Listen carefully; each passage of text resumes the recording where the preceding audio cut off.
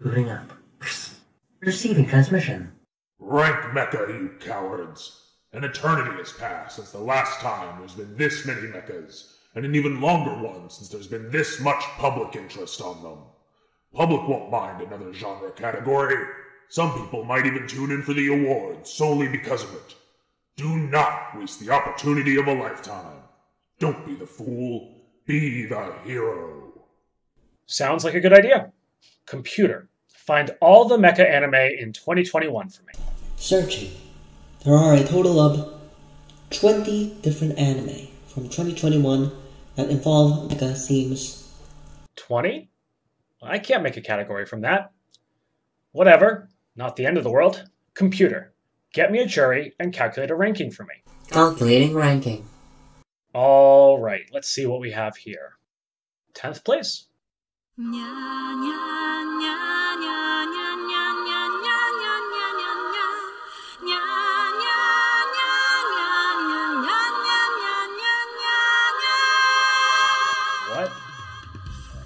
Okay, let's see the rest of the ranking.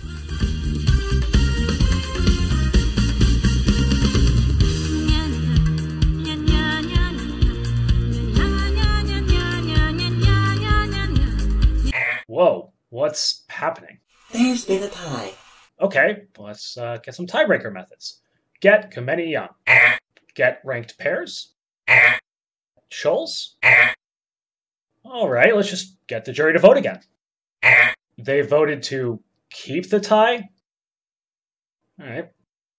Third place is a tie between first installments in new series with more on the way. Hathaway's Flash and Megaton-kyu Musashi. The two of them do an excellent job of both being setup entries while not boring the viewer and keeping them excited for what is yet to come. While both have different strengths and weaknesses, both of these are fantastically fun and impossible to choose between. And in second place, we have Trigger once again saves anime with their love letter throwback to tokusatsu, that is SSSS Dynazenon. This phenomenal series combines the excellent character writing and story arcs of SSSS Gridman with some new, kinetic, and compelling action set pieces. The combining mecha versus kaiju fights were quite impressive, and the interactions between the show's cast kept things interesting and provided stakes for the audience to be invested in. Thus, SSSS Dynazenon was one of the year's best. And finally, it says here the race for first place was very tight. Winning by a single vote, the best mecha of 2021 is Evangelion 3.0 plus 1.0. Hideaki Anno has managed to weave together a film that works to both satisfyingly conclude a project which first began back in 2007, that manages to incorporate everything Evangelion has become since its inception, whilst giving clear closure to all of its characters, and to also explore through multiple avenues within the story what Evangelion has grown to mean to him as its creator, whilst emphasizing that it is time to get up, let these characters and world go, and say bye bye, all of Evangelion.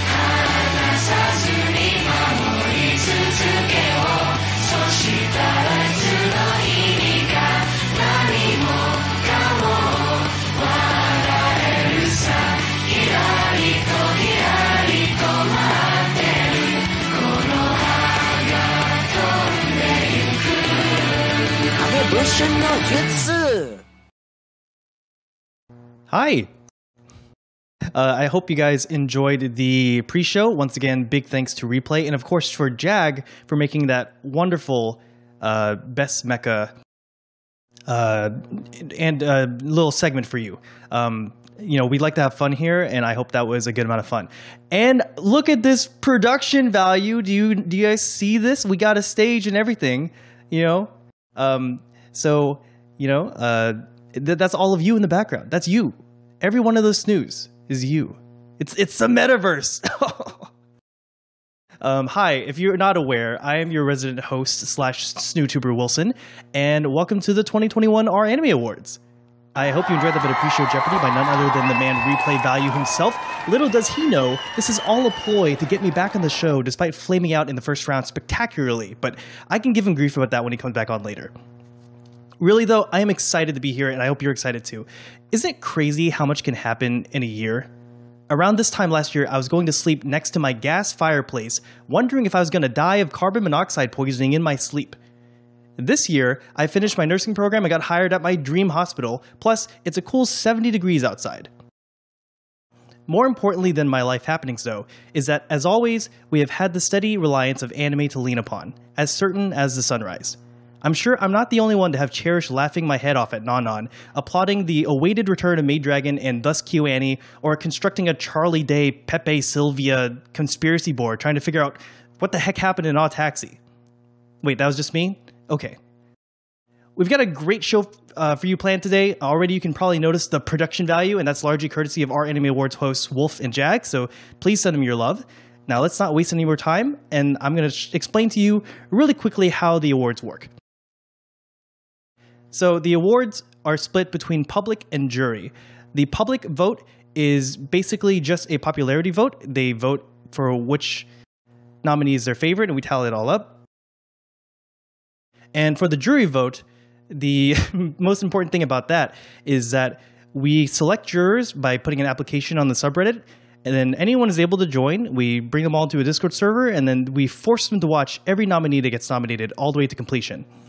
We like this format because it offers a chance for really popular shows to get their recognition and things that capture the the general uh, zeitgeist, if you want to be artsy about it, of the uh, of the year, as well as give attention to works that may be underwatched but are still really really good because it's it's so hard to watch everything. But with that being said, let's move on to the genre awards. Now presenting the Genre Awards.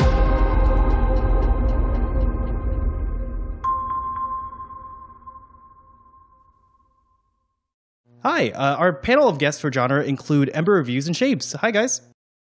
Hi Hey, there. Shaybs. Oh my God, you, you, Shaybs, do you see yourself on stream? Uh, no. It's your little raccoon guy. It's cute. It's good. also, wait, I missed it. Did you say your signature intro? I did. Ah, Okay, can you do it again for me? Hey, it's Shaybs. Welcome Yes. to the R slash Anime Awards. I love it. Okay. Uh, Ember is the content creator that actually has been making videos for Anime News Network now um, for about a year, so congratulations. Thank you. I actually just realized today it is the one year anniversary of my first video with Oh them. my god, there you go. I, I, I remember seeing that um, come up. You did the redirect. I was just like, yes. yeah. And then um, for Shaybs, you know, I, I almost consider Shaybs the AniTuber's AniTuber. Uh, their first channel, yeah, I mean, your first channel, Caribou Coon, consists of high effort, insightful videos about things less often discussed. And the second channel consists of AniTube Digest, a weekly review of the best and not so best anime YouTube videos that come out that week. That's right. Thank you for the very similar intro I give. Now, our first category is Best Action. Uh, let's see what you nominated as the best of the year. nominees for Best Action. 86.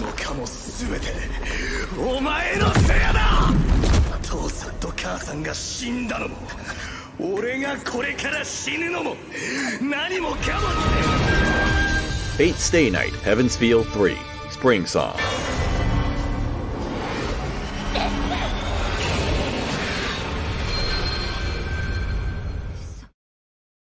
Gintama, The Final.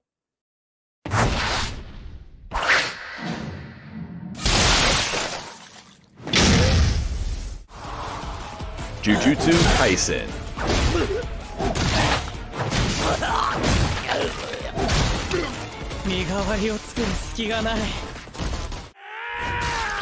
Kimetsu no Yaiba, the movie. Mugen Train.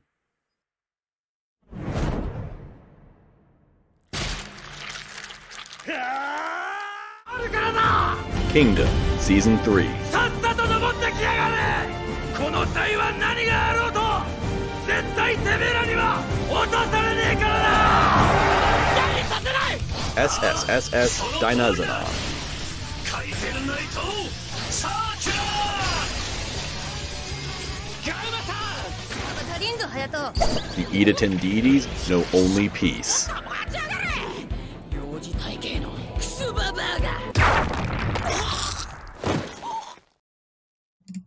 Heck yeah.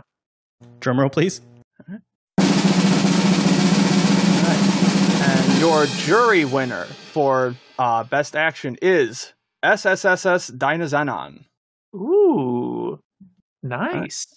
And uh and uh and the public uh winner is Jujutsu Kaisen. of course.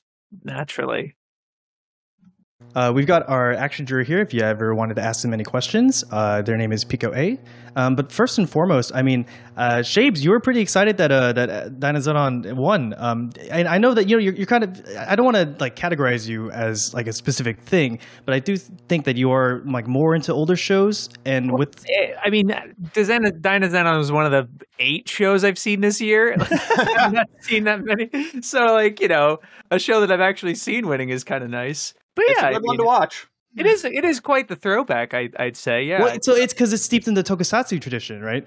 yeah as well as it's kind of going off of it this this thing that that trigger's doing with um with the SSSSS series kind of reminds me of the romance trilogy from the 70s i've not seen the romance trilogy yet but it's like um combattler v uh voltes v and daimos and they kind of they're kind of all slightly different from each other um but they're all mecha series and so i think this Dan- Danaz Dynazenon kind of reminded me of how like it's taking that group dynamic where they're all combining to uh you know working together to to use this this mecha um and it, yeah but it does have the it, so it has a bit of a sentai flavor um which is toku um but yeah and uh, you know How about you, Ember? What do you think of these results? Um, I'm. They seem pretty uh pretty on par with what I expected. Although, um, I do want to at least shout out the fact that um Idaten Deities got nominated because I feel like I was the only one watching that show, at least in the circles I was watching. So shout out to that. But yeah, Dynazenon, absolutely great action series. And uh, no surprise with Jujutsu Kaisen on the public side either, Mappa being Mappa. it's such a big hit you know Oh yeah. piko, can you explain exactly uh, why the jury chose Dynazenon? We felt that it had the strong tokusatsu roots helped boost the show, as well as it having a lot of strong character. It had a lot of strong character writing that did set it apart from even its predecessor, Gridman, which what, which did help give it a boost in our eyes. And you know that's what Shay's mentioned that uh, you know somebody. Do you remember that meme a while back where people were talking about like, oh, I I love this mecha show because it's not about the mechas, it's about the characters. But like, if you if you'd watched any other mecha show, you would know that like most of them are about the character dynamics. All right, this one put the characters in front of a lot of the mecha, even with the with the mechas only really standing out because they had the tokusatsu inspiration. Hmm. And what I want to else I wanted to ask about real quick is just because the public winner is Jujutsu, Kaisen, and honestly, I'm not that surprised considering it won Crunchyroll's Anime of the Year last year, and then it somehow wormed its way in and got nominated again for this year. Um, but you know, there's got to be something about it that draws people in. Uh, what do you guys think that is? It does have some very excellently choreographed action, and the characters are fun enough to keep you entertained throughout the entire spectacle that it creates. I think Jump Anime just kind of get that att- attention, you know. If they're published in Shonen Jump, they had it's part of this this really popular lineage and uh, very beloved lineage. So I think seeing so, you know, especially a title that has such a beloved treatment that that Mappa gave it, you know, um, it, it is. I think it's just exciting. It's in in the same way. Just kind of naturally gets that attention. I think. All right, and that's it for best action. Thank you, piko, for illuminating what the jury thought. You're welcome, and look forward to seeing how it goes from here.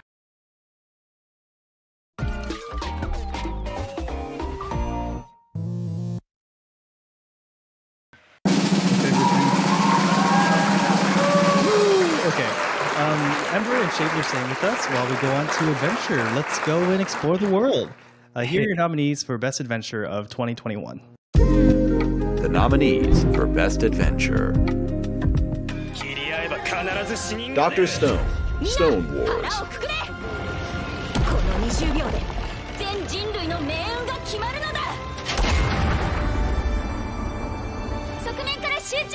Log Horizon, Season 3.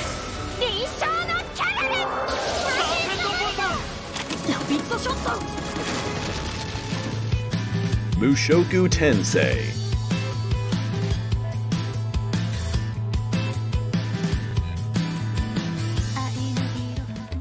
Star Wars Visions,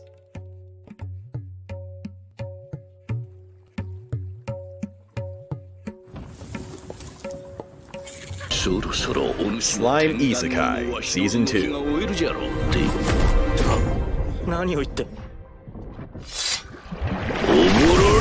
何を言って。The World's Finest Assassin,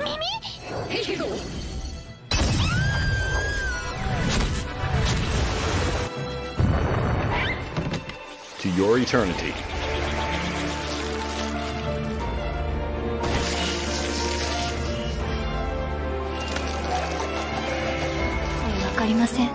Yoru no Kuni, 一つなりたい自分を見つけましたあなたがしてくれたように and the public and jury uh, winner. I I had it. and it got there. It is. Yeah, the, the winner for best adventure, both jury and public, is Musho- Mushoku Tensei. We've got our first consensus winner. Um, what? So I honestly, it's it's so popular and everyone loves it so much. I keep hearing good things about it. Uh, I don't think it's that much of a surprise. Uh, what do you what do you guys think of this? I'm I'm looking forward to watching it. I'm waiting until it's done. Personally, I have seen the first season. It's literally this the second season of this and the the Revue Starlight movie are literally the last things from this year I still have to watch and I'm super hyped. I loved the first season. Uh, really like they do a lot of the people say like the the world building and like the magic system is like one of the big par- things of Mushoku Tensei and it's it's not groundbreaking by any stretch, but the way that they present it makes it so captivating and interesting to immerse yourself in this world. And I really uh, adore that about it. And I mean, at the end of the day, that's like kind of what makes up a good adventure, right? Like you you want to be able to explore this other world, so the world building has to be on point. And like you know, like part of the reason I think it also has such a good appeal is that uh, I I found it really unique how um, the time scale is so like uh, tight. You know what I mean? Like I, it follows um, Rudy from like from like a baby, right? It's, I, I haven't seen much of it, but yeah. And uh, I mean, I've I've also only been kind of a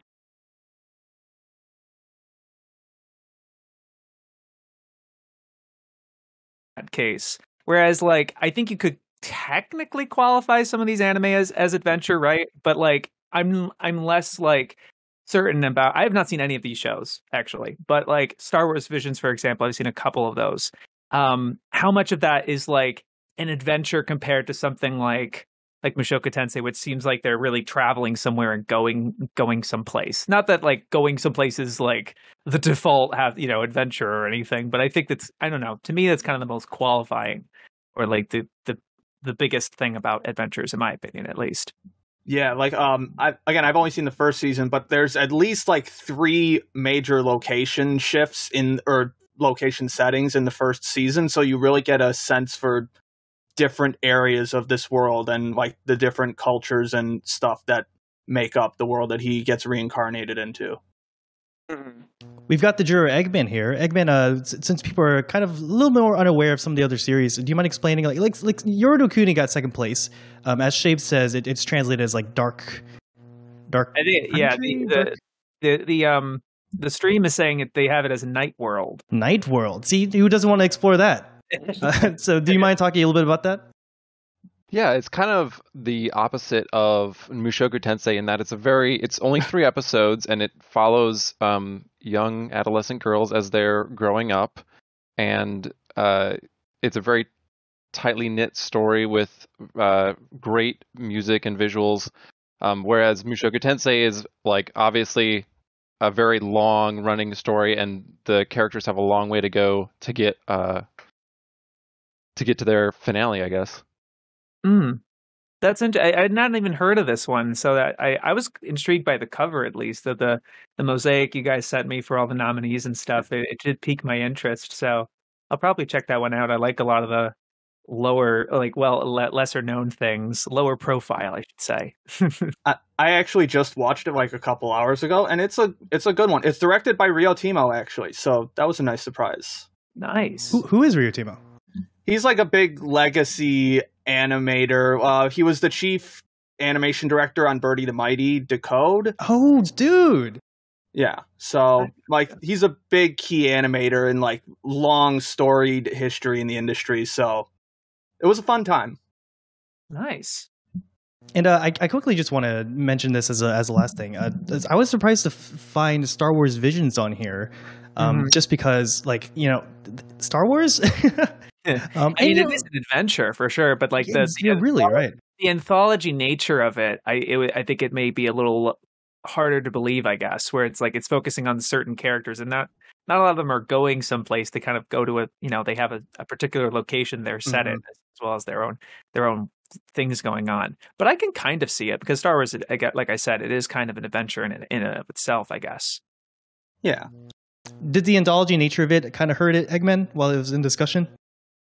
Yeah, that's kind of what uh people people liked it, and and the best episodes are like top tier quality, but like there's a variation in like the quality between different episodes and the story, and since there's not a through line, you have a lot of characters to remember, and it's not as like you don't come to know and love each of the characters. Uh, but the best episodes obviously are just great in and of themselves, so that's why it was included in our list. Thanks for the insight. Um, did you guys have any more questions for Eggman? Um, I just had one idea uh, that I had written down, just really quick. But like, out of the nominees that you have here, do you do you hope that any of them are going to be like kind of a trendsetter or some sort of like kind of future classic, or um, you know, what do you think that's like kind of new that these nominees have? And it doesn't have to be Mushoku Tensei as the winner, but like that you would want to kind of see replicated or expanded upon. I would really love to see more shows like Night World where they don't Mm-hmm. overstay their welcome. They're very well produced. They know what they want to do and they do that thing really well. Um, I also love Star Wars Visions. More anthologies would be great too. So That's uh, yeah, I agree with that. All right. Well, that was Best Adventure. Thank you so much, Eggman, for coming by. thank you.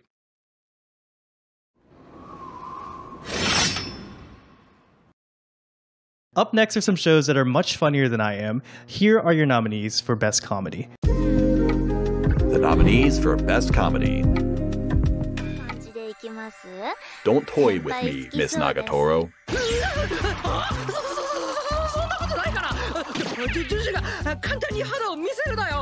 切っておいてよくもか言えたげさまわね OVA 各会長の好物を使って私が自ら丁寧に下ごしらえしたのに絶対許さない。この私を。Komi-san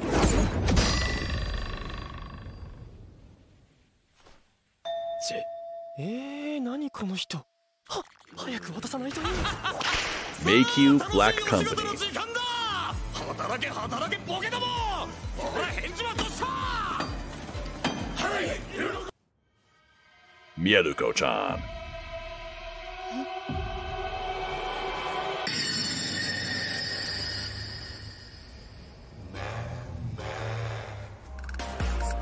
ぷいぷいモーカー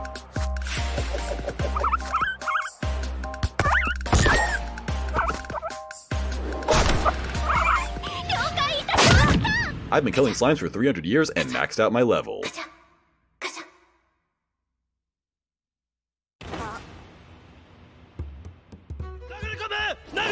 Zombieland Saga Revenge.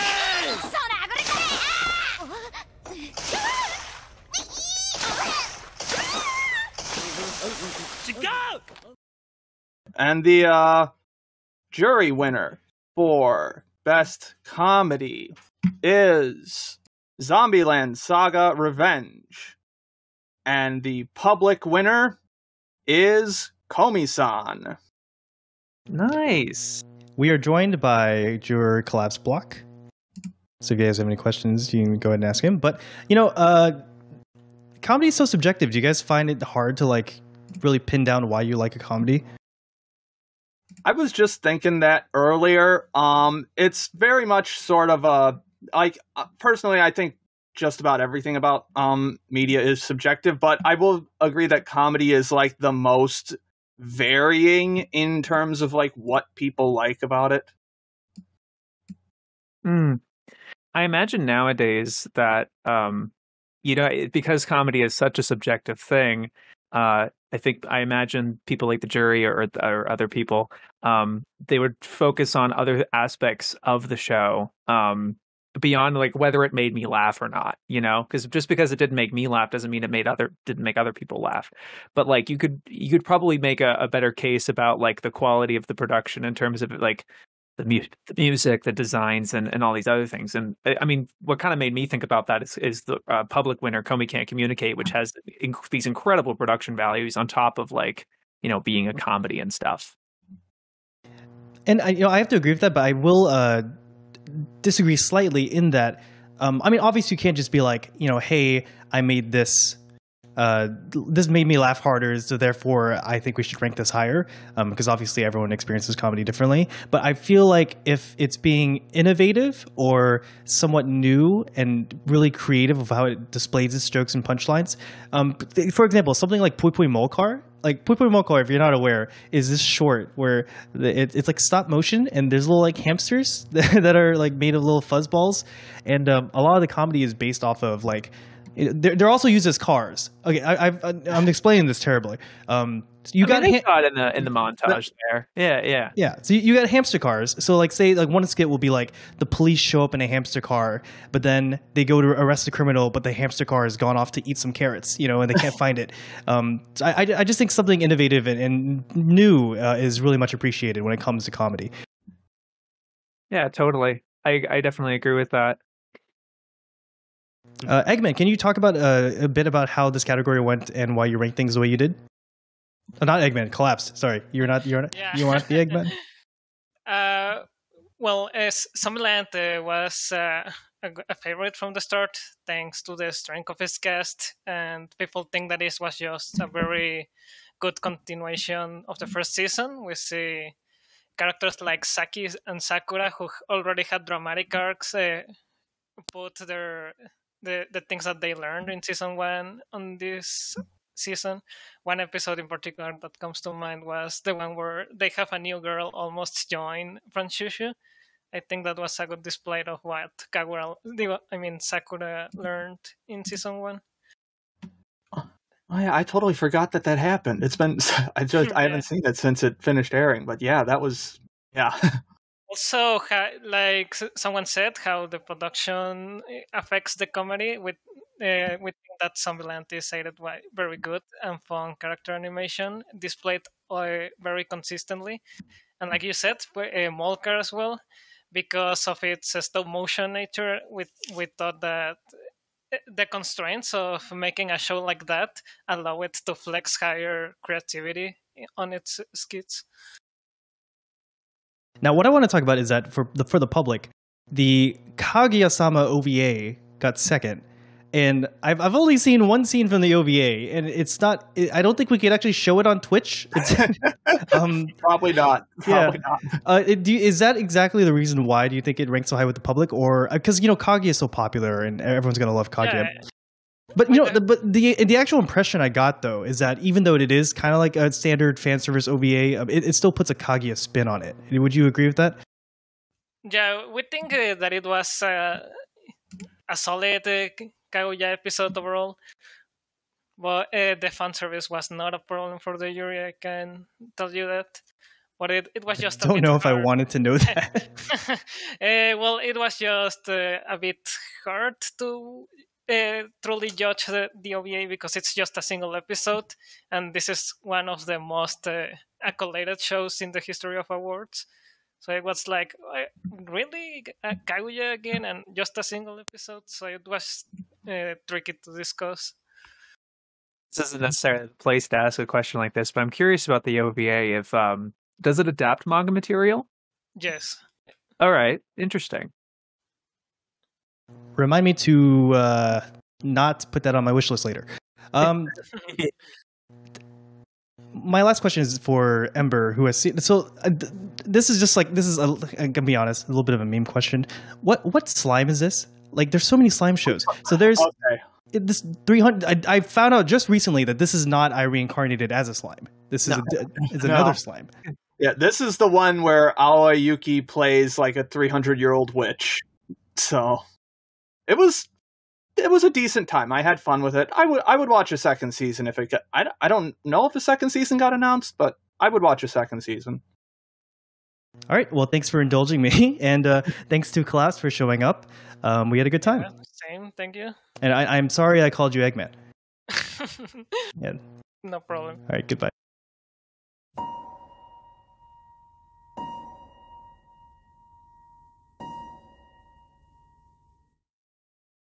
All right. With that, that was best comedy. Um, we're gonna move on to best drama. Um, I had I had a little skit planned out, but it's kind of cringy, and then I actually don't know if Wolf will be okay. Wolf, you, you gotta you gotta you gotta you gotta you gotta work with me, okay? You gotta time it right. Okay. no, this can't be happening, darling. We must part, but only just for a moment, just enough time for this montage to play. Wait for me. Here are your nominees for best drama. The nominees for Best Drama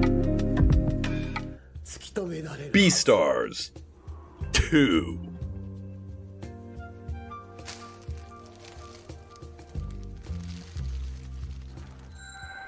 Blue Period.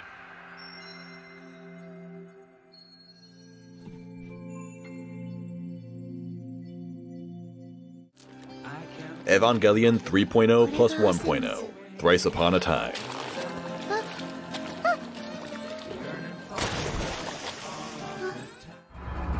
Heike Monogatari.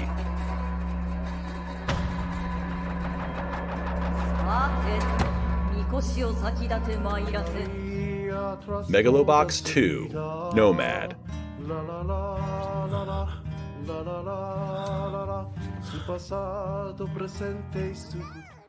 Umamusume Season 2.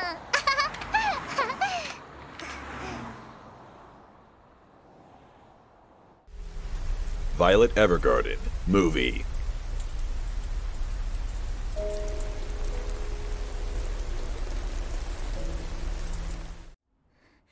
Wonder Egg Priority.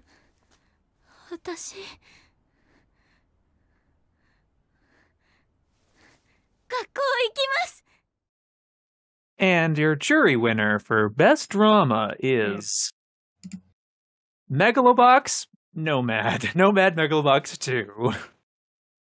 And um your public winner for best drama is Violet Evergarden the movie. All right, so Shaybs, I'm going to throw the first question to you because obviously, um, now if, if you don't know this, Shaybs made a video listing like every Ashita no Joe reference in the first season of Megalobox. It's like this crazy, in- insane, really long, detailed video, and um, you know, Megalo- Megalobox, while being a spiritual successor, it makes a pretty drastic change to A and J. Um, and then now that's why we have Nomad. Um, how do you feel about this? Does it is it like a, a blasphemy? Is it like pretty? No, it's completely in spirit of, of Ashino Joe, actually. I don't want to spoil Ashino Joe, um, even though it is 50 years old. Um, but it's very similar in that um, Ashino Joe 2 takes place a couple, like, it was made seven years after the manga finished. And uh, it does adapt to the manga, basically, but it does adapt the second half of it, which is a lot more dramatic and it's less about the boxing. Um, it still has boxing, similar to Nomad, but I think it is in spirit. Really, uh, I didn't. I haven't made a a follow up video or a reference video for the second season, mostly because I really do think it doesn't put uh, the references out front and center in the same way. I'd have to like really stretch and kind of look or whatever. But I also don't like making the same video twice. um, but you know, it's it is a great follow up and uh, very in spirit for Ashina Joe.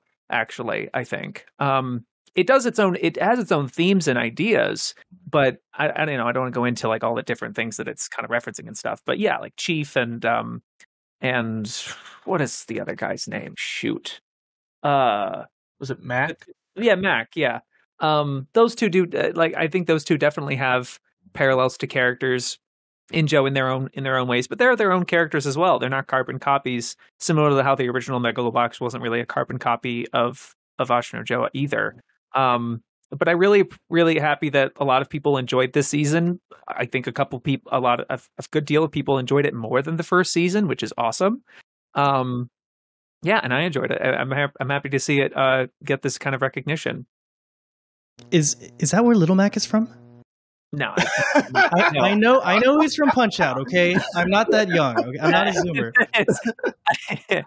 no, there's not a character there's not a character named Mac and Joe, but like there's a um like there's characters that like have tr- similar personality traits uh for uh as Mac in in Nomad. Mm-hmm. For example, Mac being a uh, a family man um which kind of humanizes him in a way is very similar to the um the final champion in uh in Ashino Joe. He's he's also a family man.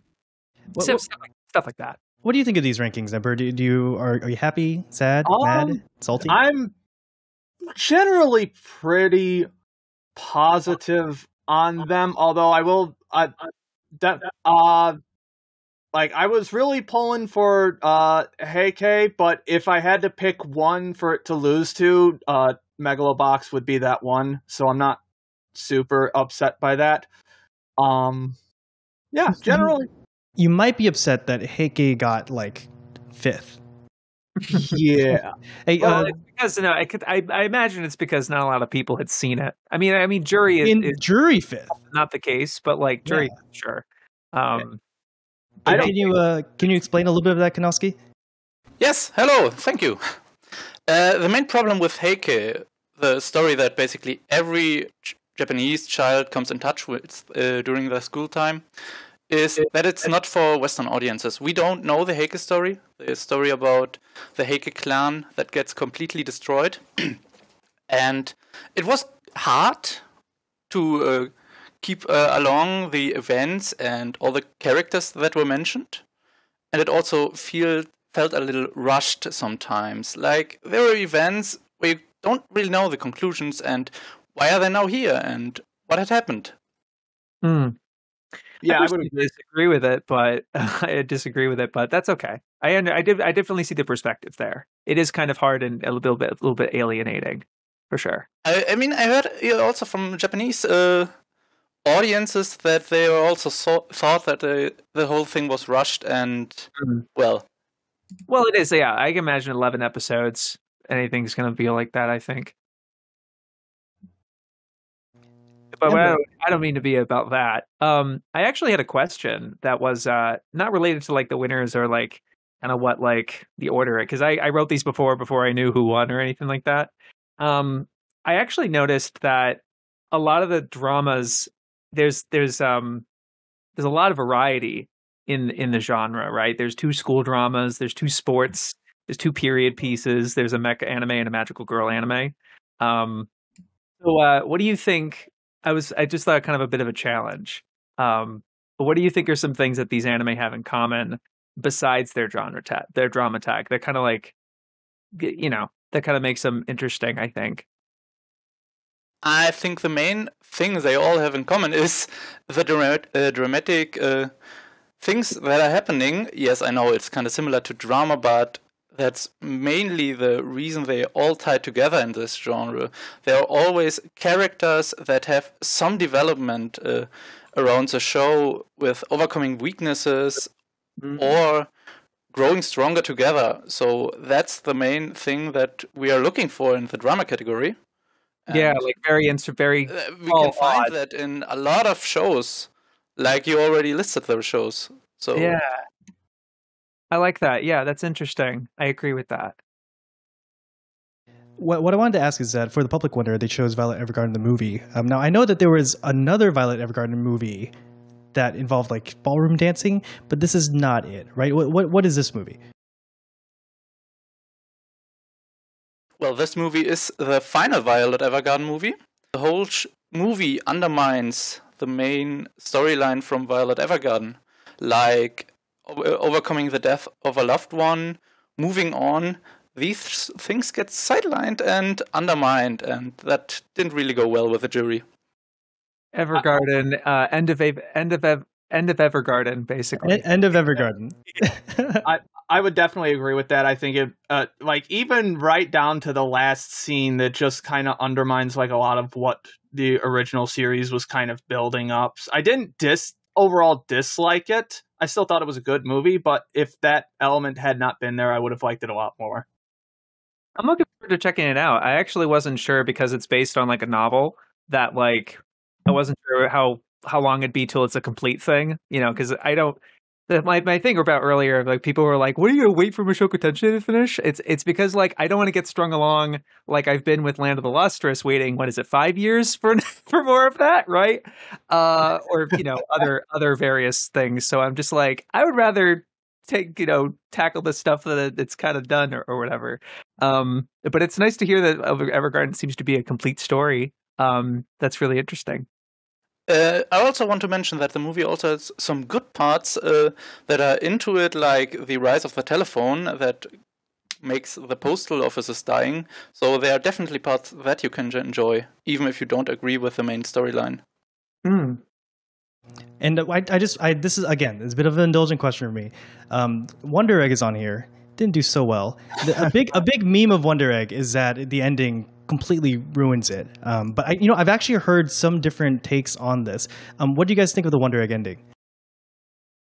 Not great. Not great. Uh, For what reason, though? Um, it there were a lot for me. It felt like there were a lot of still open plot threads. Like it, it does that thing. Like the main TV series does that thing where it introduces an entirely new element th- two or three episodes before the end, and that element is not resolved in any way, even though it dramatically changes the stakes of the story and what the focus of it and it's just not wrapped up at all. Hmm.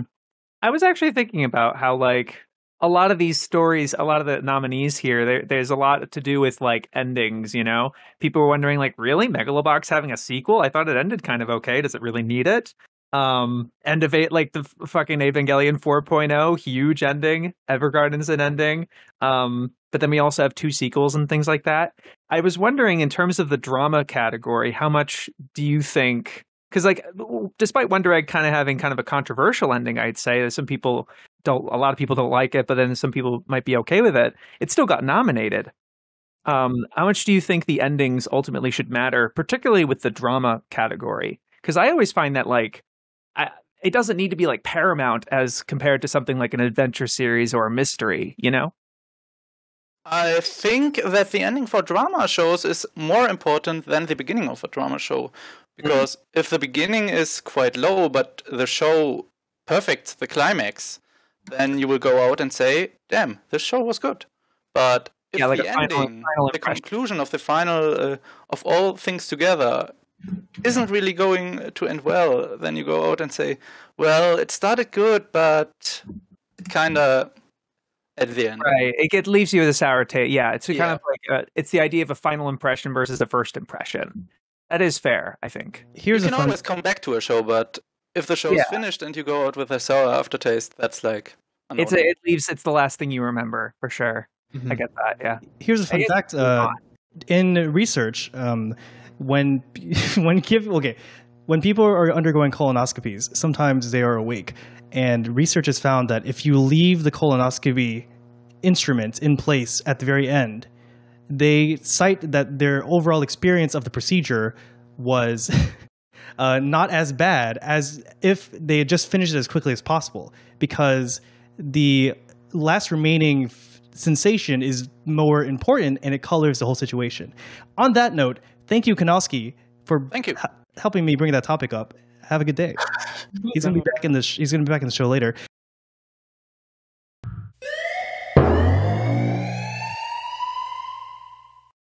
Uh, we're gonna go on to best slice of life. You know, speaking of medical stuff, now that I'm a nurse, I can do this. I prescribe one heaping helping of Comf, taken daily and as needed. Side effects include laughing and crying. Here are your nominees for best slice of life. The nominees for Best Slice of Life D4DJ, First Mix.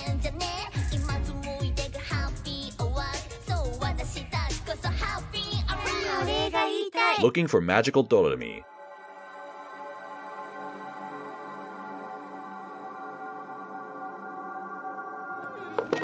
Miss Kobayashi's Dragon Maid, S.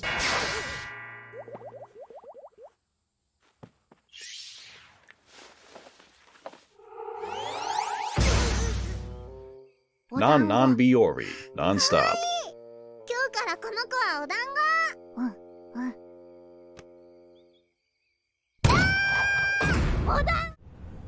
Pompo, the cinephile.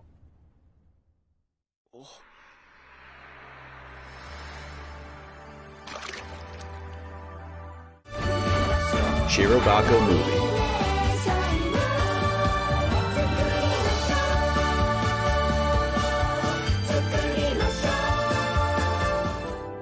The Aquatope on White Sand.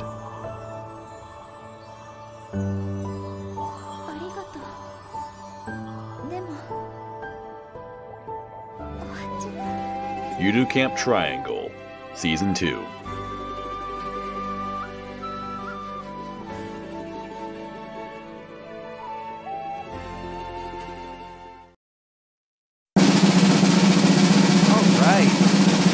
Right. Jury winner for best slice of life is Non Non Biyori Non-Stop. And the public winner for best slice of life is Miss Kobayashi's Dragon Maid S. I love slice of life so much. Like, on, Yes, I, all. like I, I, I wouldn't mind any of these winning to be honest. Like, they're so good. Very nice. Yeah. My top two for the year. What are your top two for the year? For the year, that's that's For the year. I for for the year, I feel like a lot of people kind of overvalue drama and like action and stuff like that, just because you know I think it like kind of pulls at your your emotions a little bit stronger. Um, but I'm really interested to see what your uh, your two are.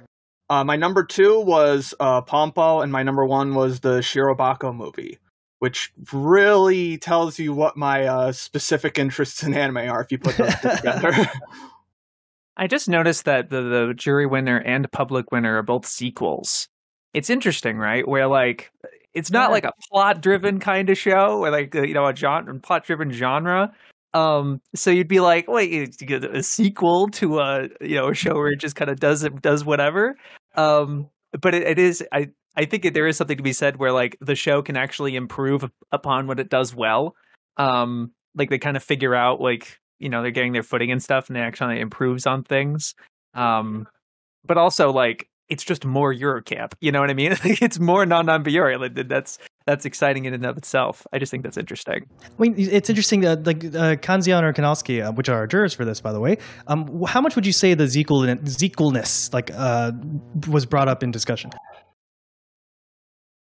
Um, I think the aspect of Non Biyori as a sequel is brought up a fair amount in terms of how it builds on what it does in the previous seasons and how you know the characters continue what the characters have been like in previous seasons and how they've grown over time.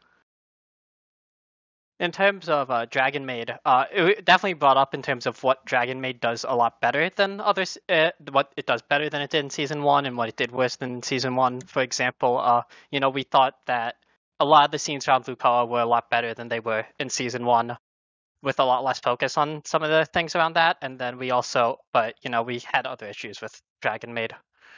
What are the other issues? Uh, a lot of the psychology.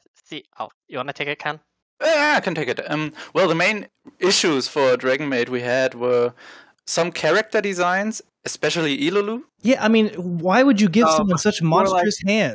Yeah, the hands were the main reason. the one. Uh, but also the repetitiveness of some jokes around certain parts of the female body that were like off-putting for us, and also characters like Saikawa didn't really go too well with us. Yeah, every every time I hear discussion about Dragon Maid, I always forget that those exist. Like, I, I- it's like my memory like loves the show so much that it blocks out all that stuff. Yeah, because I, I imagine, right? If you're enjoying a show, then like the stuff that it, that doesn't bother you, just you completely forget about it. And then when someone brings it up that like they had a super issue and they're not enjoying it the same way, they're like, "Oh, that happened." I'm like, "Oh, that's a, oh, huh." And it, it's interesting. I had the same thing with like Princess Jellyfish, but I won't go on that tangent. Hmm. Ember, Um, uh, some people might not be as aware of what like Pompo is. I, I think it got um, subbed pretty late and joined uh, the nominations later. Um, would you mind uh, giving a quick overview? Uh yeah, basically like the PA for a big producer, um the producer just shoves a script in his hand and says go make a movie. And it's basically like him uh just pulling together a movie with all the knowledge that he's gained over uh his years working for this producer. It's definitely not a realistic movie. It is very much uh it's definitely leans more more towards the fantastical but it is still very captivating nonetheless. And it's actually one of the few times where I um found the casting to be particularly on point because like there's the main character and then like a brand new actress where they just pulled no name actor actors and actresses out of nowhere so that they didn't sound like anime characters and then the other characters it's like you have Akio Otsuka and Ai Kakuma and all these other big names to really sell the difference in like experience. I had the wonder oppor- wonderful opportunity to see this um, at Anime NYC, like the first premiere, and oh my god, let me tell you, it was such a great. Um, I, I had the choice between that and Bell, and I, I unfortunately wasn't able to stay in time for Bell, but I am not disappointed in the least that uh, that Pompo was was what I got to see instead. I, I, I was I think I was like crying like halfway in. oh yeah, yeah. I, I definitely started crying at some point in it. Yeah. Looking forward to seeing it. Well, uh, thank you so much to our jurors. Um, we're gonna move on from Slice of Life. Hope you see you later. See you later.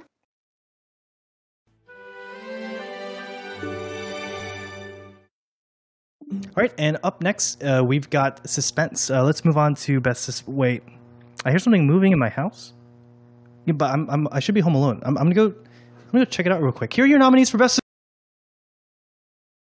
The nominees for Best Suspense Co Colors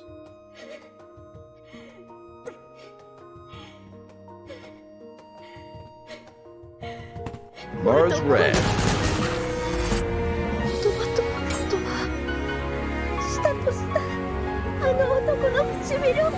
重ねたこの思いオッ破れかぶれ Taxi に嘘ついてってことなんだね彼唯一持ってるものはこの指輪ぐらいですマリッジリングって切ないな嘘ついてまで結婚したい ReZero Second Season Part 2お前は英雄だよ英雄にしかなれない僕を助けてくれてありがとう Shadow's House エドワードは迎えを待てと言っていたけれど セスの力でなんとか「」ファイナルシーズパート1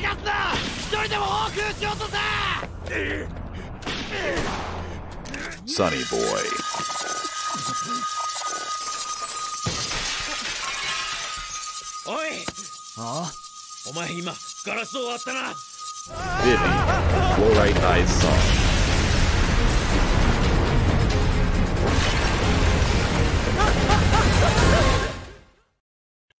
And your jury winner uh, for best suspense is Sonny Boy. And the public winner is Odd Taxi. Yeah.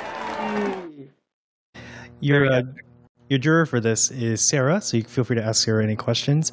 Um, what do you, what do you guys think of these? I dig. Uh, yeah, I, I- I hear I- you cheering a bit I at Odd still have Taxi. to see- I still have to see Odd Taxi. Um, but Sonny Boy is again one of the few shows I've seen this year. Uh, so that was neat. That's cool. Yeah, I think in terms of suspense specifically as a concept, I think Sonny Boy is probably my favorite from this list. Uh, can you explain why?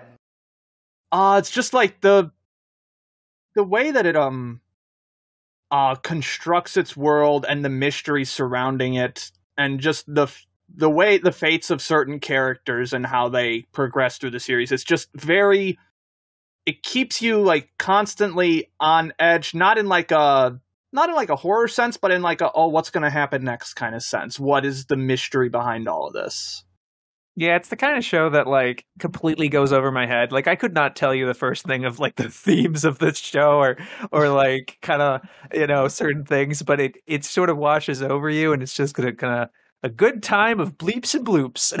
I, I, to- I, I don't want to like downplay it, but like it's a good time, man. It's a good time. I mean, that is. I, I think suspense is the only category where it like pleasantly confused is a is a desirable quality for- Right, right. that you want to be. Oh. Um, Sarah, can you talk a little bit about uh, why you chose Sonny Boy as your winner? Yeah, so um kind we kind of agreed with like a lot of the things people have said with the story not it's not really a story that makes sense right off the bat or you can really claim at least we could really claim to know like exactly what was going on at all times. But that was almost part of its charm for a lot of us. Um it tells a story about like themes of humanity, of growing up, of society, and does it in a way that's extremely thought provoking, but doesn't really spoon feed anything. And the visual presentation of it is really great. I think just because the fact that the um the fact that the story is so out there just led to like a lot of really cool visuals, especially with the background arts and the character designs. And the music was really great, even if it was used kind of sparingly. So all of those things together really pushed it to the top for our category. Yeah, it's a real special show. It's like stuff that like we we were kind of worried that we'd never get again. You know, it's it feels like something that come from like the 2000s when it was like very experimental and directors were kind of just given free reign. Um, but such an original project like this is really exciting to see, and of, of course coming from uh, Shingo Araki. Not Shingo Araki. I'm sorry. Tets uh, Shingo Natsume. Shingo Natsume. Shame on you, Shaybs. Sh- shame, shame seems on. I saved it. I did save it. Nobody corrected me. And as for the public winner, I mean, uh, for a while, like I, I remember, like, do, what- do you know, remember the period of time where all the big AniTubers were just making video after video on Odd Taxi? It was like, this is the most slept on show of the year, and then Mother's Basement's like, you guys are missing out on Odd Taxi. It's the show you haven't watched. Uh, what, what do you, yeah, what do you think about that? It worked. It worked. Like I I was even hearing about it like outside of the anime sphere. Like other like more general podcasts I listened to were like talking about Odd Taxi, so it's not surprising that it won uh, the public vote. Yeah, it's I mean, kind of it's one of those one of those shows like Konosuba where word of mouth really works. And what, what do you think is like drawing people towards it? I mean, there's there's as always the mystery, but even in addition to the mystery, there's all these different character interactions and kind of like uh, like there's one. I remember one episode where it pulls almost like a Sangatsu no Lion thing, where the first half of the episode is this long, unrelated tangent about a cat who like has a gambling problem, um, and I just really appreciate shows that are able to take that kind of chance. For real. And somehow that character ends up becoming one of the most important characters in like the last two episodes of the show. Exactly. you know, I, and, and I think that's what big part of suspense. It's it's the interconnected of, of its all. It, it, it's the uh, the like everything coming together. It's all coming together. Kronk. Yeah. All right. Uh, anything you would like to say, Sarah? Um. Yeah, I mean, especially with like Odd Taxi, I think that you, the jury agreed that it was also a very great show. There were like a lot of great contenders for like suspense this year. Um, Yep, that's completely right. Uh, we're going to move on to the next category. Thank you so much, Sarah, for coming on by.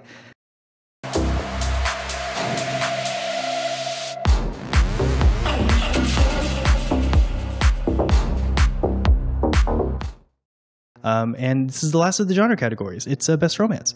The nominees for Best Romance. Fruits Basket, the final.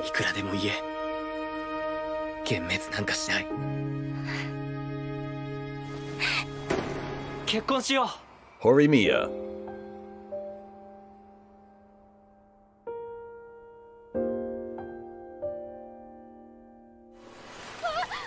Josee, the tiger, and the fish.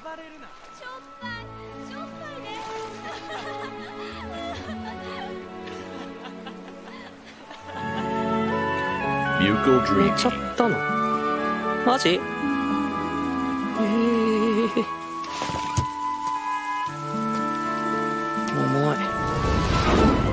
My senpai is annoying. 駄な抵抗はよせ。Amoy Amaware, 気持ちを引きずらないために。そしたらリオくんが誰にもできない。全部間違え The Quintessential 頭 Quintuplets, いいって Season 言ってた 2. けどこんなもんなんだ。なんでおせっかい焼いてくれるの？あなたからは絶対に教わりません。あんたなんか来なければよかったの。The Duke of Death, and is made.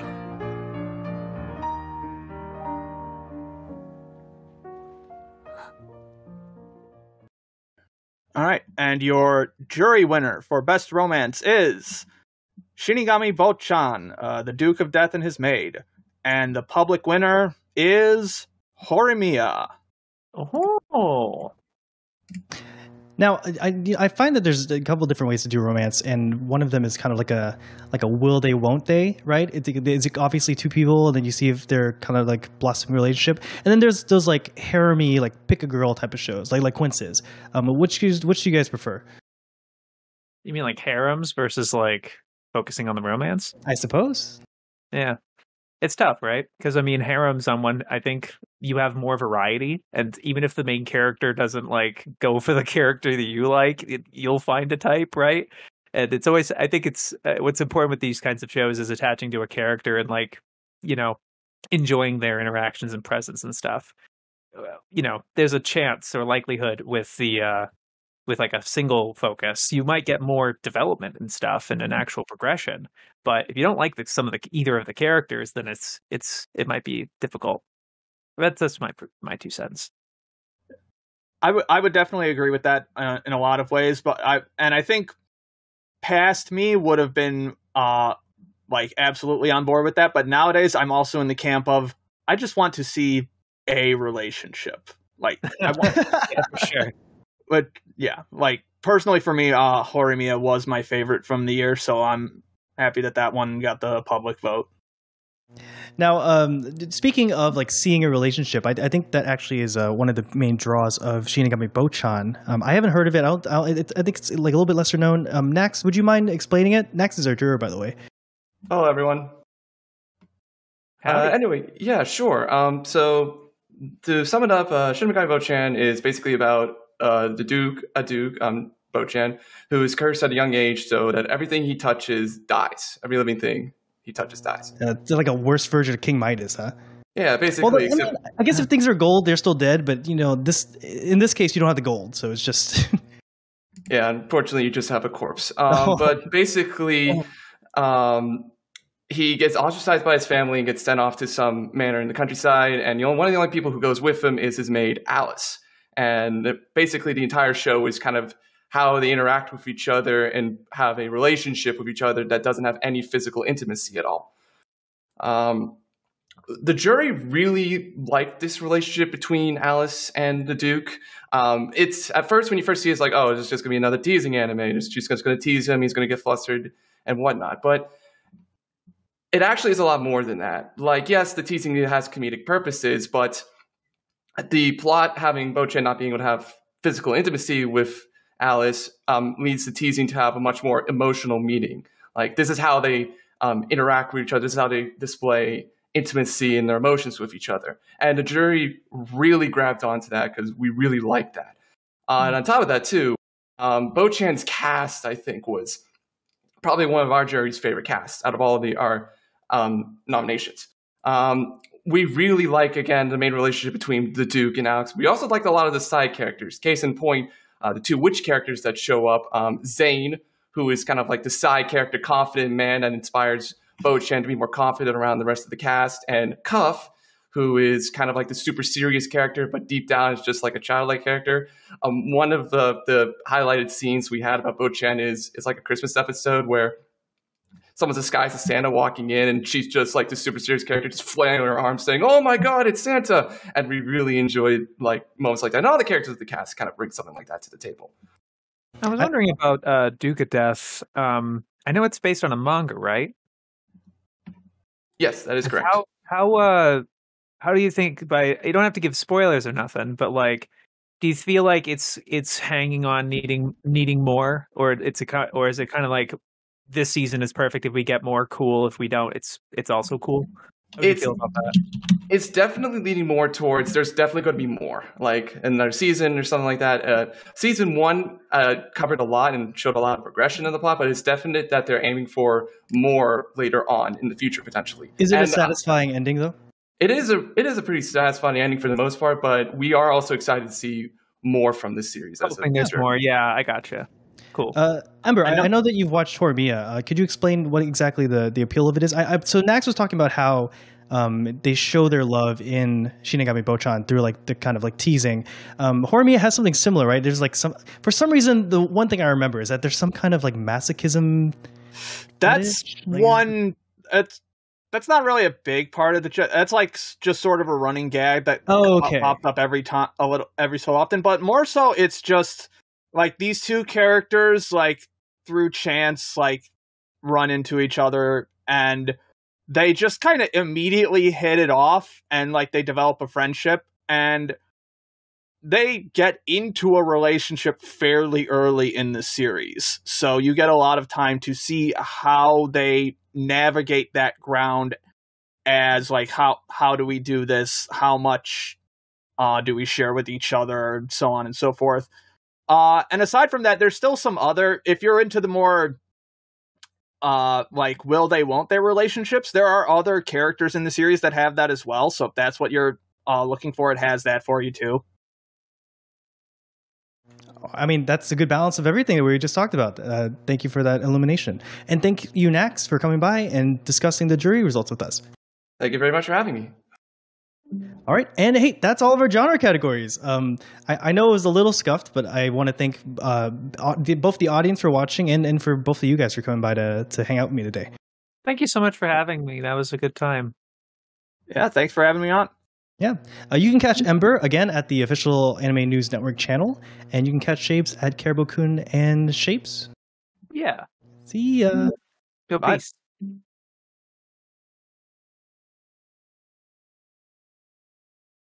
All right. Um, due to some time constraints, we are going to actually move on uh, to the.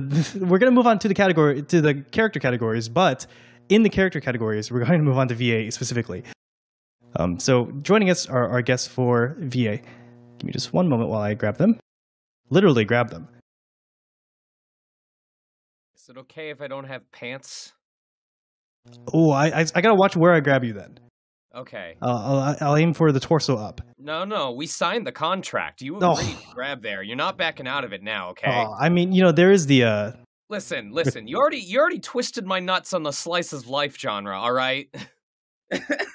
I mean, like you know, uh, d- d- what's a what's a slice of life that isn't all about fearing for your life? You know, yeah, that's a slice a slice of life. My my favorite part, you know, my favorite part of the winner's slice of life, you know, that that moment we all can identify with is when I got shot in the chest chasing after a woman in a tiger mask at a Mardi Gras. We've all been through that before. I'm yeah, glad, it's I'm glad that the audience could identify with that very humble, very real part of existing in this world.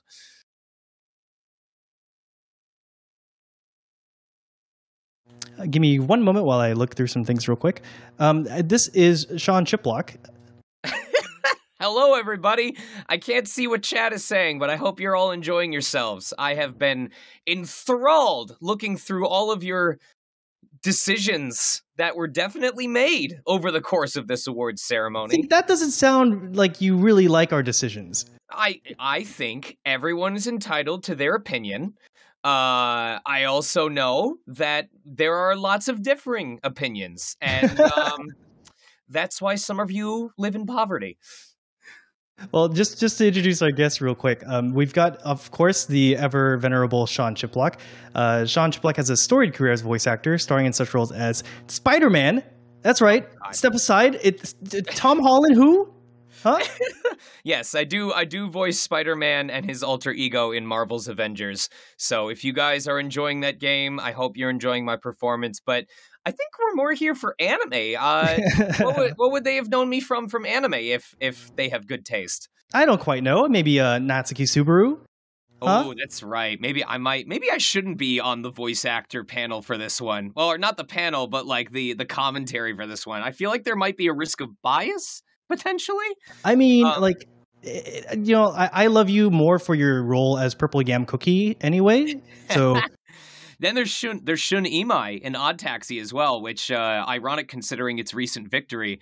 Um, you know, I have to admit, when I watched that show originally, I said if this gets a dub, I hope I get to either voice Shun Imai because he's just the endless optimistic that I tend to be, or Tanaka because he is as addicted to gacha games as I am right now. I'm literally running bosses on one of my gacha games while I oh do god, this. it's one of So, those. I was like, either I'll scream with joy or I'll scream in revenge or vengeful anger. But I'm very glad I got to be a part of that series. Now, hopefully, our next guest, Megan, is not as addicted to gacha, or at all, preferably.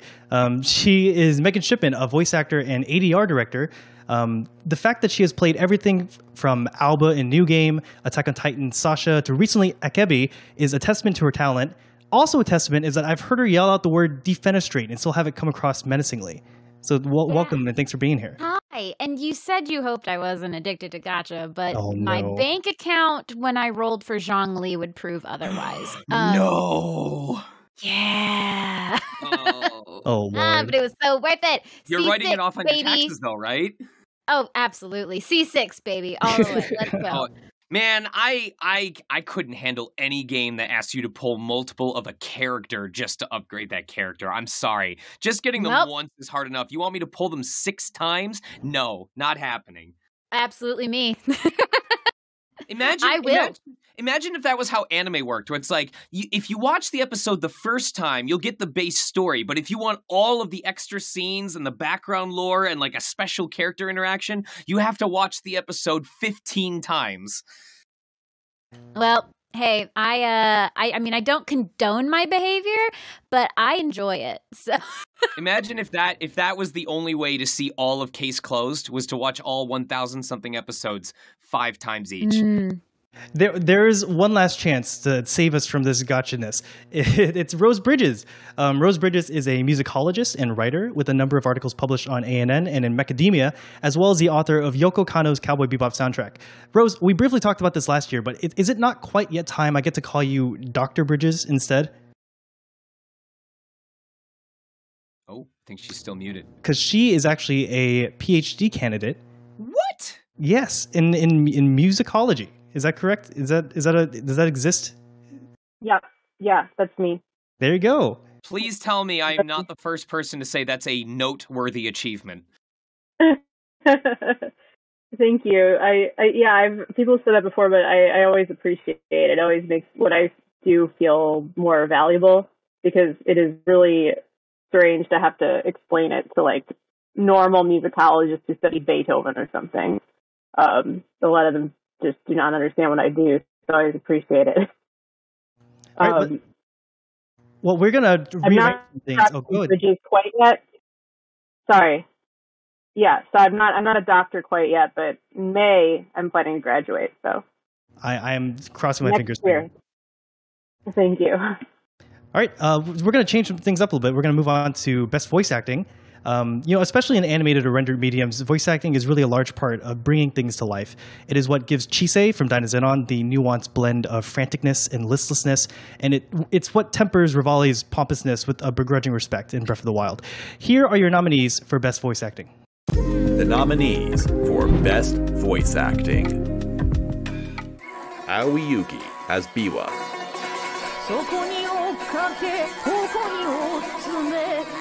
馬より取って引き落とし。Aoi Yuki as Kumiko. これはあれなのか？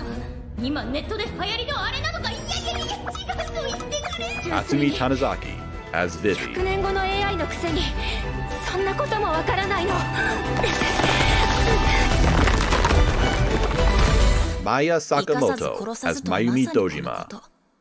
私の意見もそんな風に潰されたいいな。意見ではなく。Natsuki Hanai as Vanitas. 俺は医者だ。ヴァンピール専門のな。俺は彼女。治しに来た。Tomokazu Sugita as Rudius Grey 助 Rat. 言つって俺を誘惑するやついやいや。心の持ちようでどうにかなる時期はとっくに過ぎたんだ。よポジティブになったところで絶望が加算されて Yukari Tamada as Rika Furude. 100年よ100年間ひなみ沢の鳥かごに捕らえられて理由もわからず惨劇を見せられ続けてきたのよ Yuki Kaji as Aaron Yeager. 記憶障害で家まで帰れないってことにしてるが本当は帰りたくないだけだ Yuki Ono は二つに分 as かれてる Lewis.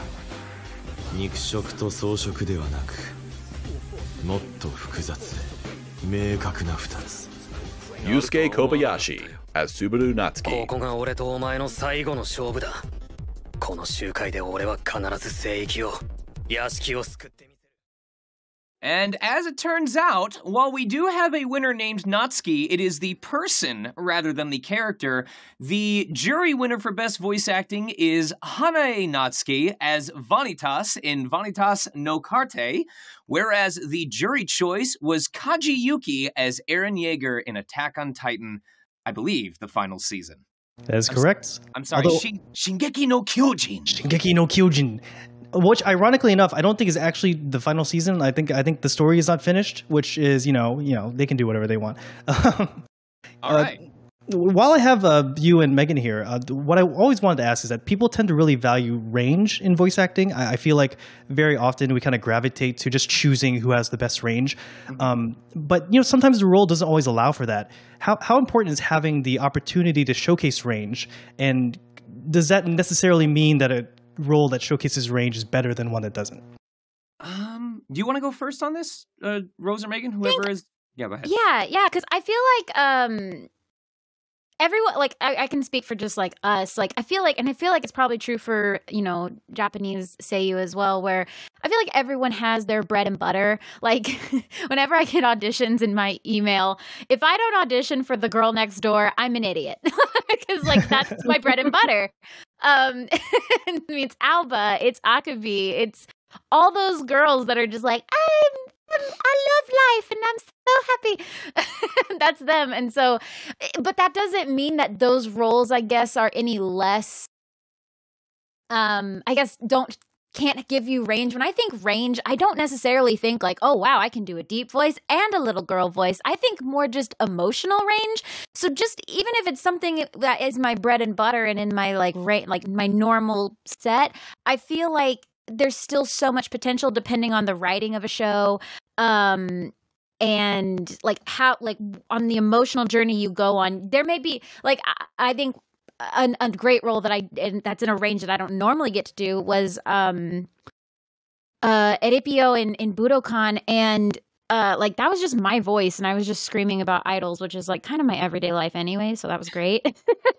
But like uh, it, it's but there's also like range there but in, emotionally so i don't know i i feel like even if you have a character that isn't necessarily like wow that's the same voice i've heard over and over again i feel like it's um i feel like the emotional range is more important than like what And kind of voice even, you're doing Even on even on top of that, like you know, it, it kind of touches on as actors. You know, it, voice acting is more than just now I'm happy, now I'm angry, now I'm sad. You know, we understand what emotions are. We understand what it's like to feel them, and um, What's more important is being able to display emotions in a in a believable way that the audience can connect to. So, you know, if a character tends to like 90% of the time be very smarmy and sarcastic, but that's what fits within the narrative because of what they offer to the story, then that's not necessarily anything wrong with that. You know, a big example is Case Closed. The main character of Case Closed, his entire purpose is to figure out these clues, you know, uh, win a battle of wits.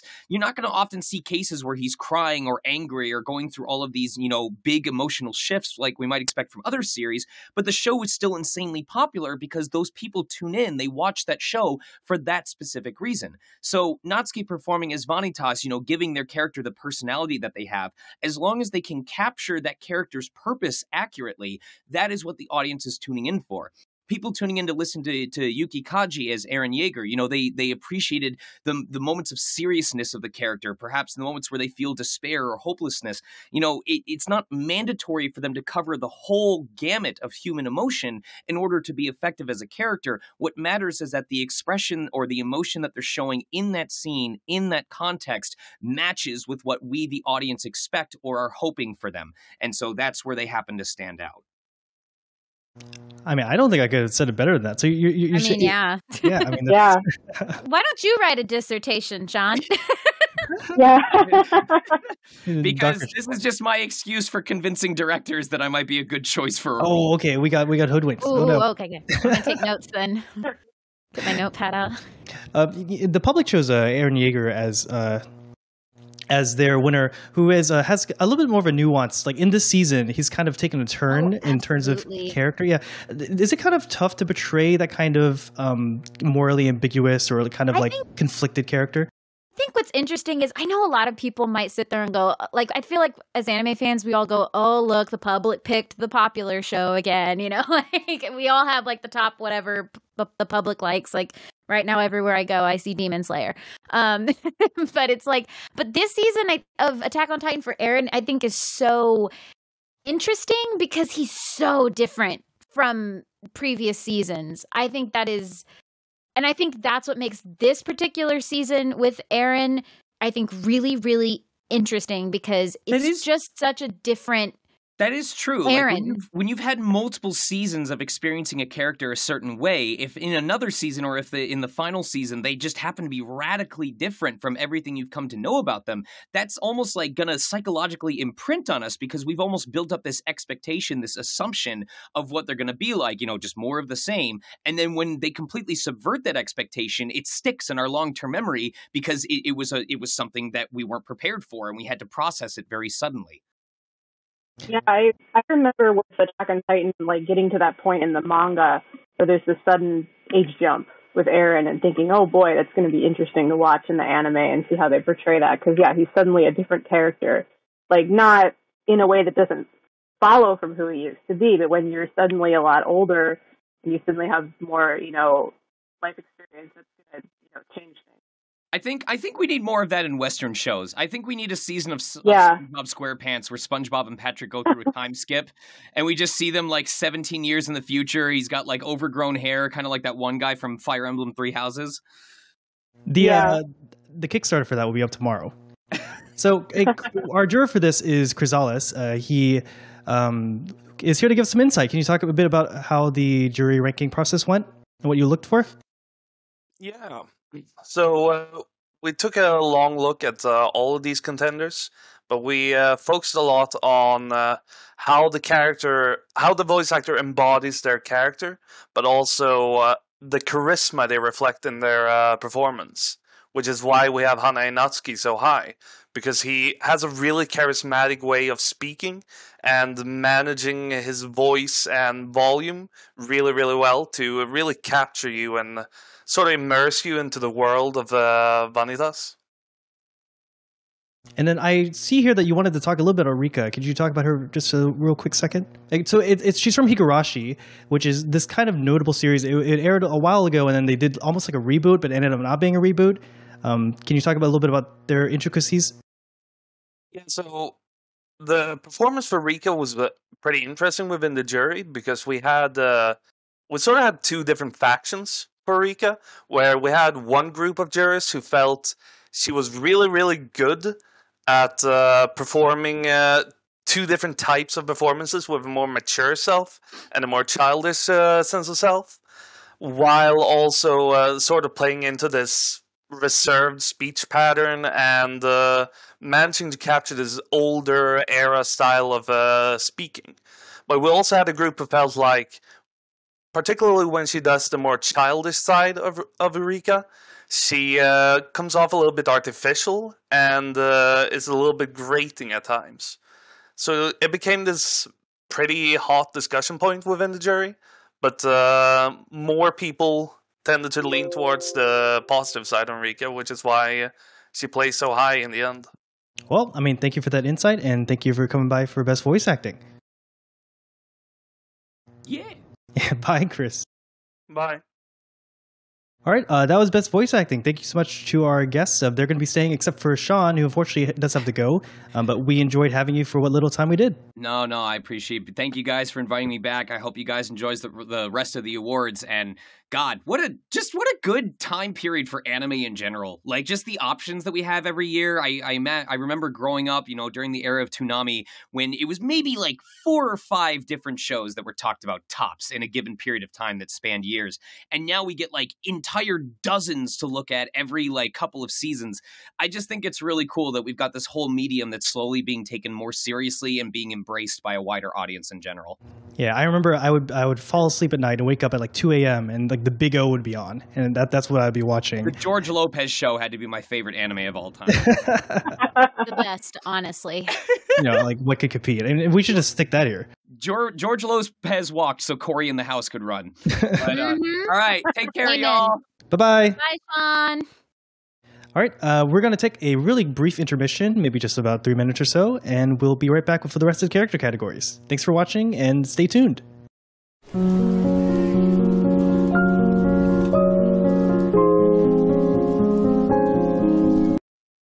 All right, and welcome back.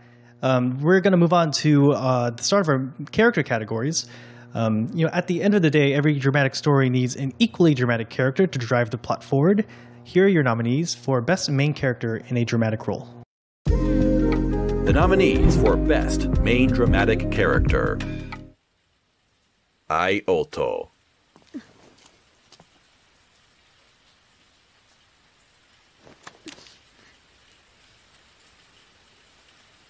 その任務とは？Aaron Yeager. 始祖奪還し世界を救うことだ。そうか。世界を救うためだったら Hiroshi Odokawa. あんた生まれはどこなんだ？宮崎。ちょっと宮崎民謡歌ってよ。庭の歌えんのかよ。山の Joe. 王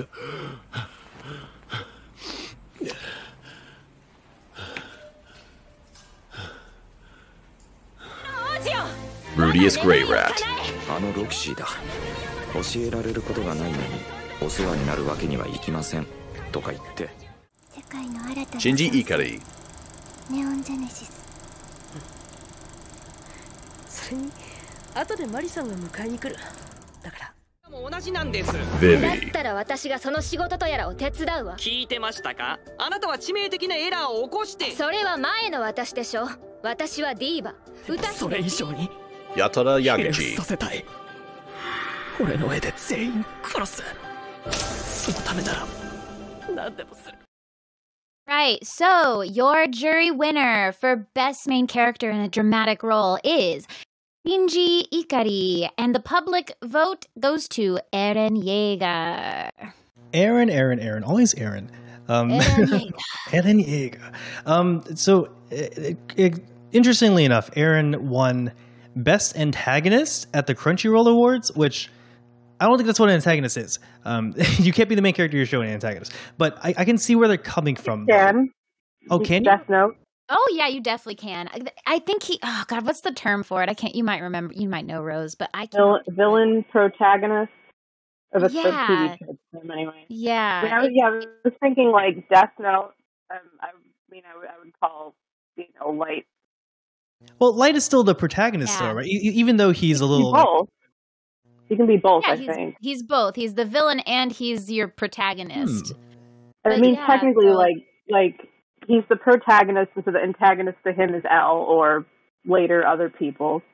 Spoilers Right. for an anime from the last decade, but um, the, but like he's also the antagonist to like the audience.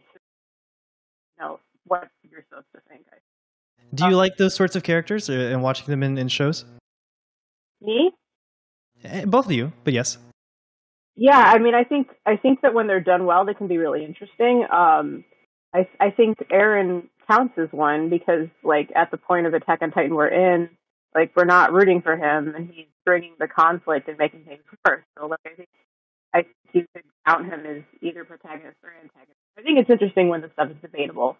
Um, is I think my take on it is when you have protagonists you're not sure if you're really supposed to root for in terms of like um, you know, you're not sure that you should want what they want. And I think there's a lot of like live action shows that have been like that.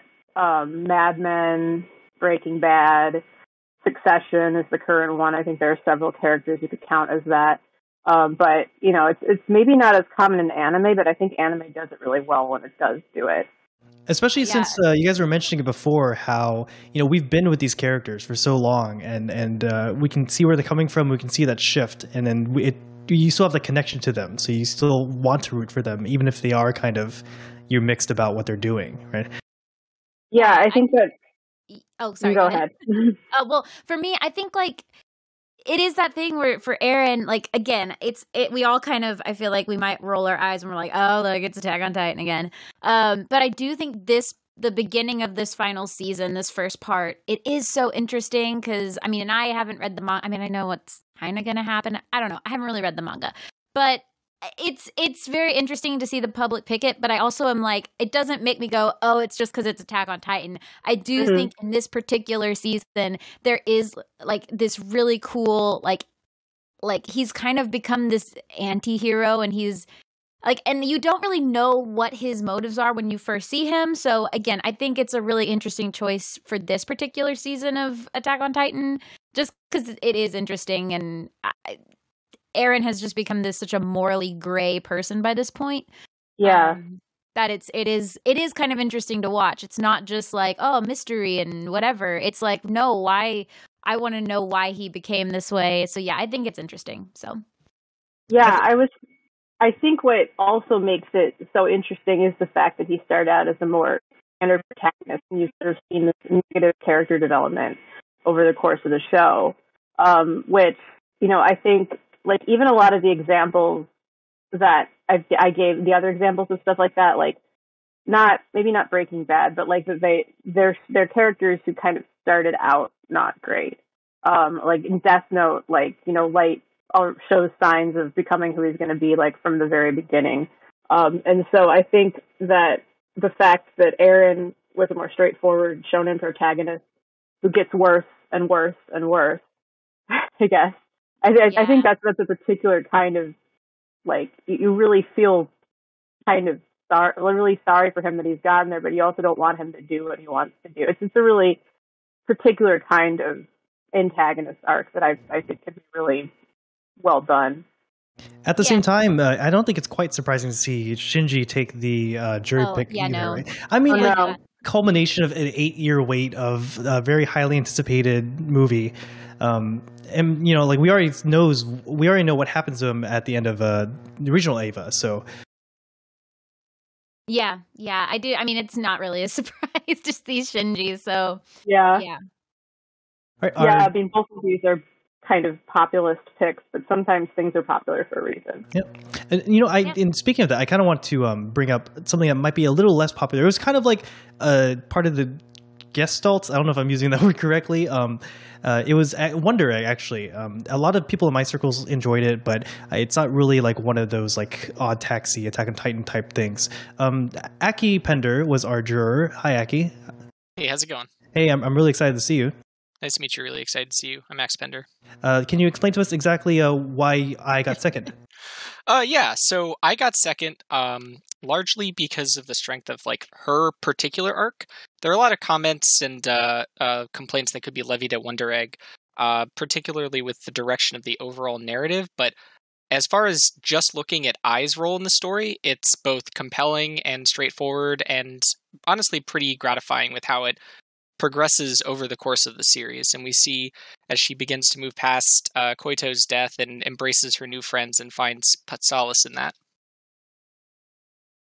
Well, thanks for that insight. Any questions about the rankings for Aki? I don't really have any. I mean, yeah, they, no. they seem pretty. These results are pretty good. Okay, I mean, I think you're a little biased, aren't you? I am. This is actually literally the final ranking that I had, so I was pretty happy with this category. All right. Well, thank you guys so much. Uh, it's gonna we're gonna move on to best main character in comedic role. Uh, bye, Aki. See you later. Bye.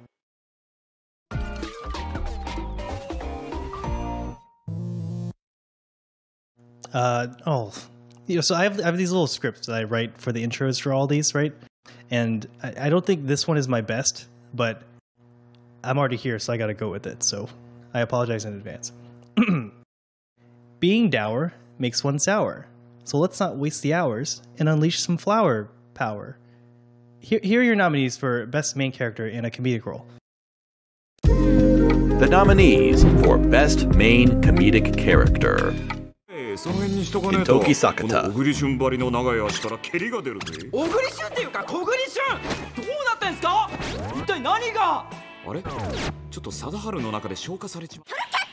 Hayase Nagatoro.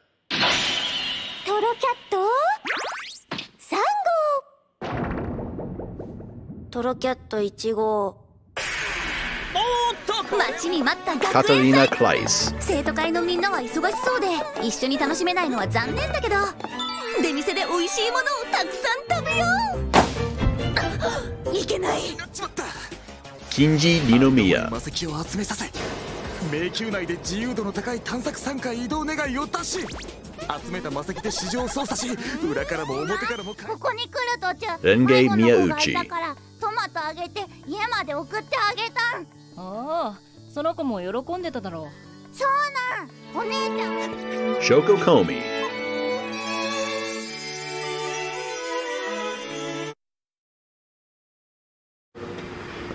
出てきちゃった古見さん。Tai Yamada 大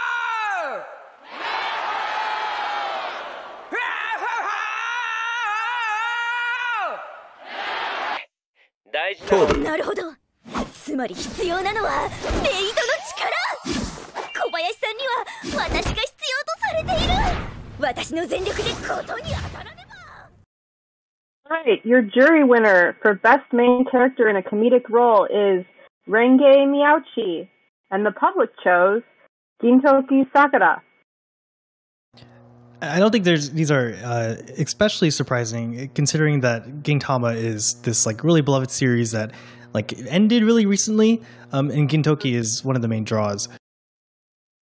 Yeah, Gintama has been like I haven't watched yet, but it's been on my watch list like forever. I'm just always intimidated by the really long ones. See, I got I got some really good advice from a friend where it's just you know like watch just watch one episode a day, and like over time Yeah. it kind of adds up, and then you're you're you're able to get to it. Yeah, I, and I've I've done that with non-anime. Like during the pandemic, I watched a lot of stuff with my parents. I watched um, The Wire. Um, finally, after living in Baltimore for an extremely long time, and uh, Star Trek Space Nine. Um, and that that was a good that was a good strategy for that. But um, yeah, I just if anime, I always want to binge, and then I get overwhelmed. But yeah, my sister's been on my butt to watch One Piece forever and ever and ever, and I'm just like, I mean, you talk about Gintama being long. yeah, I know. Yeah, that's like the longest.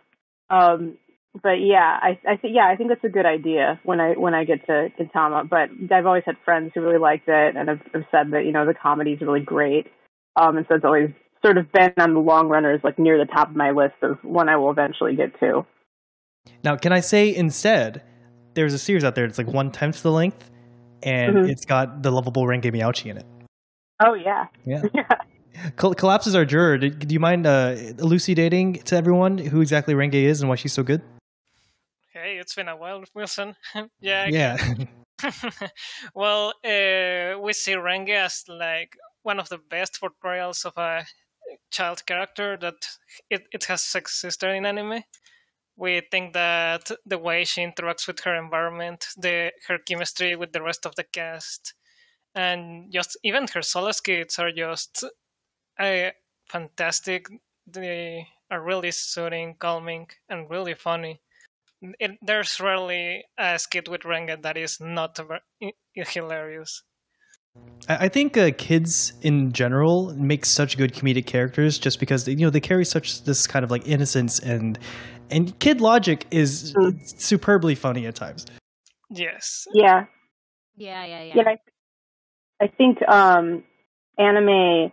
I, I feel I feel like it's also really hard to do a kid character well because it's really easy because they're being written by adults to have them very much through this like lens of adults and not have them feel like an actual kid. And so it's really remarkable when you get an anime that does that right.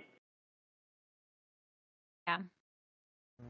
And what I'm surprised at is that one of these characters, you, you may not be aware of this, but one of these is like kind of voiceless. Like they, they don't actually have any lines. They just kind of. So she's in Zombieland Saga, and her name is Tai Yamada. She just kind of like groans and groans a lot, um, but she still managed to break it into the top half. Um, could you explain that collapse? Uh, well, Yamada was uh, its position four. Uh, she wasn't as praised as Renge or or Kinji, for example, but she was still very appreciated as one of the main cast of Zombieland Saga. We think that even if many people will see it as a meme choice, but many people say that she has had some uh, growth from the first to second season. She has been a more supportive character of the rest of the zombie girls. And she also has a lot of what we call background humor. Like when so- the scene is focusing on something else and ja- is like smashing her head at- with the wall, things like that. It's just uh, really funny to see around. And of Yeah, course, she had her own episode where we saw her interact with her community and how uh, their chemistry is established. It was really nice.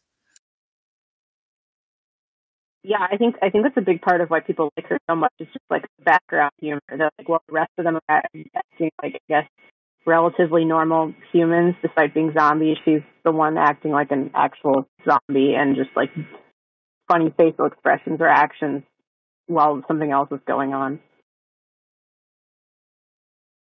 All right, and that's best uh, main main character in a comedic role. Thank you so much for Collapse for giving us uh, insight into the jury process. Yeah, thanks for having me again. Goodbye. All right, I don't know why I said that with such disdain. I I, I love Collapsed. Okay.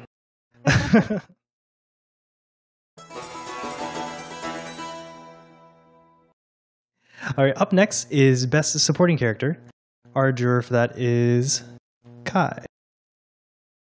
Hi, Kai. Hello. Hi. Um, you know, everyone always talks about Batman, but I, for one, think the true hero is Alfred. You know, he's the one that encourages him, heals his wounds, and supports him to the best of his ability. Here are your nominees for Best Supporting Character. The nominees for Best Supporting Character 自別に許したとかそういうのじゃなくて。ただ自分の境遇に。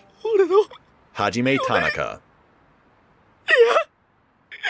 16年ようやく報われた。やった！やったぞ！そう。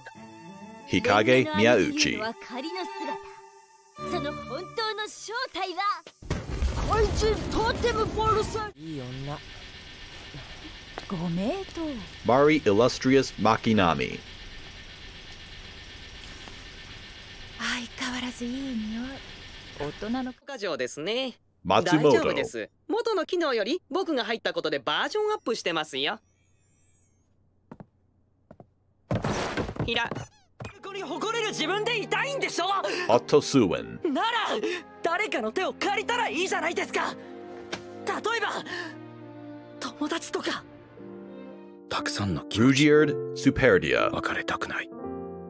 仲間だという気持ち。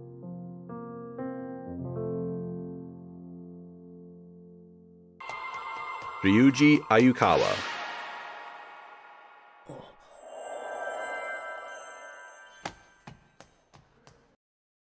Your jury winner for Best Supporting Character is Ryuji Ayukawa, and the public chose Ruijerd Superdia. A lot of, a lot of Rue names. Huh? Rue, rue, rue, rue, rue, rue. Um, no, so uh, what exactly is the purpose of a supporting character? What, what makes a good one in your opinion? I think a good supporting character is I mean, they need to be memorable. Um, because they're a good supporting character is someone that you remember um, and you actually really love, even though they may not be in every episode, they're not the focus, but they have they com- like they contribute to your overarching story. Um, maybe they, you know, help your protagonist or force them to grow as they go on their like story arc. So to me, like a good supporting character is someone that like ticks all those boxes and isn't just forgettable or isn't just there to be like, oh, I'm the like perverted friend or whatever. Even though those can be funny, but like it needs to be someone that really is meaningful. And I think when you have a character that's like, oh, I love this character, but they're not the main character, I think that's what really gives you that, you know, that memorableness is what makes them special, even though they may not be, you know, the star of the show or anything like that. So Yeah, I think uh, when you have like a main character, especially like a strong main character, I think you run the risk of having it um, be too much from their perspective. I, I think supporting characters add a, a, lot of like necessary nuance, like kind of challenging views or or uh, uh, the like cherry on top of a show, especially when you have um, strong memorable ones, like you said. Like the, the ones where like yeah. they, they come up on the screen and your eyes kind of light up, you know and you're like, oh my god, yes, they're here. Well, and also in shows that have like big casts, like you know, like let's just go with Promise Neverland because there's like a thousand kids in that show. Um, but like you know, there's characters in that show that I still remember. Um, and I was like, oh my god, yeah, I love that character, and I remember like kind of what their deal is, and I what they added makes to the story makes them memorable. Like maybe they th- made like a introduced a plot twist or said, "Oh no, we can't do that because this." But but yeah, it's something that's I, I think a, a great side character is someone who you remember, um, and that does add and doesn't really detract from the story. It's somebody that adds to the story and is, you know, you know, just there to to, to move the story along, but in a great way and in a in an effective way, not just like, oh, that person's just written clearly just written to say this thing so that we can get like exposition or something. Um, almost like NPCs in a video game, right? They're just there right, for like, right, their intended right. role, and then they move on. Um, yeah. yeah, I mean, I think sometimes a good supporting character can be that. Like they have a like not to like an NPC degree, but like they have a very specific role in the story, and they play that role really well. But I think like yeah, the the ideal should be like you're imagining in your head how the story would be different if they were told from if it was told from this person's perspective. Oh, Um, and I almost like they're their own hero. A way. yeah, like because everybody's the hero of their own story, um, and in in their head in their head, and so um, but not necessarily to the extent that it feels like a mistake that it wasn't told from their perspective, because that implies some maybe problem with how compelling the main character is. Mhm. Um, but like that, you know, you'd be interested in hearing it from their perspective. Um, but I think I, I think like a good anime manga example of this is like um, a few years ago was Bloom into You, where there was the girl who was like the who was interested in the uh, in one of the other in one of the girls, but she was obviously the romantic rival. She wasn't going to end up with her, but she was a really interesting character in her own right, and there ended up being a manga that was from her perspective. Um, and so, and that I really liked that because I was like, I wanted to hear.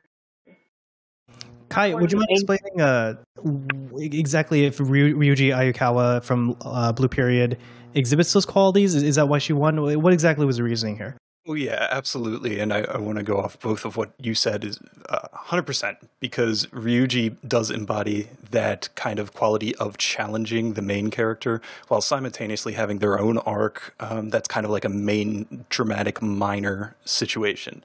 So um, they perform admirably in both of those roles.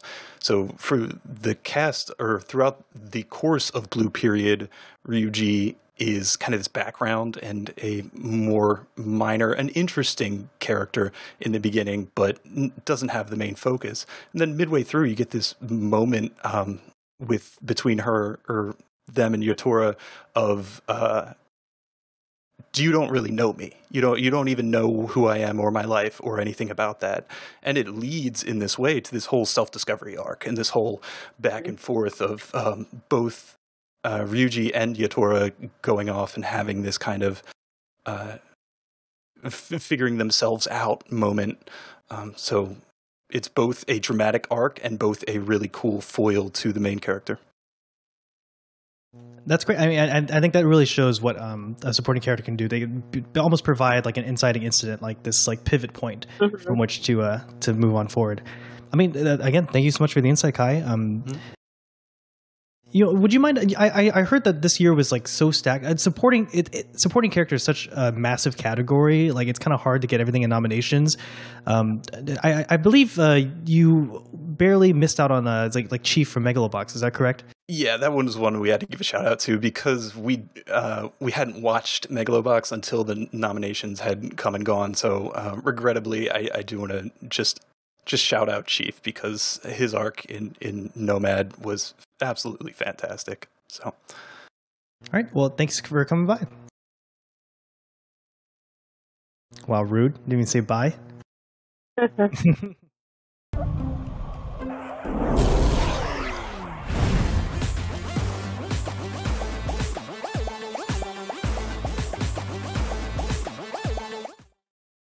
Um, we're going to move on to best cast.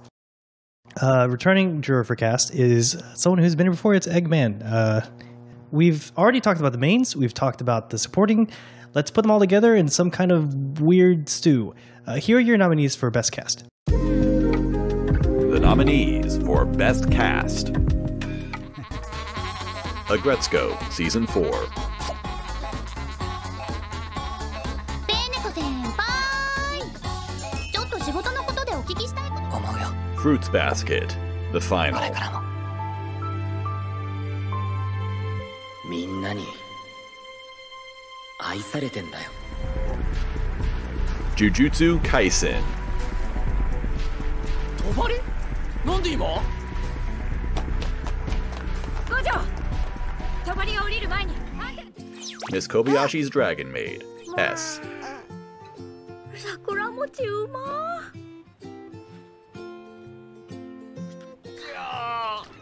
Mushoku Tensei, まったく船ぐらいで情けないですわね。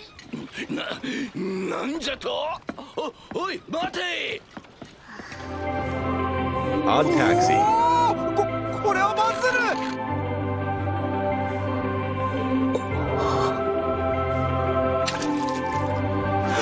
一通りのけじめも行ったというわけで。Second Season, 今後の Part 話と 2. かもろもろしたいと思います にしても間違いなくブチギレると思ったのに愚問ね Zombieland Saga, Revenge.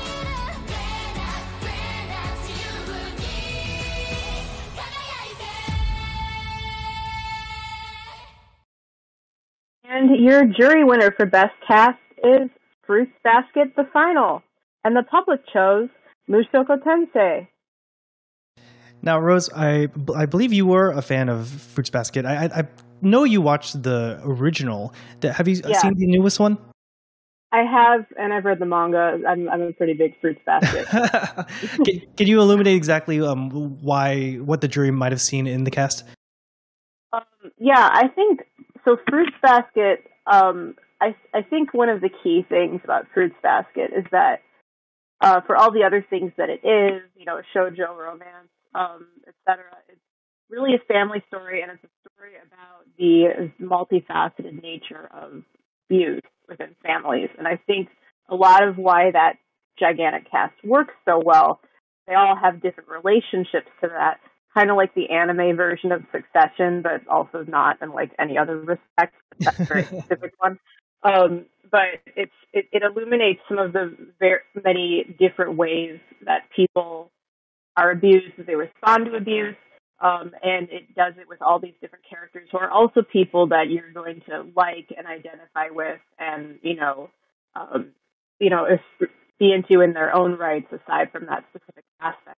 I mean, the whole zodiac thing, you know, whatever is your sign, you know, you have a character for it. I was excited to get this. I'm the horse. Um, I'm and Rin never showed up in the original anime. Um, so I was excited. She's one of my favorite characters.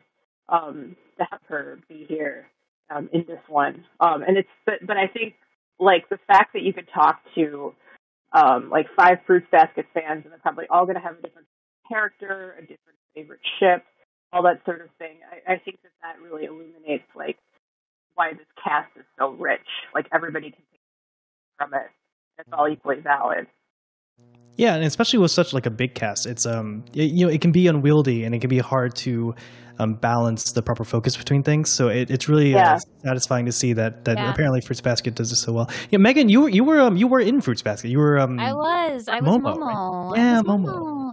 God, when I man, I was so like stoked. Um because I love I love Fruits Basket and I'll just tell this story. But like I I was so excited um cuz like in the first season or whatever you see Momo uh in the building where uh Toru works and all she does is make like a little sound because she hides behind her mom. But I remember like one of the specific scenes that when I was like reading Fruits Basket when I was like in middle school or you know early high school, I remember that scene with Momo and Momiji um that happens in the last season of the new Fruits Basket. Um God, I, I that was like one of the first times I read something and I just cried because it was Mhm. so like impactful.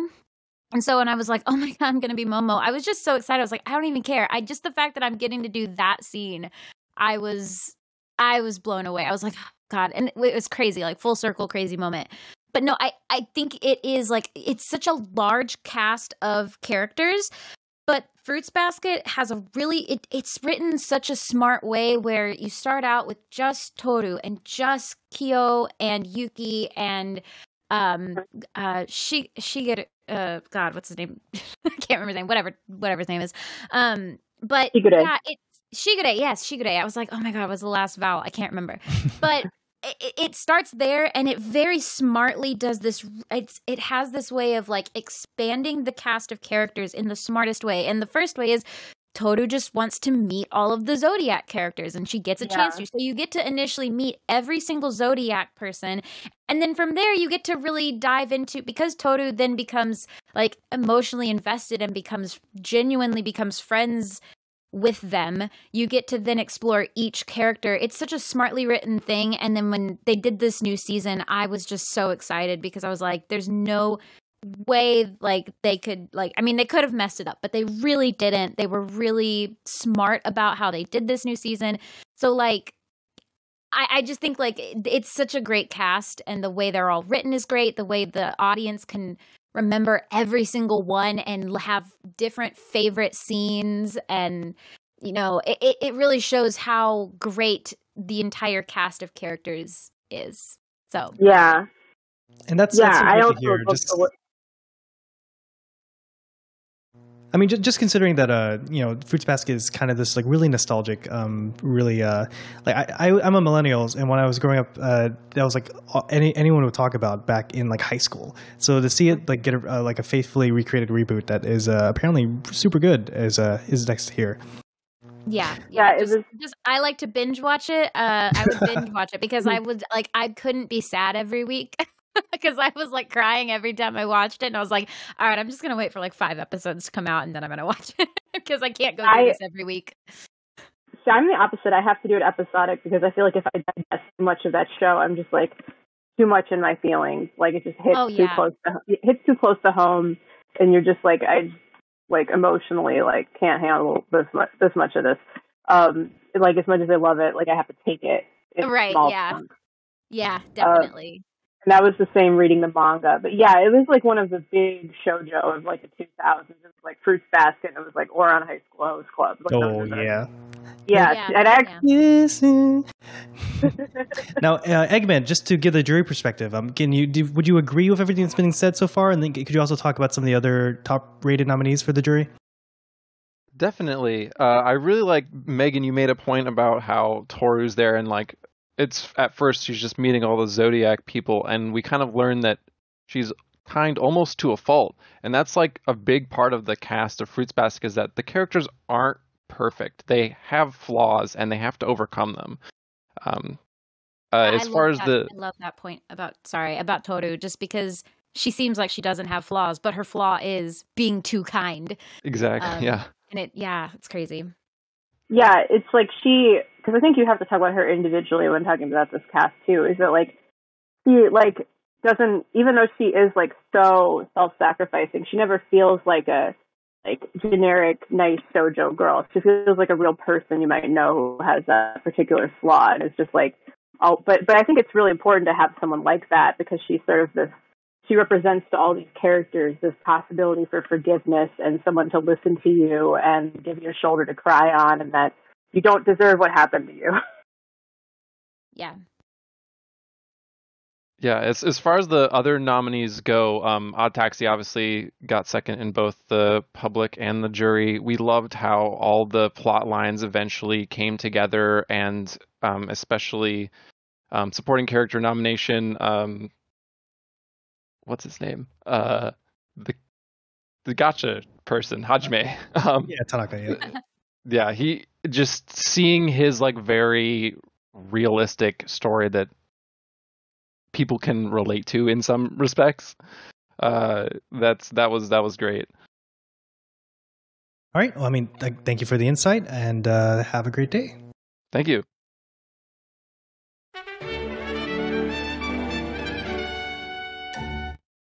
All right, we're almost done with the the character categories. Except uh, one, the last category is not exactly a character category, but you know, when you got the soon-to-be Dr. Rose Bridges on, um, how can you not have her guest for OST? Um, one of my favorite content creators, CGP Grey, once called music cheat codes for emotions, and I tend to agree. Let's see what achievements the shows you nominated for Best Original Soundtrack. The nominees for Best Soundtrack 86.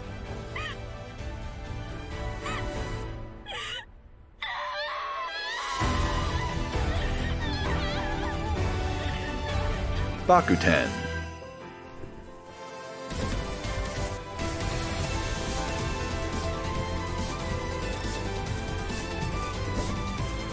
Mushoku Tensei.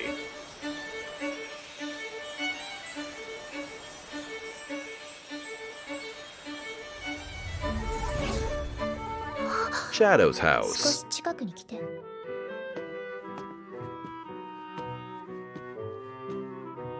笑って。Shingeki no Kyojin, Final Season, Part 1.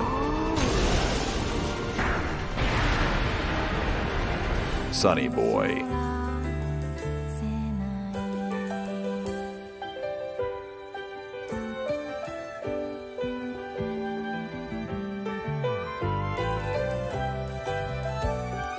Vivy, Fluorite Eyes Song.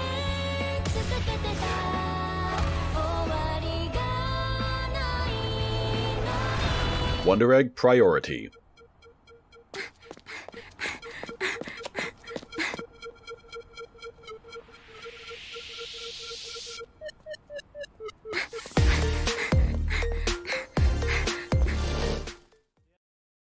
Uh, your jury winner for Best Original Soundtrack is Sonny Boy, and the public chose Attack on Titan, the final season. Now, Rose, what, I'm about to say might wound you a bit mentally, but unfortunately, I don't think many casual watchers may be aware of just how important or special music can be, and just kind of see as like something in the background. Um, you, you've written in the past about how it can like shape a series um, and have thematic depth in and of itself, depending on its utilization. Like, could you just briefly explain uh, something around that, to that effect? Yeah, I totally agree with you. I mean, I teach my basically a lot of what I teach is you know how to listen to soundtracks. Um, but yeah, I mean, even for me, it was something I had to learn how to do. It's a skill. It's it's like how it's the same way that you know noticing like you know editing or uh, you know various like fine visual aspects of filmmaking is also a skill. Um, but yeah, I I mean the the thing about the emotions part, I think part of it is that um, one of the many things the soundtrack does is sort of gives you a clue into how you should feel. Um, and they've done studies actually that if you can, you know, the same scene where if you put like romantic music versus creepy music versus something in between, like people will interpret it totally differently just based on changing the soundtrack. Um, so that's a really that that's a really important way I think that it plays a role. But you can also make you know thematic connections, make references to other stuff if you know it's music that's known for being in something else. Like there are a lot of different ways you can Um, you can use it like in a leitmotif kind of way, where there's a theme that's associated with a particular character or idea, and so it coming back can hint at like you know presence of them if they're not actually on screen, that sort of thing. So there, are lots of ways that music can be used um, to add meaning to um, an anime or any piece of film or TV or video game. Yeah, I mean, what really stood out to me about some of the I, reading some of your writing is that you, you talk about how um, audio and visual. A lot of times, it's audio is almost considered beneath visual, like less important. Yeah. And, and then there's uh, certain works that really challenge that idea. Um, yeah. To, to talk real quickly about the uh, jury winner, Sonny Boy. Um, Sonny Boy actually had the pleasure of Shinichiro Watanabe, famous for Cowboy Bebop, but among others, um, himself joining as like a music advisor. Um, I know the soundtrack of Cowboy Bebop is by uh, Yoko Kanno, but you know, considering you've interviewed the man himself, uh, what are some Yeah. of his tendencies when it comes to track selection? Yeah, well, so so the so the role of music supervisor, for those who don't know, is basically what they do is they're sort of the go between between the rest of the um, production committee and the composer. So they so they're the one who sort of comes up with the sheet of like this is what we want you to do. We want you to do music in this particular genre, or we want you to do music for like this particular kind of scene, like an action scene or romantic scene or whatever. Um, uh, and so this is actually how he explained it to me and the or to the interviewer um, in the interview. Um, so straight from the horse's mouth.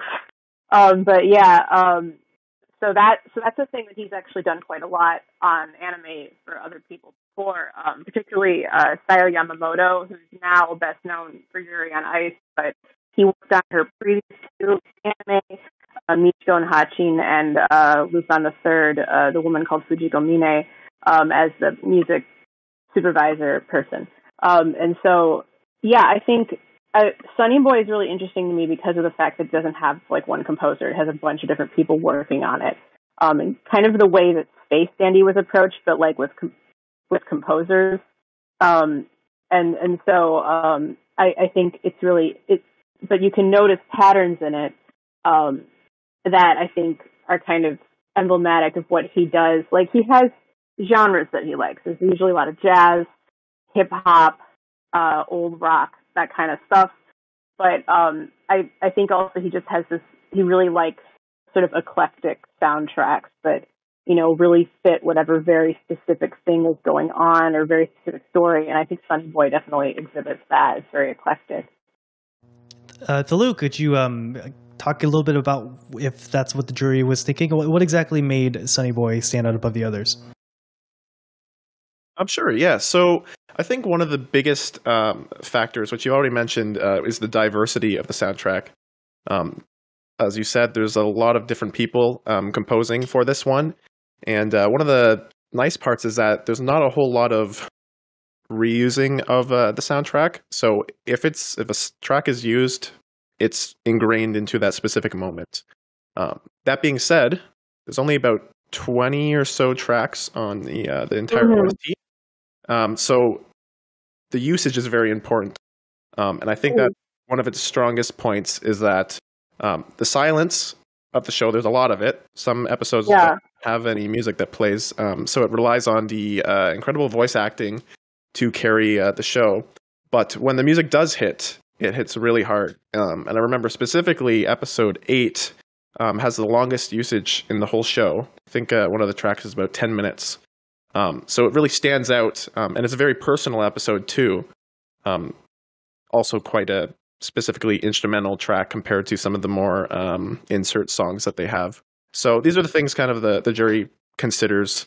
Um, it's not just you know does it sound is it a hype song is it fitting of the mood it's does it integrate well into the show um, does it complement things so yeah there's all sorts of things the jury is uh, accounting for Rose, your your recent article in Mechademia is actually um, it's focused on Ikuhara works, but you focus on the idea of this uh, the musical moment um, that uh, is also talked about by Amy Herzog. Um, would would you consider this kind of like uh, seemingly like really um, constrained usage of these tracks in this OST and this really small OST, kind of like along that's along those same lines? Yeah, uh, so so so people so people know like the musical moment is this idea of the the so usually we pay more attention to visuals than audio than or, or other than dialogue when we're watching a, a movie or a TV show. Um, musical moments in a good or invert, pay more attention to music. So most commonly that's musicals. Um, uh, and some of the stuff I've talked about, like the duel scenes in Utena, um, or at least they're put on equal footing, but the music is a lot more important, or something like Yuri on Ice during the skating scenes, um, as sort of these sort of musical number type things. Uh, but um, I think that, uh, yeah, like Watanabe definitely has a lot in his arsenal, and that's also where he's working well. Uh, that definitely, yeah, I was. I think with those sort of like, whenever you have a sort of really extended view, one particular cue, um, which you know that doing this, um, he also does in the second Jupiter Jazz um, episode, Boy Bebop. Even Evangelion notably has that with Beethoven's Ninth. Or like, it, you can't not pay. I, I, mean, thank you so much for the insight. I, I, I have to say, before I read this, I, I wasn't really, um, you know, I, you, you can kind of get a feeling of what's going on, but you, it's it's hard to put terms to it, and I, I think giving it a name really um really helps you look for it in the future. Uh, yeah. Yeah. Uh, Th- theleux, would you mind uh, just talking a little bit about uh, what do you think the draw of the uh, of the public nominees or, or the winners are? Of uh, the Attack on Titan winning. Yeah. hmm Yeah, so so um, I'll have to admit, um, I know he's not the only composer working on it now, but I've always kind of had mixed feelings on Hiroyuki Sawano. Um, but I think a lot of that is like his stuff works really well as soundtracks because it's just so well suited to whatever scene that it's in, um, and emotionally cueing you. It just is not stuff that I enjoy as much listening to on its own. But that's not really the point of the point of it is where it is in the um, you know actual you know work. Um, and so I think that his stuff has always been really excellently used for that, and particularly in Attack on Titan, it's so much of like the power of those action scenes come down to that music. Yeah, I have to agree there. I think um, what really helps Attack on Titan is that um, Sawano is a pretty, he's kind of established the sound of Attack on Titan at this point. Yeah. Um, so there's a lot of uh, tracks that are reused from earlier on um, that people uh, absolutely adore. And I do quite enjoy his um, instrumentation and composing. Um, as you mentioned, a lot of the um, tracks actually aren't even handled by him. Um, Yamamoto is now one of the main um, uh, composers. Same with uh, 86, who uh, Sawano was also on. Um, Yeah. And for the jury, they weren't as enthused by um, because it's a very wide OST. Um, there's a lot of tracks, so we kind of you don't want to say it's like it, none of it is bad. If it's nominated in here, it's it's a good nom and it's worth it.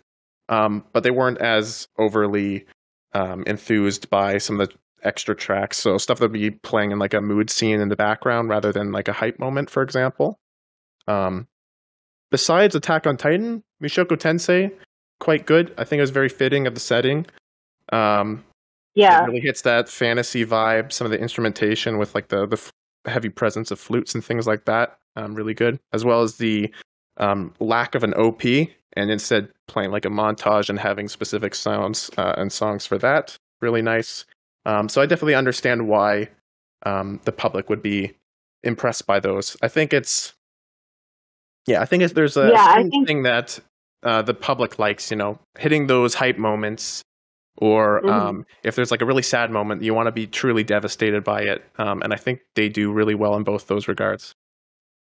Yeah, I think like both like yeah, both Attack on Titan and uh, Mushoku Tensei are like good examples of you can see why people it stands out to people. Um, Mu- Mushoku Tensei is one where I'd love to like see the production of that soundtrack or any of those sort of like Celtic-y um, isekai soundtracks. It's like I'm curious specific instruments they're using um, in a like pretentious music nerd way. Yeah. like, are you, yeah, like what like what recorders you're using. Uh, this is just like super nerdy of me, but yeah. All right. Well, I mean, that's all the time we have for best OST. I mean, thank you, theleux, for giving your thoughts on the jury. Yeah, no problem.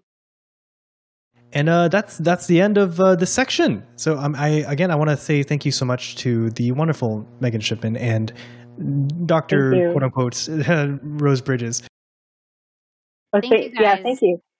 Yeah, it was really fun last year, and I had a great time. And I'm so glad you guys asked me back this year because I'm a nerd and I like talking with you guys. About this stuff. so, and it's always fun. It's always fun to see like what how how some people might think really critically, but also it doesn't make a popular choice invalid either because there's just so many different Yeah. ways you can view things that it's like.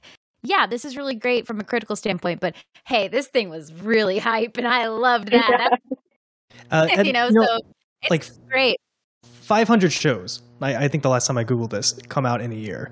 So it- to be nominated to be part of like the quote unquote like top eight or top ten is is a huge Yeah. honor. So, Yeah. Well, I love what you guys do here and I I love how you guys really I think what I I mean I- there's going to I feel like there's just going to be more and more like awards shows popping up for anime or they're going to be featured more and I'm I always love you guys your all of y'all's choices because it is you guys pick some shows that, you know, maybe aren't like the you know don't get as much attention i guess or like might feel underrated to people. But so i kind of like that you guys really you really dig deep and really go through everything that or try to go through everything that came out this year. So oh, Yeah. thank you. Yeah, we, Yeah. th- that's the whole point of these awards. These, these these are they were cr- almost created on the basis of giving everything a chance. So we really appreciate it.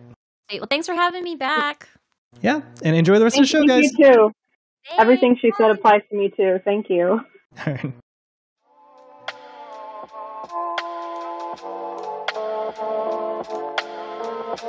Uh, we we already covered some production. We we did um, voice acting and OST, but here comes visual production. Now presenting Visual Awards.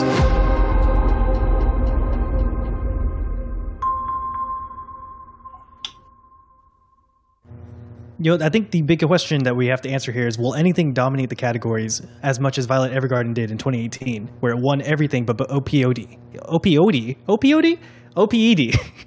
uh, let's find out. But first, uh, we got some wonderful guests for you, and uh, it's all their first time doing the awards, so please give a warm welcome. Uh, we've got Far, Replay Value, and Yoshi Kirishima. Yo, everyone! Hello and welcome to the R Anime Awards. You know, Replay, you might uh, you might be a little bit familiar with already. Um, yes, I unfortunately uh, disconnected in the middle of Jeopardy at the start. That was uh, that was awesome. Oh, no one remembers that. It's okay. True, very true. No one does. No one remembers that. This is a true fact. Uh, with, with more international collaboration happening in anime, um, Federico Antonio Russo, or FAR, um, does the all important job of coordinating and acting as a liaison between Japanese and overseas animators. They translate from Japanese to Italian as well as Japanese to English. Yeah, that's right. I am also, I'm stumbling upon uh, recently also the job of the animation producer, and I am having a lot of fun on that too. It sounds like a great time. Uh, meanwhile, Replay Value is a content creator dedicated to, in their own words, breaking down narrative mediums to figure out what makes a story tick or just plain suck.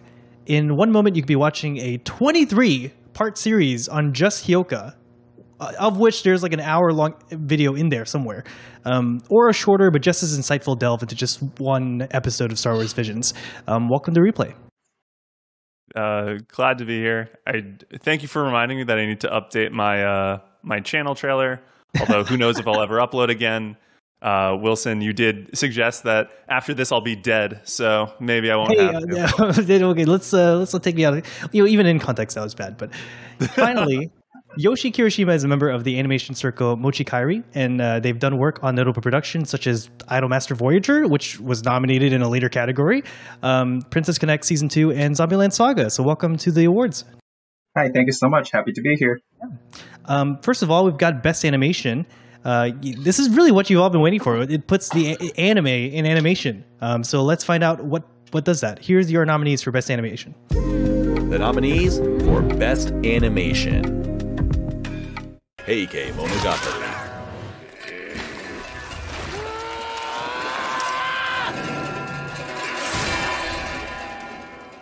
Jujutsu Kaisen. 恐ろしく早い違うな Miss Kobayashi's Dragon Maid. S.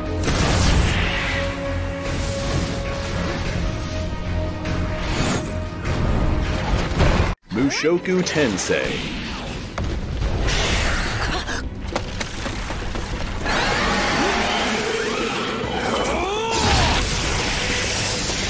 Skate the Infinity.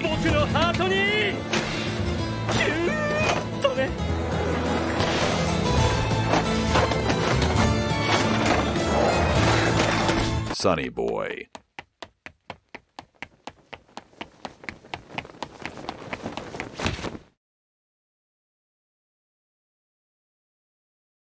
Vivy, Fluorite Eyes Song.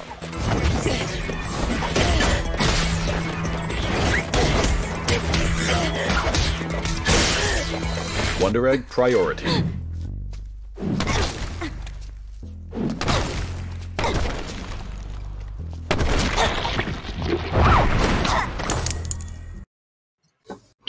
And so, your jury winner for best animation is Miss Kobayashi's Dragon Maid Season 2. And the public chose Mushoku Tensei. Yay! So, uh, Mushoku Tensei, I can't say I'm exactly surprised about. I mean, if you just look at like the Sakugabooru clips alone, it's got some pretty crazy uh, stuff in there. Um, what do you guys think about these choices? I feel like uh, Miss Kobayashi's Dragon Maid is a very, very well deserved award, especially because it really shows that Kyoto Animation isn't dead at all. That Kyoto Animation is still a very important, if not the most important uh, force when it comes to high quality television anime, which is something that I mean it, still exists to this day in, in general because there are a lot of very very interesting animated uh, shows this year. But uh, uh, when it comes to to consistency of both the uh, Sakuga Kantoku side, so the animation supervision side, but also when it comes to the actual uh, care there is in every aspect of, of the animation, really, from uh, uh, interesting takes on the uh, original character designs as well as very high quality in between animation. Uh, Dragon Maid is definitely the, the, the, strongest one, and I honestly think that only only that only them can do something like that. And uh, like even if we have a lot of, sim- of similar, uh, I would say, a lot of similar uh, uh, approaches that kind of try to mimic what Kyoto Animation does. And for example, uh, Wonder Egg was definitely like a, a, good example of that. It's not really that anyone else can pull it off. So it's definitely something that I feel very, very happy about. When it comes to Mushoku Tensei, I think that Mushoku Tensei is well deserved too. Even if we are talking about a production that had like its own struggles and its own low points, even if uh, the overall quality, I, I, would say, was pretty good, and, def- and definitely had a very interesting approach when it comes to the overall designs as well as the supervision what, what always stands out to me about Kyoto Animation shows is that they're they're always just so much like extra. You know, like um, when other shows would be like maybe uh, fine with just doing lip flaps or, or, or a simple like walking cycle. Um, Kyoto Animation goes the extra mile to actually yeah, yeah. put some movement in there, and you know, and like it, when there's like a music show, they like get the right fingerings and stuff, and like show the little exactly. nervous. Exactly. I, I think that when in another studio you can call something like movie level when it comes to the quality of the overall staging and the overall animation as well as and the studio was uh, in order to properly pull off certain uh, certain actions. Uh, the, their Kyoto Animation, even today, even in in their awful condition they're in, when they lost a lot of their more important staff members, uh, some for obviously like the terrorist attack, but some of them decided to go into freelancing. They're still able to pull that sort of stuff off, and that's really something incredible. That really makes my heart like beat so fast because it's really like it's really uh, big middle finger against everything that happened. They're still there. They're still doing the best job they can, yeah, and no one like else a, can really replicate that. It's like a defiant cry, like you know, you, you did not. Yes. You did not uh, absolutely. Um, Yoshi, being an animator yourself, like how how hard is it to that some of the, some of these cuts look or are to do? Yeah, uh, definitely. Uh, the mid dragon ones, um, especially like the action ones, they're very, very hard to do. And something that Feed said, or Fresh said, that they do very well and is a little bit uh, underappreciated is the in betweeners. Uh, KyoAni always excels in the in betweeners, and um, usually it's not too easy to notice the difference in quality. but even so, they always put a ton of care uh, into every frame, so it just looks very uh, consistent all the time, which is definitely very hard to do. Orophin, would you mind illuminating exactly what the jury was looking at uh, when they were deciding these rankings? Well, uh, when it comes to rankings, it was um, pretty clear from the start. I would say, at least when it comes to like the top three choices, uh, because um, we were like we were knew from the start what public gonna prioritize, but at the same time we were slightly unhappy that uh, actually Vivy got nominated and not some other shows. Like for example, Dynazenon and Bakuten was also in contention, but they didn't make a cut. So and by the end of it, um, top three were pretty clear. It's with Maid Dragon was presenting probably one of the most consistent uh, and um, uh, like expressive and in terms of just sheer variety of stuff that KyoAni managed to pull off in this season in particular, even compared to season one.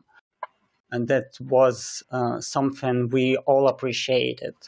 And then when it comes to like the middle section of our rankings, they were really close. Uh, when it comes to like four to seven place, it could it basically could go either way for this show. Some people prefer um, one show, some the other, but we're looking overall in the consistency, in the quality of individual cuts, and maybe even some personal preferences in animation styles and uh, different uh, animator expressions. So basically, these rankings could go pretty much if if they're gonna be swapped. We were we were gonna feel like pretty much the same. So they're all pretty close. It, it, the one didn't like far and away outrun the other.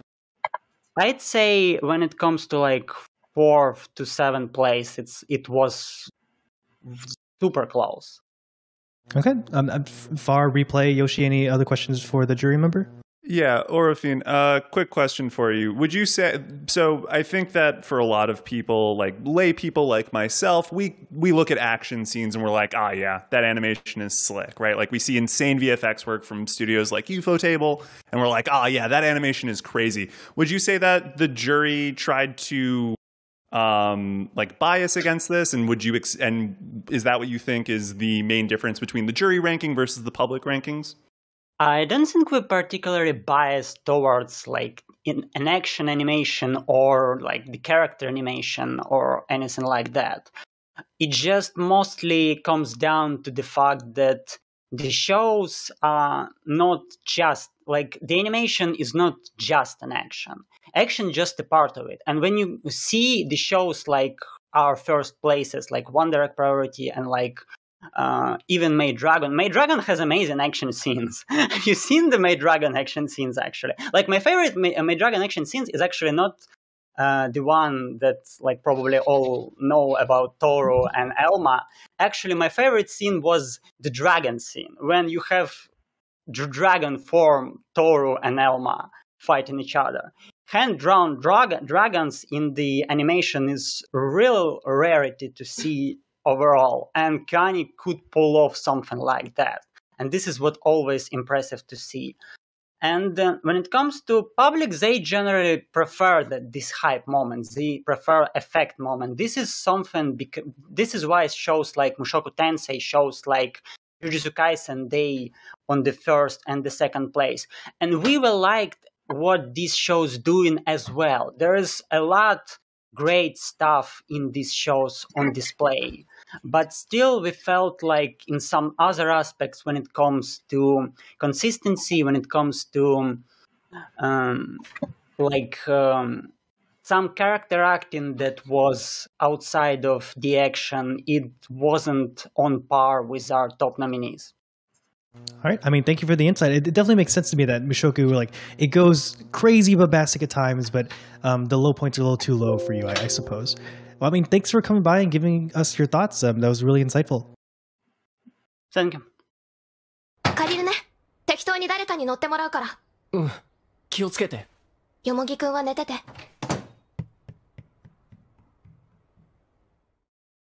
Uh, we're going to move on to best background art. Um, for this next one, we'll take backgrounds and push them front and center.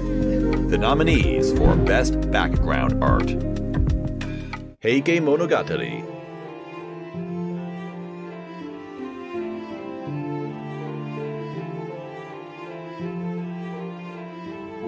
Jujutsu Kaisen.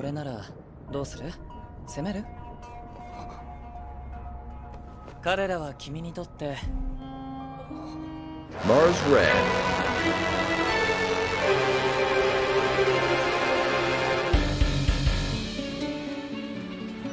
Mushoku Tensei.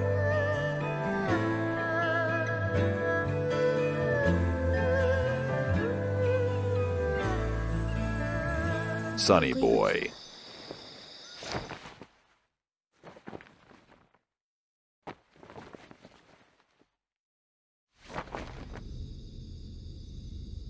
Vivi, この子たちを見て Fluorite 何も Eyes 思わない Song, AI はいないでしょそれはまあ認めますけどね。Vlad Love, できない。私にはできない。Yudu Camp Triangle, Season るし 2. さすがに冷たいね。サンダル持ってくればよかったわ。それな And your jury winner for best background art is Sonny Boy, and the public chose Mushoku Tensei. Now, what I want to talk about is in previous years, we've always we've considered cutting background art, um, but it's surprising, at least to me, whenever we tried, like we put out a poll, we were like, "Hey, we might cut background art. What do you think?" We always got like a huge amount of pushback of like, "What do you mean cut background art? Um, how important is background art?" Uh, so according to the jury and i think most people the background art really does a great job in like immersing you into the world it tells you about the details of the Mm. society the culture and the personality of the people like what they have in their environment tells you about the personality of the characters which is a really powerful aspect of the production and i feel like it would be bad if we cut it ever Would you all agree with that? Yeah, especially for fantasy shows. I feel like I, I would even go far to, uh, as my name is, uh, I even go far to say that probably you cannot really create a great fantasy anime or a great science fiction anime without great backgrounds. Because in the end, the art direction really is in animation in, television animation you don't really have the time to tell everything with just like the narration and the character action. You have to tell a lot uh, also uh, with, with the environmental uh, with the environmental storytelling. And like i feel like both mushoku tensei and also Sonny Boy did an incredible job with with this. Mushoku tensei in particular i feel like it really is able to uh, kind of overcome the uh, usual uh, issues that there are for uh, setting for for building and setting building in normally sekai anime exactly thanks to the prop design work and the background work which is more, than just more than just stellar or brilliant. I would say it's very thoughtful as well. Th- this is a bit of like a tiny bit of a leak, but just to illuminate, the public voting numbers for Mushoku Tensei were like three times as much as the second place Yuru Camp. Like Mushoku Tensei overcame 3,400 votes, and Yuru Camp got less than a thousand. So it just kind of goes to show how um, how much of an impact they had on the public. I feel it's well deserved. I wouldn't say that the Yuru Camp's backgrounds uh, are bad by any means, but they go on a very, I would say, a very dangerous direction that a lot of real life shows are going to these days, which is the one of simply trying to replicate the sort of feeling you would uh, you would get by uh, watching uh, uh, intensely uh, photograph of like the same places where the uh, show is located, which is something that I wouldn't say it's necessarily a problem. But when you want to give like a very strong feeling of what sort of uh, atmosphere there is in that place and what sort of feature that place uh, has, you probably need a little bit more, I feel like. And there I feel like there is a very very great pa- painting work. But when it comes, for example, for example, to settei making, and when it comes, for example, to trying to exaggerate certain features, Yuru Camp doesn't do that. While I think that both uh, Sonny Boy and Mushoku do that in an incredible way. I mean, I guess that's what happens when you like take Google Maps images and just trace over them, right? I mean, Yeah, obviously they're like yeah. more than tracing, but Yeah, I, I mean, like, but mostly, like, most uh, Nichijou-kei show, most slice of life show these days do that pretty much. So even if you try to have a more consistent color palette, and, and even if you try to go on a uh, more like, uh, uh, like from, from like a painting perspective, you try to stay more on the solid side than simply trying to see what you can get out of the photos. You still, to me, lack a little bit of the atmosphere that you can have with reimagining certain spaces.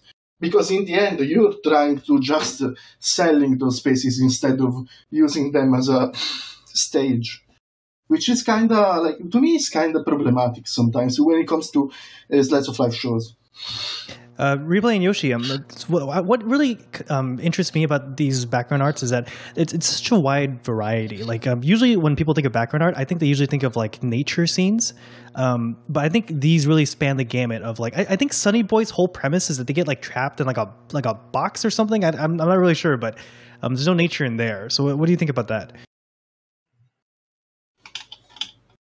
Um, I, I was pretty Uh, surprised to see uh, Sonny Boy win Best Background Arc for the jury. Uh, I'm probably the biggest Sonny Boy stan on uh, the internet right now. Uh, I, it's easily my anime of the season or the year.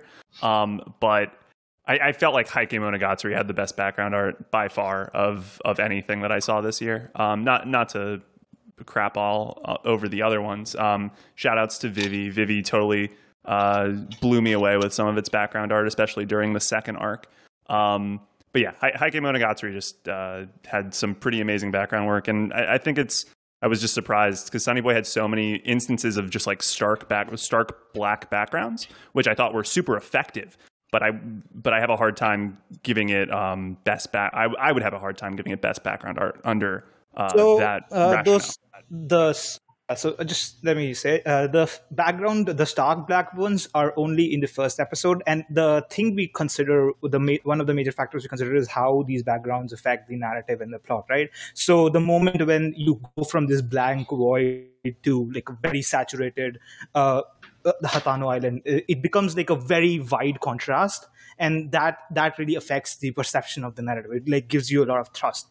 And For sure, but isn't there's that also- not wouldn't that be better defined as direction because we're transitioning between a stark background to a colorful landscape? And to say that the stark, I mean, like the, uh, the single the single color backgrounds were only in the first episode is disingenuous um, to some of the later ones, especially like on only the war world. black ones Mm. are. Uh, I'm saying only the black ones were in there. It, it- so what happens later on is the Sonny Boy has like monochromatic shots a lot, but these monochromatic shots are like really painterly. You see like stark brush strokes in there, which gives it like really nice depth. It's it's kind of like looking at uh, color field paintings. If you've seen one of those, there's like really high contrast between the top and the bottom half of Mhm. these paintings, especially in the episode 8 you'll see there's like a red and gray scale going on and it, it creates like a really uh, personal melancholic feeling just from the it itself because it's so thick and so powerful Mhm. brushwork and that, that that we felt was uh, worth recognizing Great. Uh, Glad to hear that. Heike is Heike is very minimalistic, which works a lot of the times. But uh, we felt there were issues with. There are some pertinent issues with its setting itself that its interiors are mostly blank, and uh, there's also the fact that uh, it sometimes struggles showing like snow or uh, because there's not enough depth uh, it can show with its minimalistic style. It's trying to copy uh, uh, styles from Yamato era, which is interesting, but that also has its drawbacks, and that's something we considered for the jury. Yeah. This is like the most energy the uh, the, the awards have had so far. We're talking about background art, uh, which is I, I suppose is a mirror of exactly why we can never get rid of this category.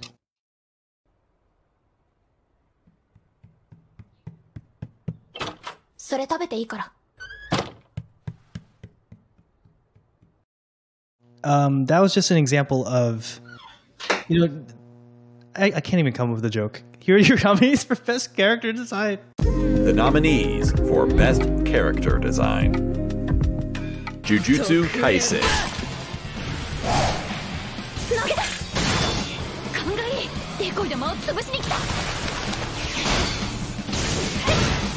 Mushoku Tensei,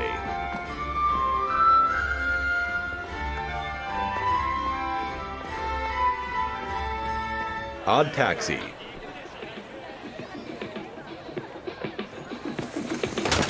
手って言ってんのはこっちだお前この喧騒の中どこに目つけて歩いてんだ戦争なのかラブミーテンだ Skate the Infinity.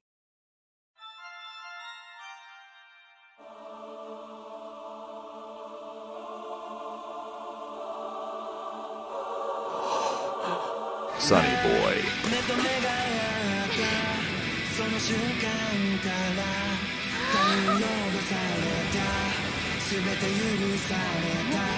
あ SSSS ダイナズナまた南さん悲んそなのそんなの。嫌な Vivi, Fluorite Eyes に何て言ってほしかったの？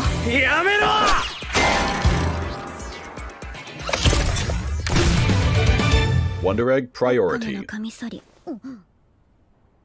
愛も先生が好き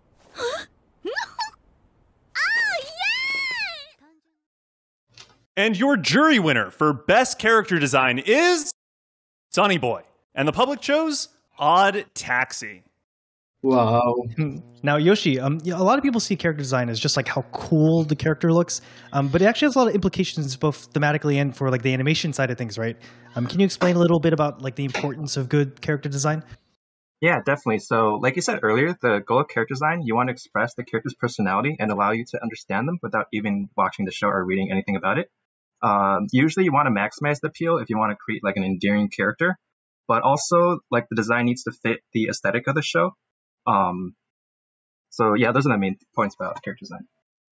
And do you think those um, are reflected in these winners of uh, Sonny Boy and uh, Taxi? Yeah, I'm, I'm actually really uh, interested in why the jury and public, uh, like what they saw in these two shows. Um, I don't think the designs are bad. They serve their purpose. Uh, at least um, from my point of view, and if you look at it from the perspective of how much um, effort or how difficult it was to create those character designs uh, to fit these shows, um, they weren't the most impressive to me. I personally would have uh, picked something else like Wonder Egg Priorities. Hmm. Do you agree with that, Farm Replay? Mm, I mean, Wonder Egg God, uh, it's three. It's not that bad.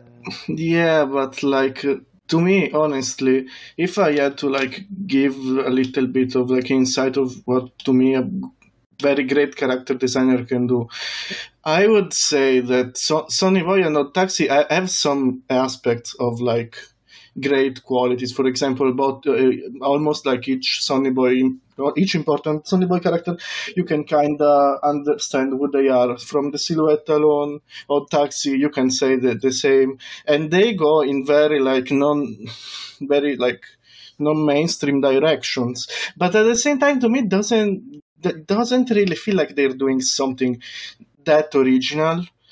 Uh, especially because for, for two main reasons. I mean, they are different f- from show to show. So Sonny Boys basically does what uh, uh, Eguchi does usually. So that sort of like teenage characters with very little lines, that sort of retro aesthetic. And Ota- Odd Taxi, uh, to me, it, it's it's a really really interesting production when it comes to how effectively it uses very very little resources in order to tell an incredibly compelling story. But most of the i would say most of the tactics that it utilizes in that regard they're very i would say they're very basic. You have like characters that you can sort of like understand their personality based on the um, animal they're, they're based on with some twists that will play on in, in the story. Uh, they try to stay minimal in order to have very small number of lines but in the end they to me don't achieve really something that's completely new or unique. So I am I wouldn't say I am baffled because to me, as I said, they're definitely quality designs. But when you have to compare them for, for example, the Mushoku Tensei design, the Maid Dragon designs, the Wonder Egg designs, the Heike designs as well, and the Dynazenon designs too. To me, it feels like they're definitely on on on, on a on a they're potent, but they're potent on a very small scale compared Well, to those. Let me uh, let me play devil's advocate. Isn't Wonder Egg also similarly like what like what Ai wears a yellow jacket with a sunflower on it, and then you've got like schoolgirl outfits. You've got um, is it is it monster design? Is it uh, what is it about Wonder Egg? I feel like Wonder Egg did something incredibly unique in its panorama, which is pretty much that it, it used the Moe aesthetic to tell a story that was, in the end, about uh, how low is like our perception of what uh, real 14 year olds are in the end.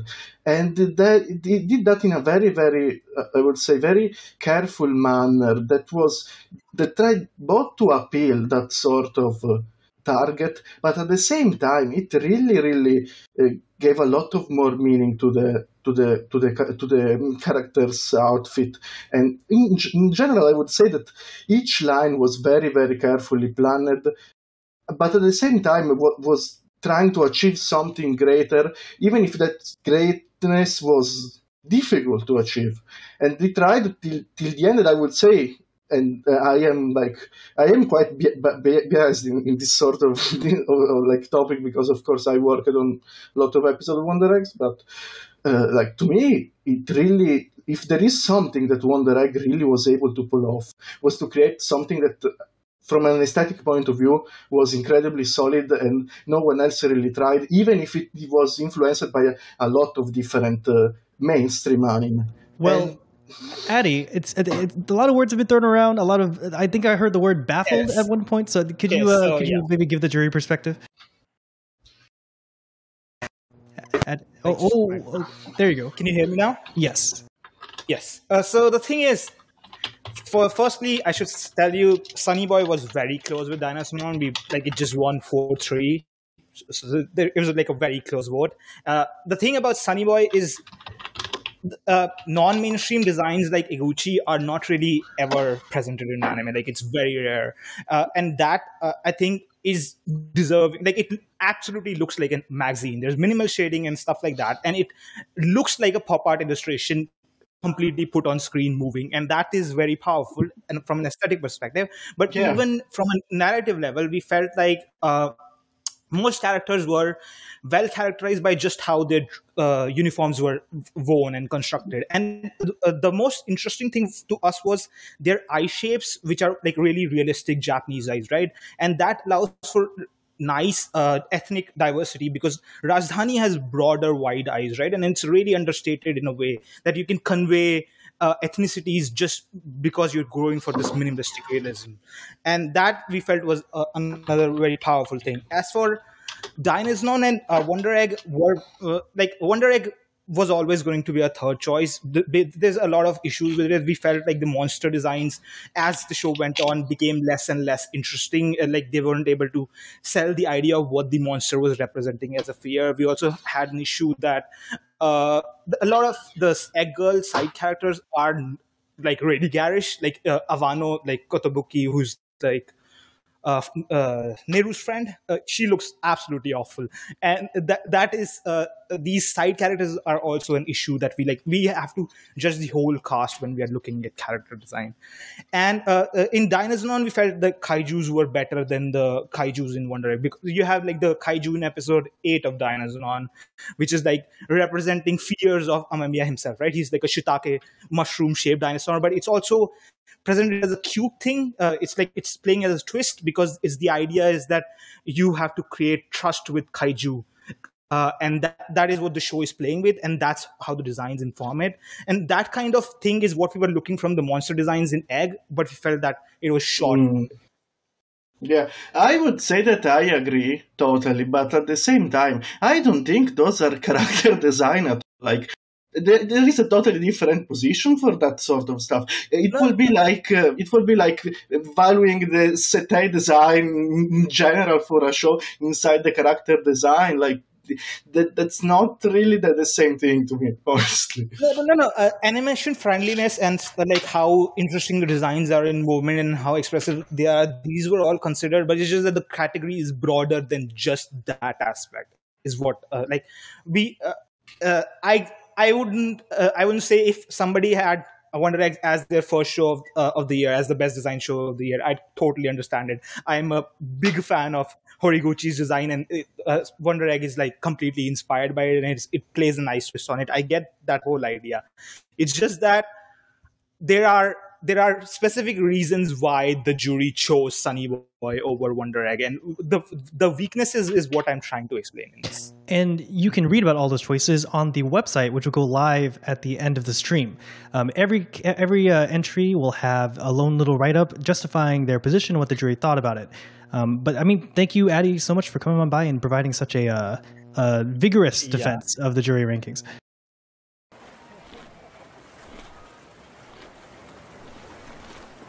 Mike?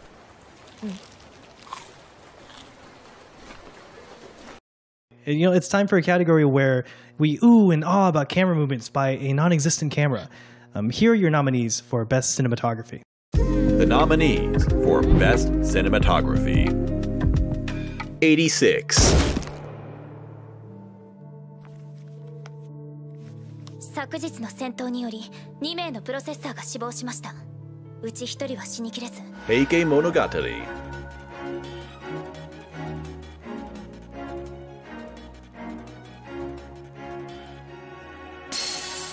呪術回戦当たらない釘を飛ばし続けたのはこのため。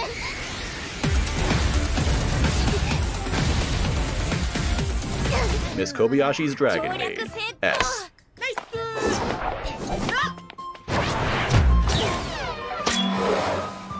Mushoku Tensei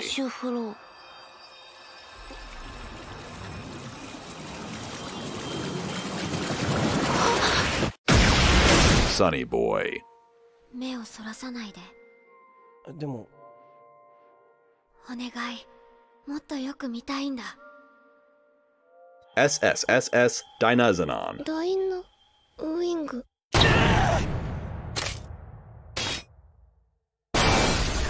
Vivy, Fluorite Eyes Song.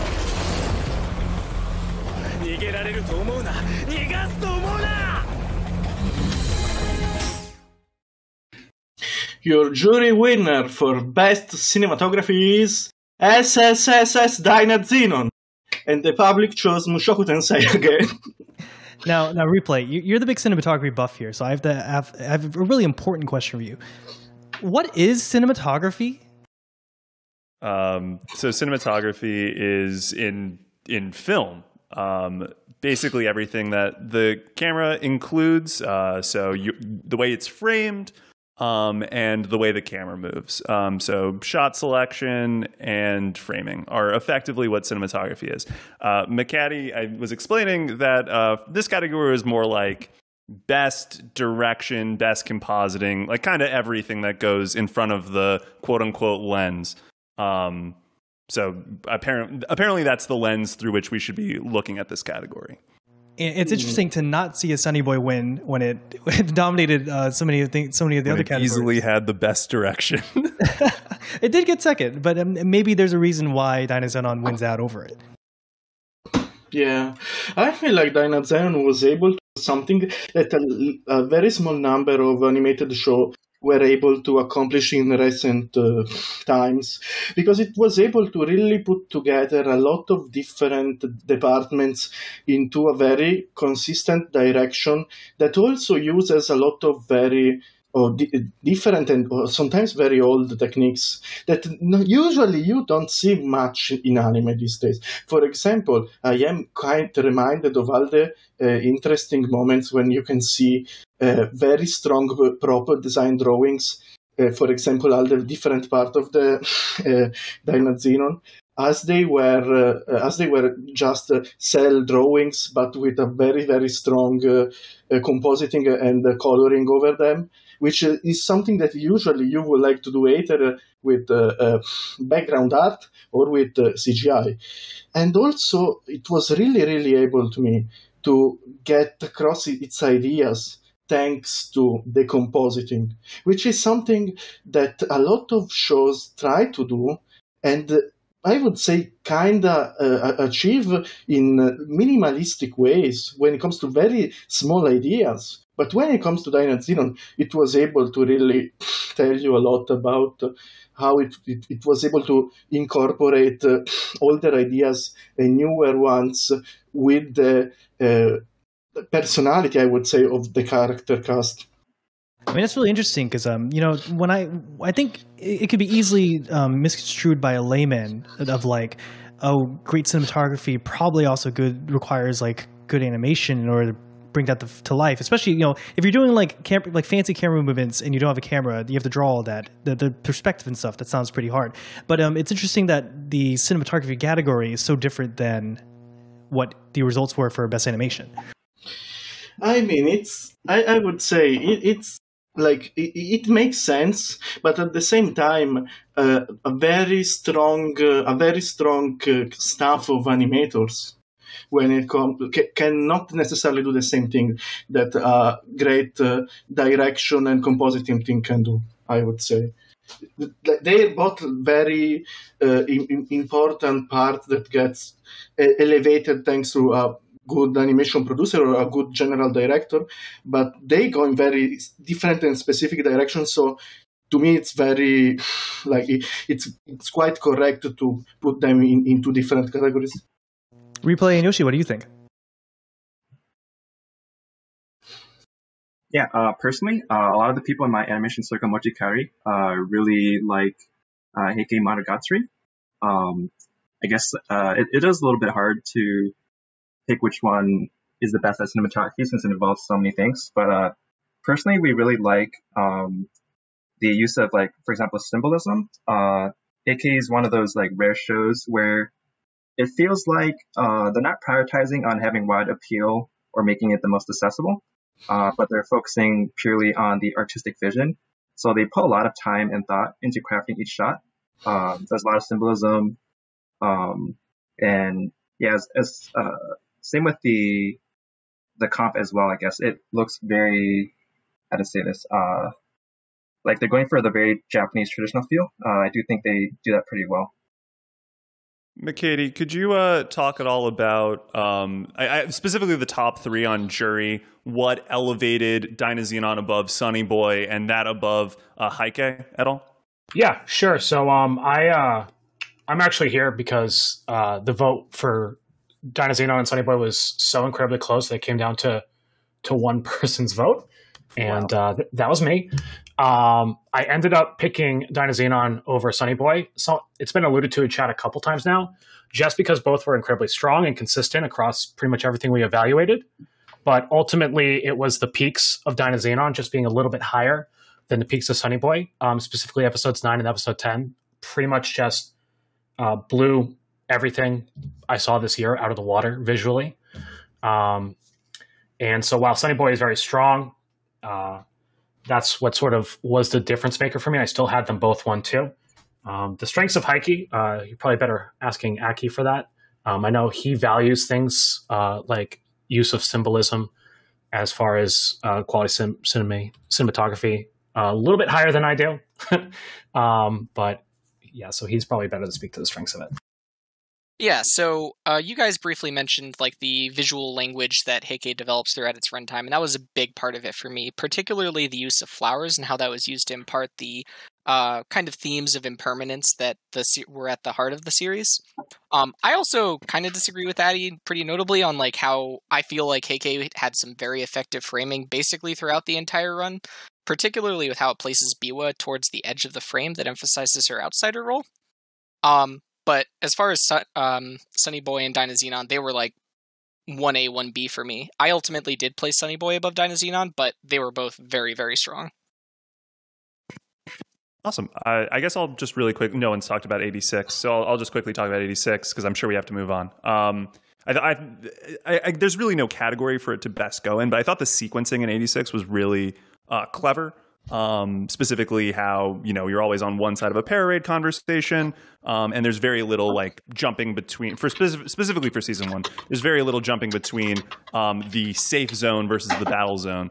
Um, I, I, I, was really impressed with 86's direction and its cinematography. Um, le- less so in the battles, um, and more so in like the quiet moments of like just talking. I was really impressed by how 86 made a parade conversation where b- neither of the characters are in the same room, visually engaging. What do you think about that, Aki and McCaddy? Uh, yeah, was that, was definitely was that something that was brought up. Oh, absolutely. That was at the heart of Yep, like all of 100% brought up. stuff. Uh, that was definitely, you know, as far as like the public picks, that was, in my opinion, easily the strongest. And the public picks were not bad this year. Um, but the fact that they like navigated that kind of directorial I kind of core conceit about separating the two and showing the same event from different perspectives was definitely a big part of what uh what what sold me on the show. All right. Well, thanks for your insight, and we really loved having you here, and that was a really uh, spirited conversation. So, Yeah, thanks for having us again. Yeah, this was fun. all right. Bye. I'm Aki uh, and bye, Mecha D Lions. Our Anime Awards. R slash Anime Awards. Uh, we're gonna move on to. Uh, oh wait, the the next category is best OP. Why are we doing it now? Shouldn't it have been at the start. Wait, that's not how that works. Wait, stop this insane bit, Wilson. What? Here are your nominees for best OP. The nominees for Best Opening Ai no Supreme,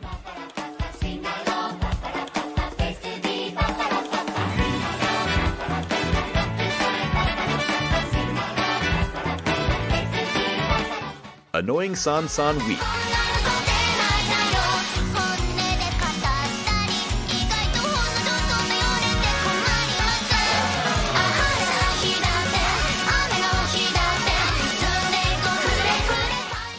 Cinderella,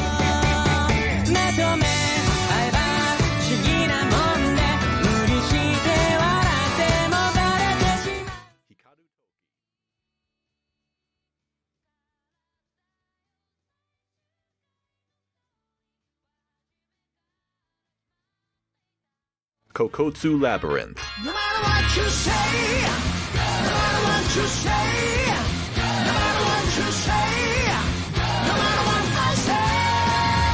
Odd Taxi, 日々を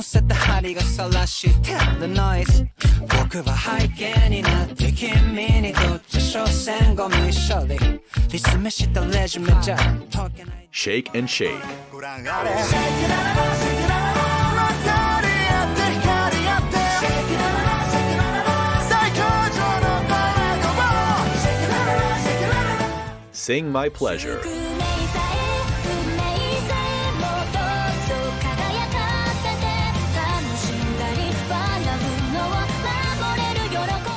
Taiga Yotomo ni Ninaite Kure.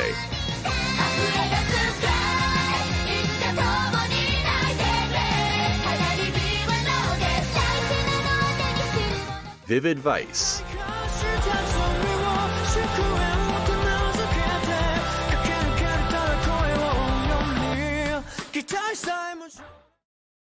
And the winner for Best OP uh, is Cinderella by Cidergirl for Komi-san, and the public chose Odd Taxi by Skirt and DJ Pumpy. Pumpy, Pumpy, Pun, Pun, Pun, Pun, Pun, uh, what do you guys think of these rankings? Um, I there were so many good OPs this year, weren't there? Yeah, but like since probably doing the OPs is one of the easiest parts, or every year you get a lot of different stuff to choose. But I'm very surprised that Odd Taxi was able to win the public the public poll because Really? like yeah, because like it's so taxing. Like it's not a mainstream. Well, honestly, I think what the thing is that public probably values song like a lot, and like you can't tell me that you, when, when you're sitting there and you, you hear that like little boop, like the, the guitar come in Yeah. and the Like it. I- I would say that in, in general, it's very, like, it's very hard to not value the song. To me, the song is at least fifty percent of the whole thing. Maybe sometimes we go too much on the on, on the visuals of the openings, but in the end, an incredibly well done and put, well put together opening can be just a good song with a very, like a very fitting fitting group of still images. What what I really value is when like OPs. I, I feel like sometimes they're almost um, like experimental in a way. You know, like uh, Yeah.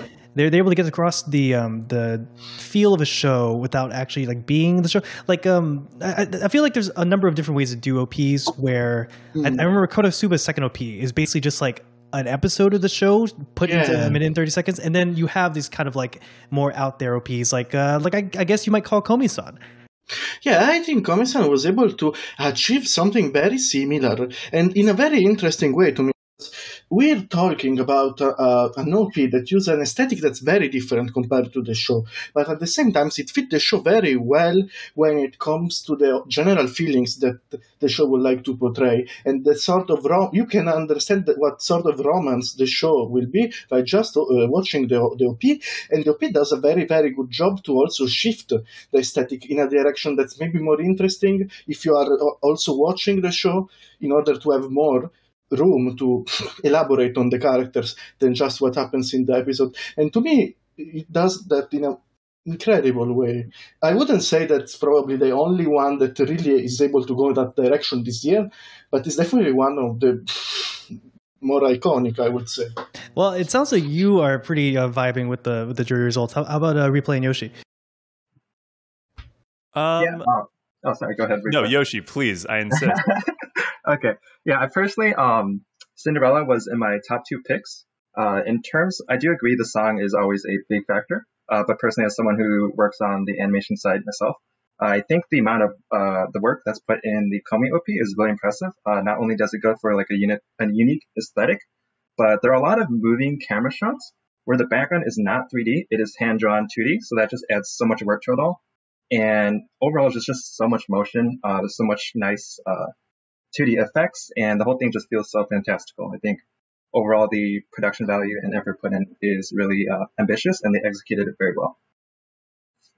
Yeah, I think um, I, I was. I, I don't think there were as long as uh, Shake and Shake didn't win. Uh, I would have felt pretty good about uh, any of these picking up the victory. Um, well, I, I'll, I'll briefly speak to what I thought was, uh, which I, I would never have watched if the if it hadn't been nominated. Um, the Kokotsu Labyrinth Sakugan OP um, was just like the most energetic and exciting like opening to a show I think I've seen this season or this year, excuse me. Um, the way that uh, it d- handles depth was super awesome, and the song's a banger.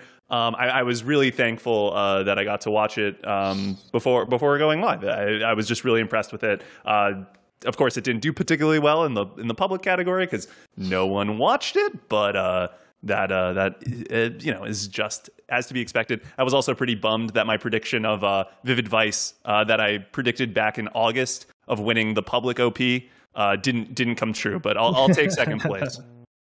Chris, uh, Chris, how how did it go this year? Was, was, was OP a fun time? It was a really fun time. Uh, we had we had way too many really really good OPs this year, so it was really hard narrowing it down to the selection we have here.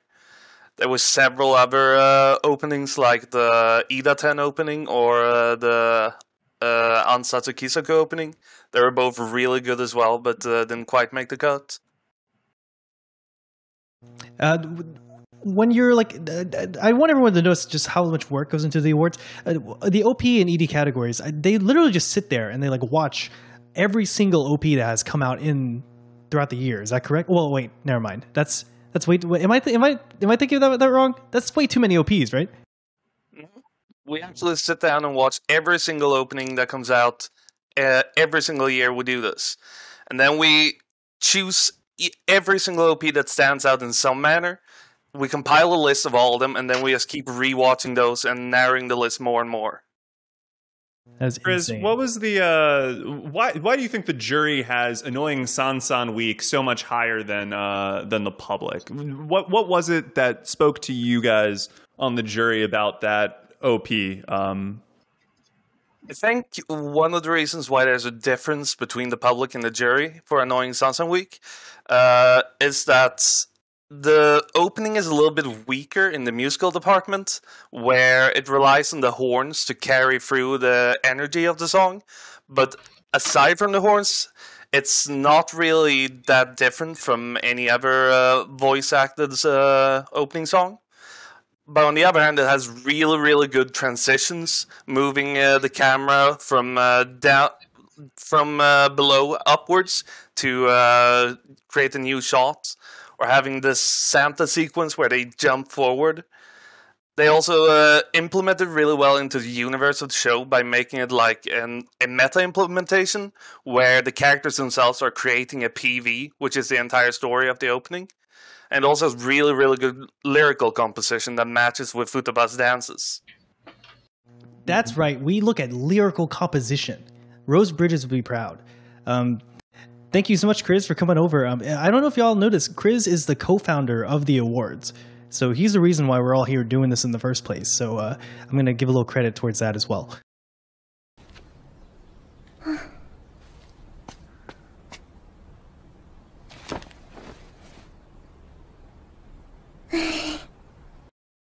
All right, but uh, we're moving on from Chris, and we're off to uh, what, what? What's the next category? Oh, it's best ED.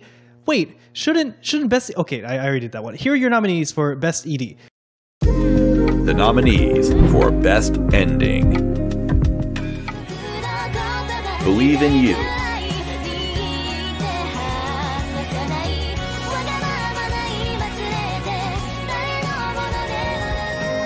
Give It Back,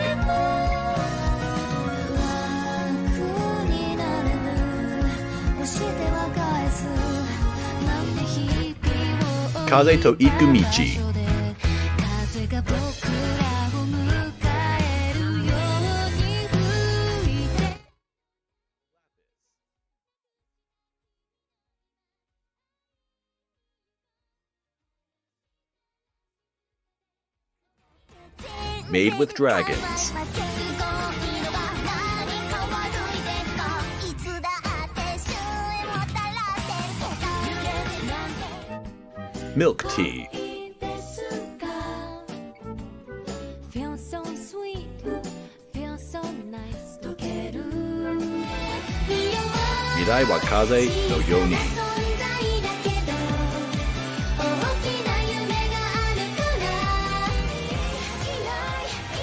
大き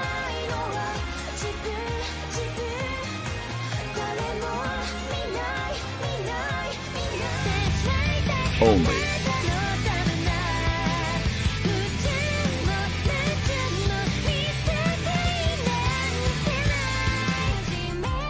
Yasashii Suisei,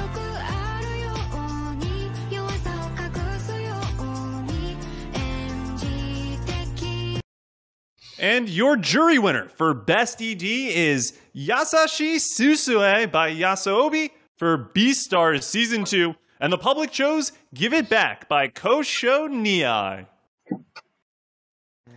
Do you guys watch EDs? Yeah. Yeah, of course. Of course. I I don't know. Like uh, some people skip. Like, uh, like, I I feel like it's you're more likely to skip an ED than an OP for whatever reason. Yeah, but, but we are special people because we care about the people who are putting the, the credit.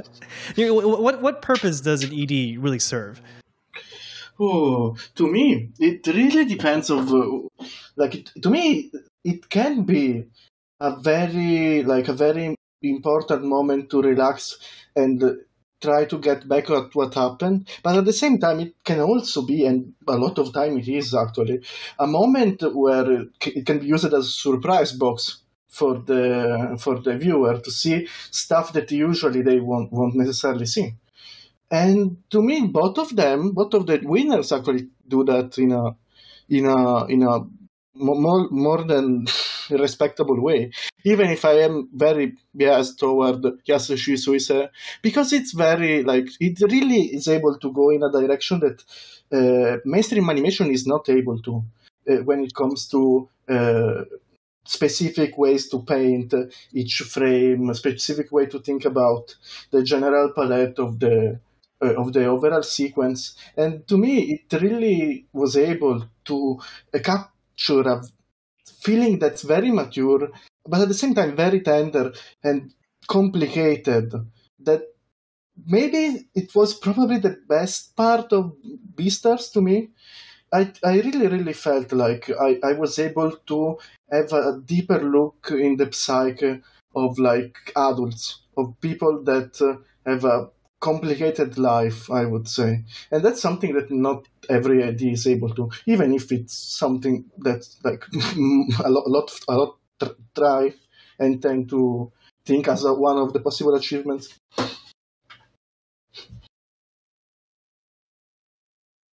Do, would, do you, I also go thought the Beastars ED was the best in my opinion. Um, it, like the color palette was amazing, the song was great. It takes you out of the episode in a pretty natural way, which is something that I look for in EDs. Like if things end on a down note, I kind of want to be brought up a bit. If it ended super hypey, I kind of want to be brought back down to reality a little bit. Um, so I thought the Beastars OP was the the Beastars ED uh, well deserving, beautiful uh, shot composition throughout there. Um, I, I want to just shout out really quickly the the Lupin, uh, the 30D as like one of those perfect like minimalistic. Uh, we're only going to have a few animated elements, and the song is going to do a lot of the carrying. Uh, Milk Tea, highly recommend for those of you guys who haven't uh, checked it out yet. Would you say that um, if you just swapped in OP and ED, like how would that go? Like how, how would that affect the um, the experience of the show?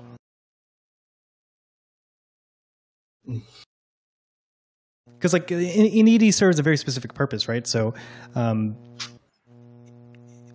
if that were I'd to love, happen, I'd love to know what Yoshi thinks about this. Um, but on, on my end, um, I yeah, I don't think you can swap OPs and EDs. OPs uh, t- tend to uh, need to introduce you to characters, circumstance, uh, hype you up for the show. EDs kind of need to do the opposite. They need to be like a nice capstone um, to bring you back like out of the world of the show. Um, that, that's that's kind of my vibe. Uh, would love to know what Yoshi thinks.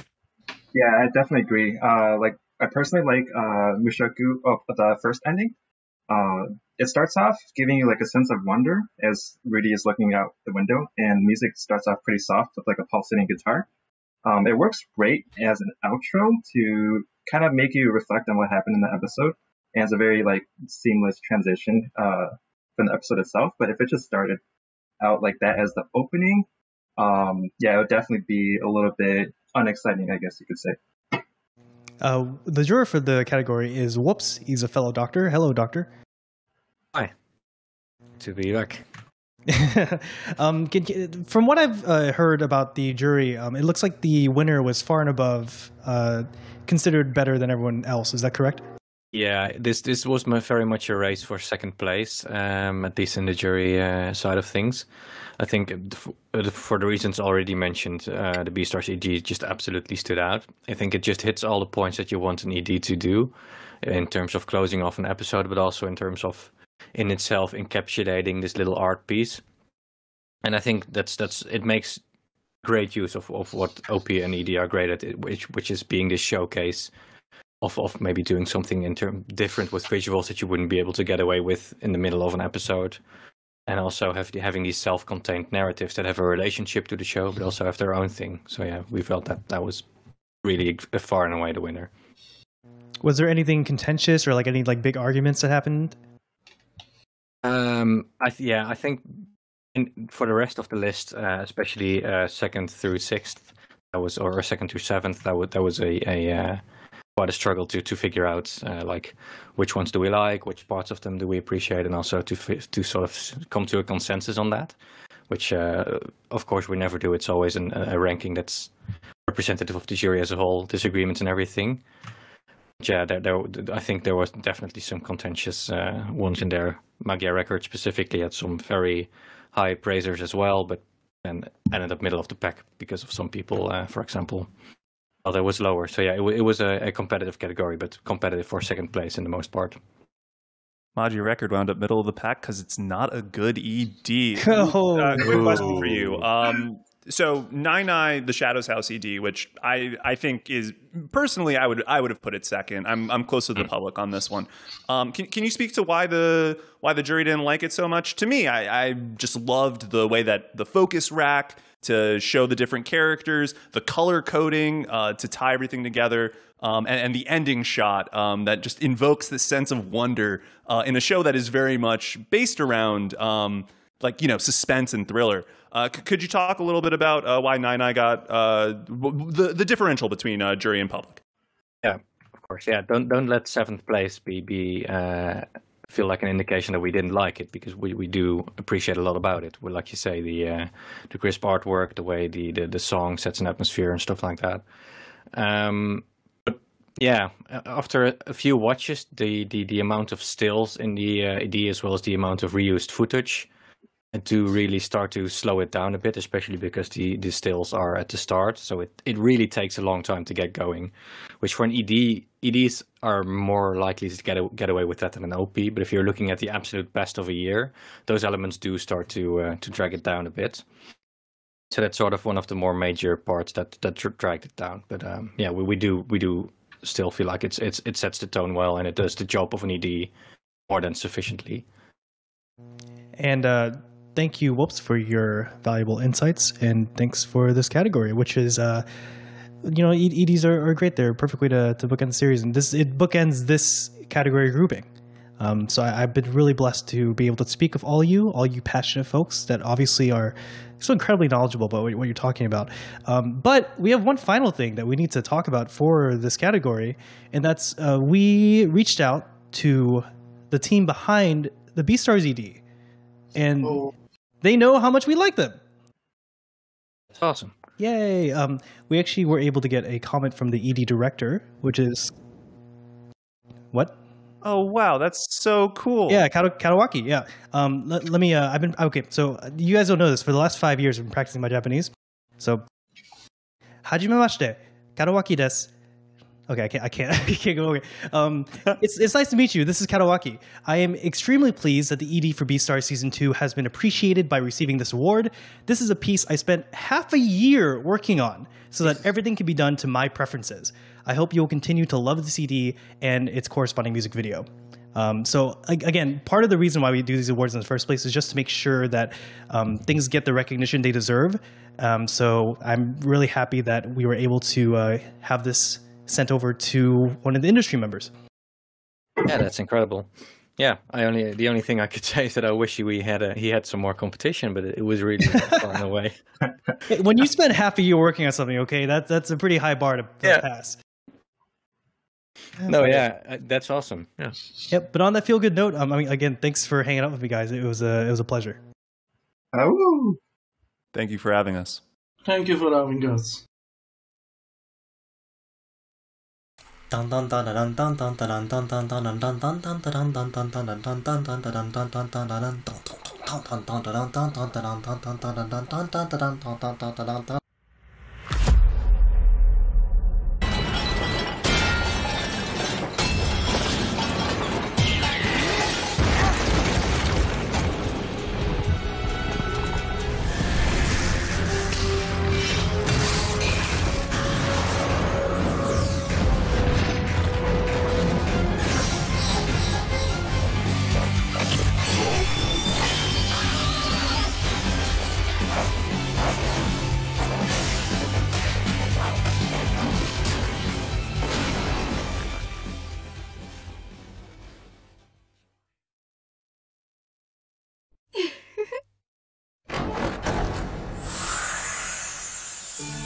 話は聞かせてもらったよ諸君。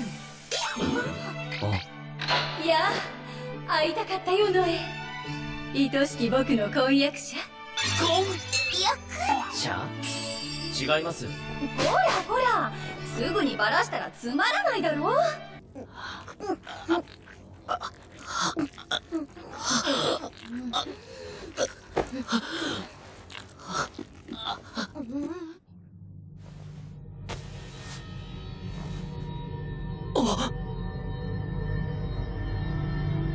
彼女が N44 We're back.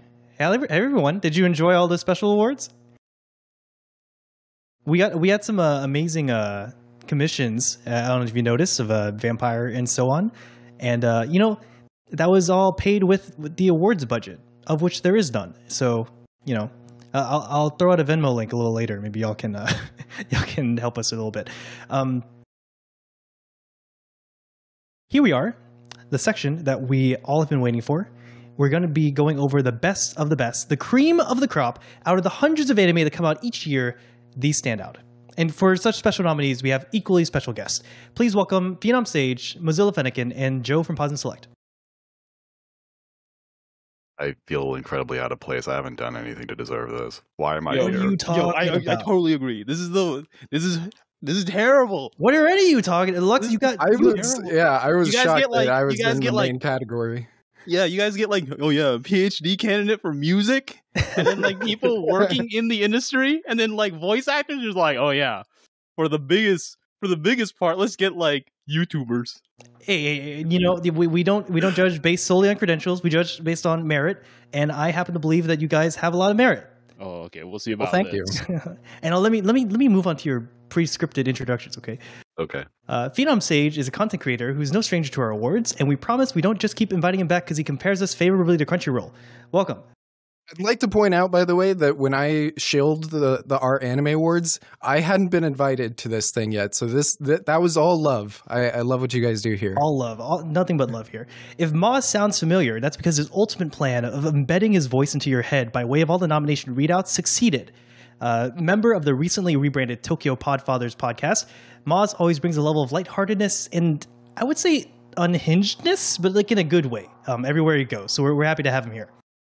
Yes. Uh, Wolf t- t- uh, had to sit through many bad takes of me reading stuff or just like singing Nai Nai over and over again. And finally, uh, Joe's channel at Pause and Select is often seen as the bar that other creators aspire to, and it has come down to polish.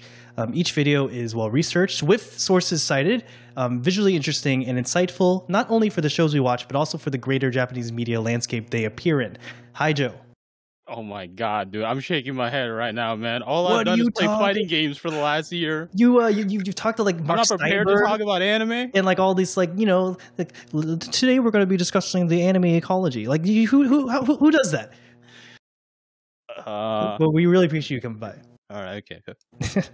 All right, so our first category is best short film. Here are your nominees. The nominees for Short Film of the Year Ghost,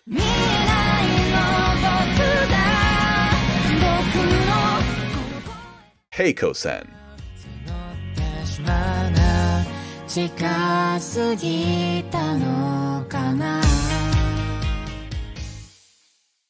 ホロライブアルターナティブティーザー追いかけて今あのシューカィスター肩の後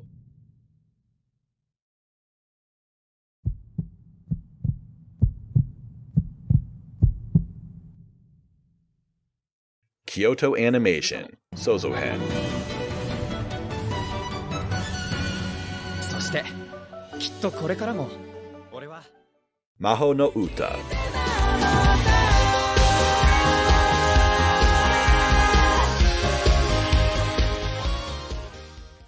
Takano Intersection,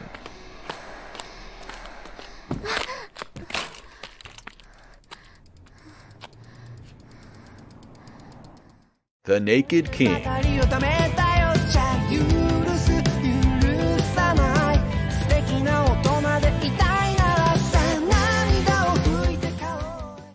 Unison.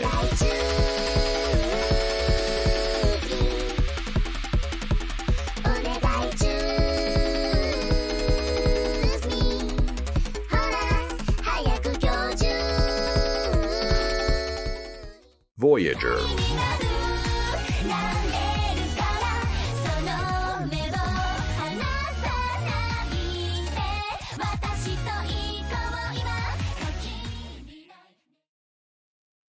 Your jury winner for best short film is Heiko-sen.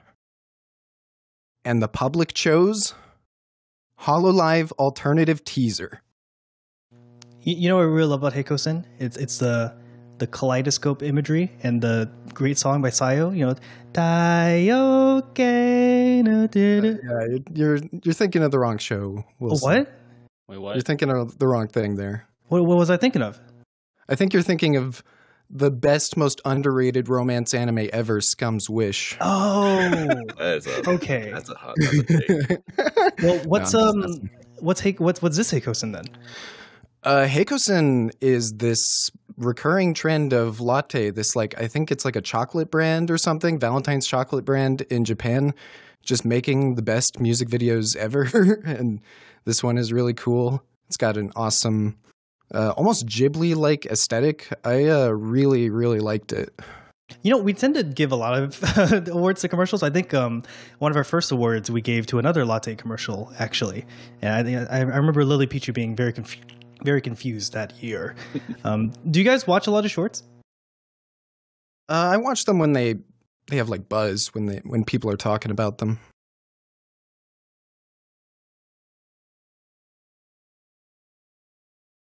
Guys, you would not believe it. I we were trying to talk about Heikosen and short films, and then like this like bunny. It's a girl with like like carrots in her hair. She comes around the corner and she goes, "Con pickle, con pickle, con pickle," and then and then like the stream goes down. So I don't know, I don't know what's what's going on. Um, Yeah, um, that's crazy, man. I know. uh, but I'm sorry, sorry that you were so rudely interrupted, Mojave. Um, could you- could you talk a little bit about uh, what stood out in shorts this year?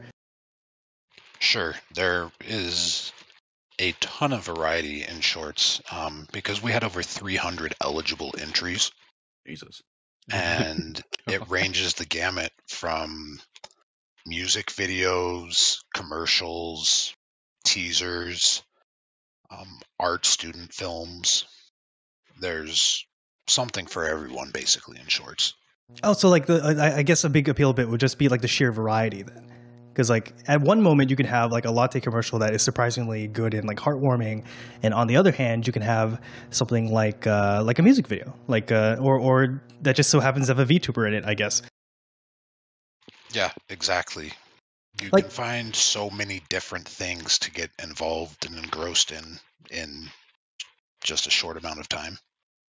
Like people kind of harp on VTubers, but you know, if they're getting people to watch these shorts and, and watch some uh, more you know, branch out in terms of what animation they watch, you know, I, I say all the more for it. And they're also the reason why they're being made in the first place, which is pretty dope. Yeah. Uh, yeah, and there's also a large variety in those uh, VTuber shorts. You have the Hololive alternative teaser, which is you know just a teaser, but then you have something like Unison that does some very unique and innovative things uh, throughout the video, both with the song structure as well as with the variety of visual techniques it uses to bring those visuals to life. Now, I'm going to humor a buddy of mine. You guys might not know him. His name is Yoshi Kirishima. Um, he is part of the circle group for Mocha. Um, and uh, he worked on Idolmaster Voyager. Uh, I just want to see what you guys thought about that and what you were discussing. That is the I thought it was coolest thing ever, by the way. uh, Idolmaster Voyager is probably the greatest thing mankind has ever created. So the fact that you have like a person who worked on it in these awards is just super awesome. Yeah, it's uh, yeah, it's it's kind of crazy because um, I don't know too much about like the sort of choreography that comes uh in Idolmaster, so I don't know if like this is like standard or if this is very different. But it was incredibly impressive. I think Idolmaster in general, um, out of all the different like idol entries, um, really has a focus on that. And then they also, uh, well, well, everyone else was kind of leaning into um, 3D and CGI, like uh, the original Love Live.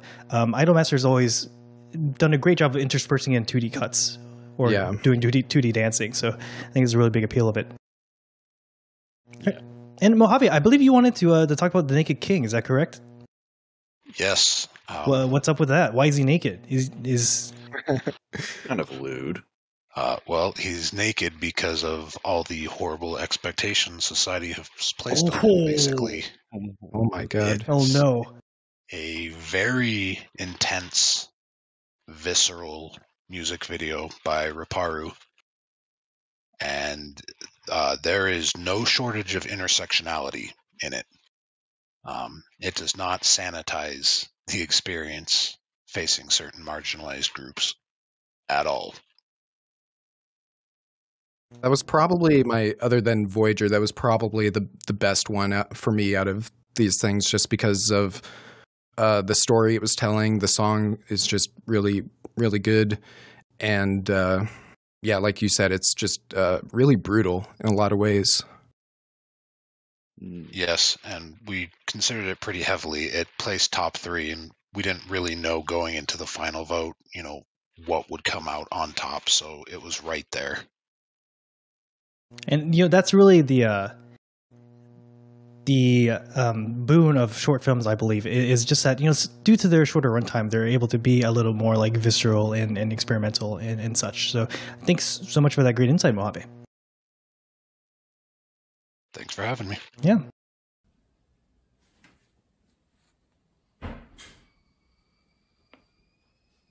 Uh, so we're going to move on to best short series. We, we decided to split um, short film and short series this year. Um, so here are your nominees for best short series of the year. The nominees for Short Series of the Year Artist Switch,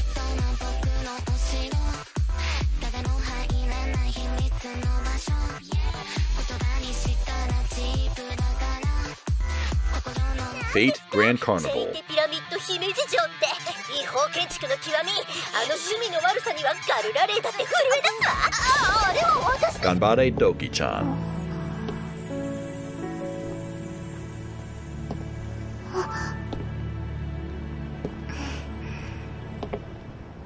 Kaguya-sama OVA,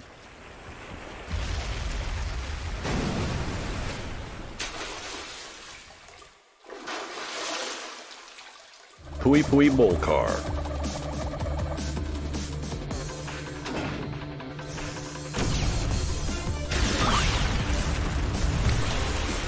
Star Wars Visions.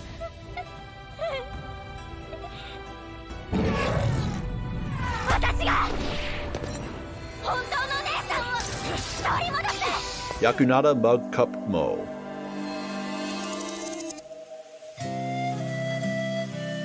Yoru no Kuni,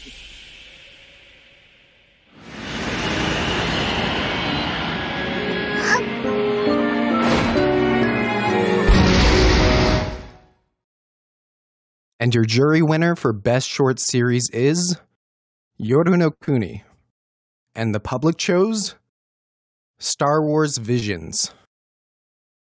Now, Phenom, I saw that you made a video claiming that Star Wars Visions could illuminate something about the future of anime. Could could you expand on that? Yeah, so Star Wars Visions is a really interesting project to me because uh, I think a lot of people can relate to liking Star Wars at one point and then not at some point because of, you know, Disney shenanigans.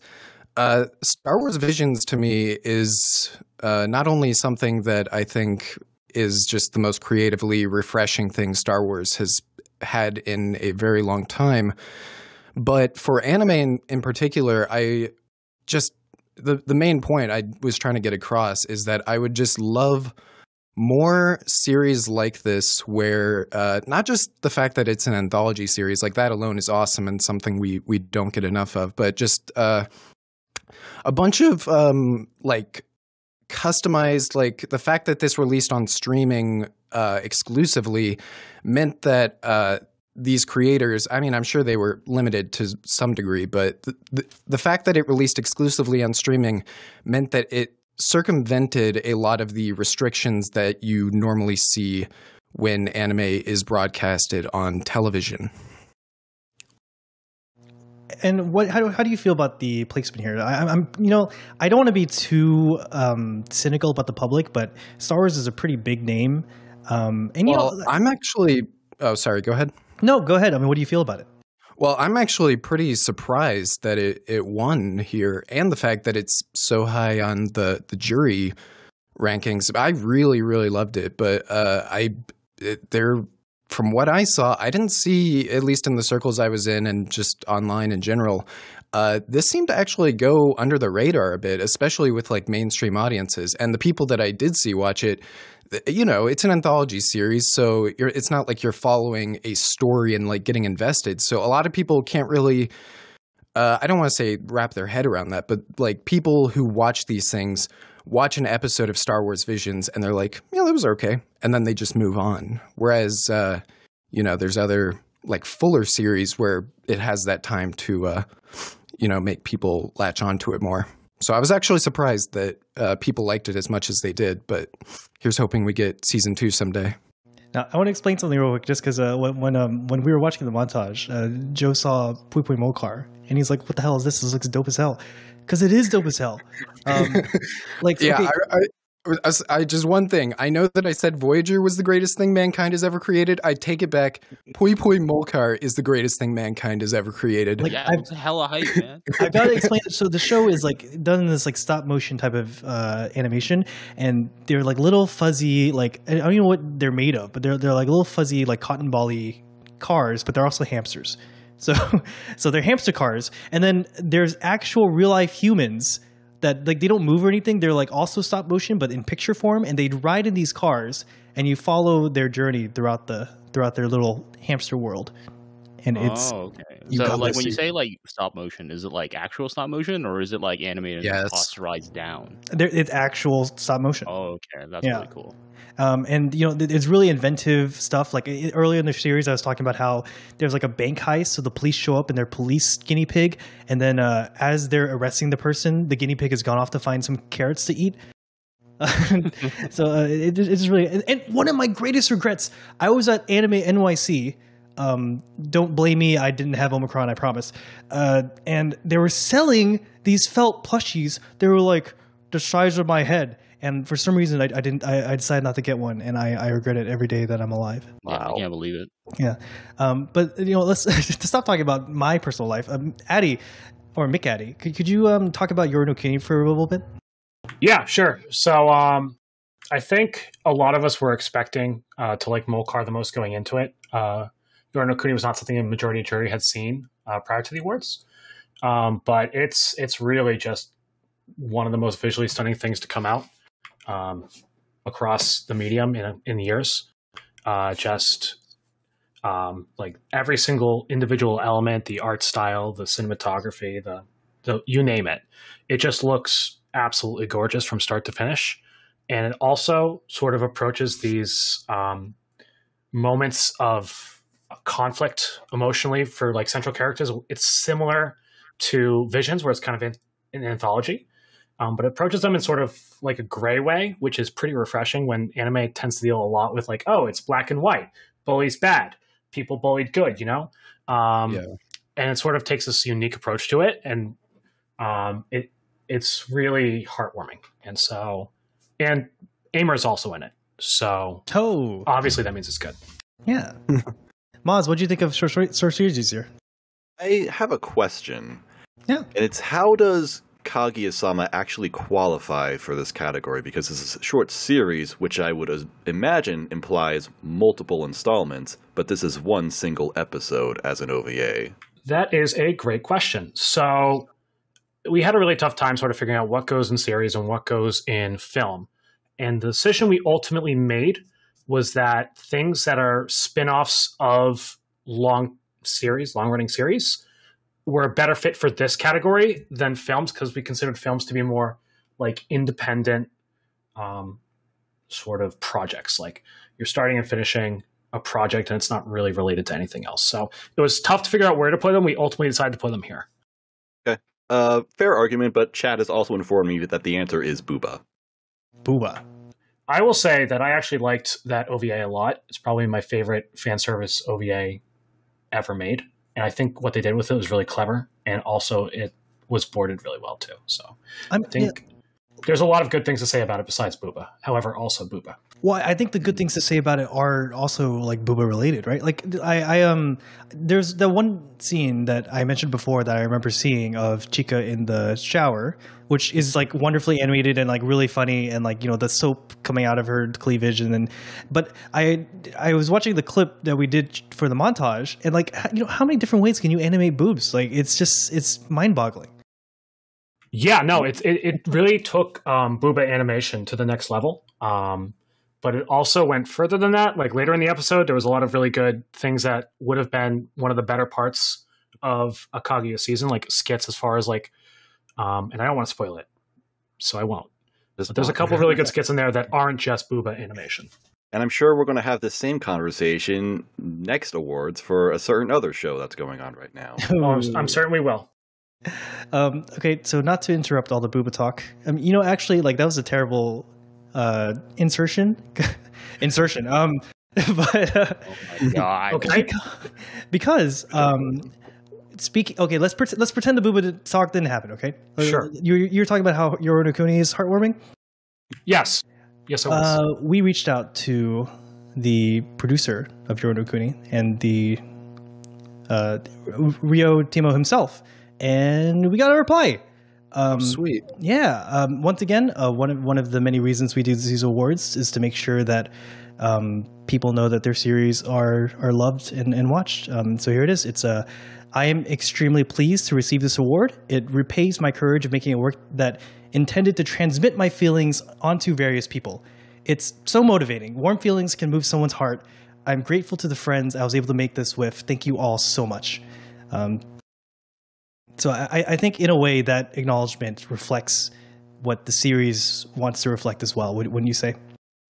A nice I would say so. It's really cool to see that.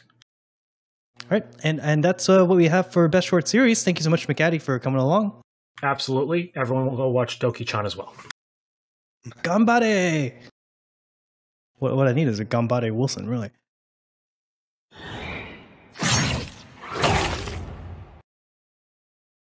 Coming up next is Best Movie. Um, who doesn't like a good movie, especially uh, in a time where we were kind of like starved for movies in a way?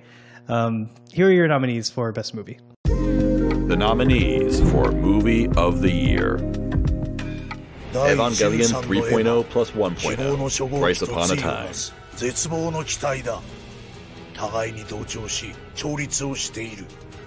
これも私に必要な儀式 Fate Stay Night Heaven's Feel 3 Spring Song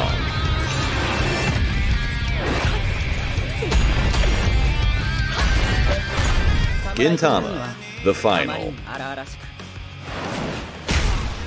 チンピラというのはあまりにまっすぐな目をした男だった Kimetsu no Yaiba The Movie Mugen Train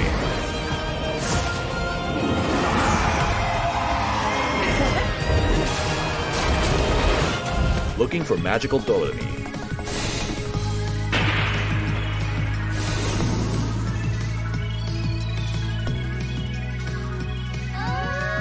Mobile Suit Gundam Hathaway Flash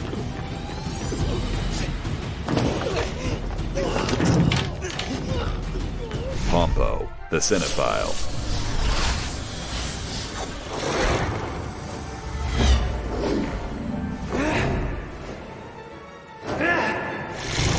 Shirobako movie.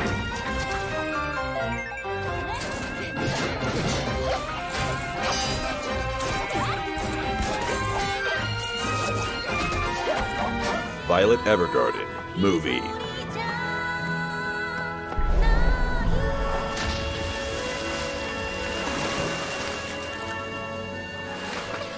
Words bubble up like soda pop.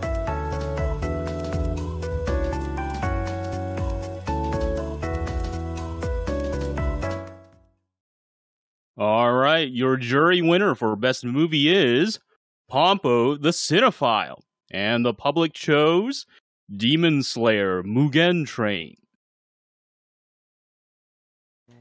Now, uh, let's talk about Mugen Train for a bit because I, you know, I, I saw Mugen Train. Mugen Train is great, um, I believe, but it, it almost is just kind of like episodes of the series as a movie, right? Like it, they literally turn the movie into episodes of the series. Yeah, what what is this TV show doing in movie of the year?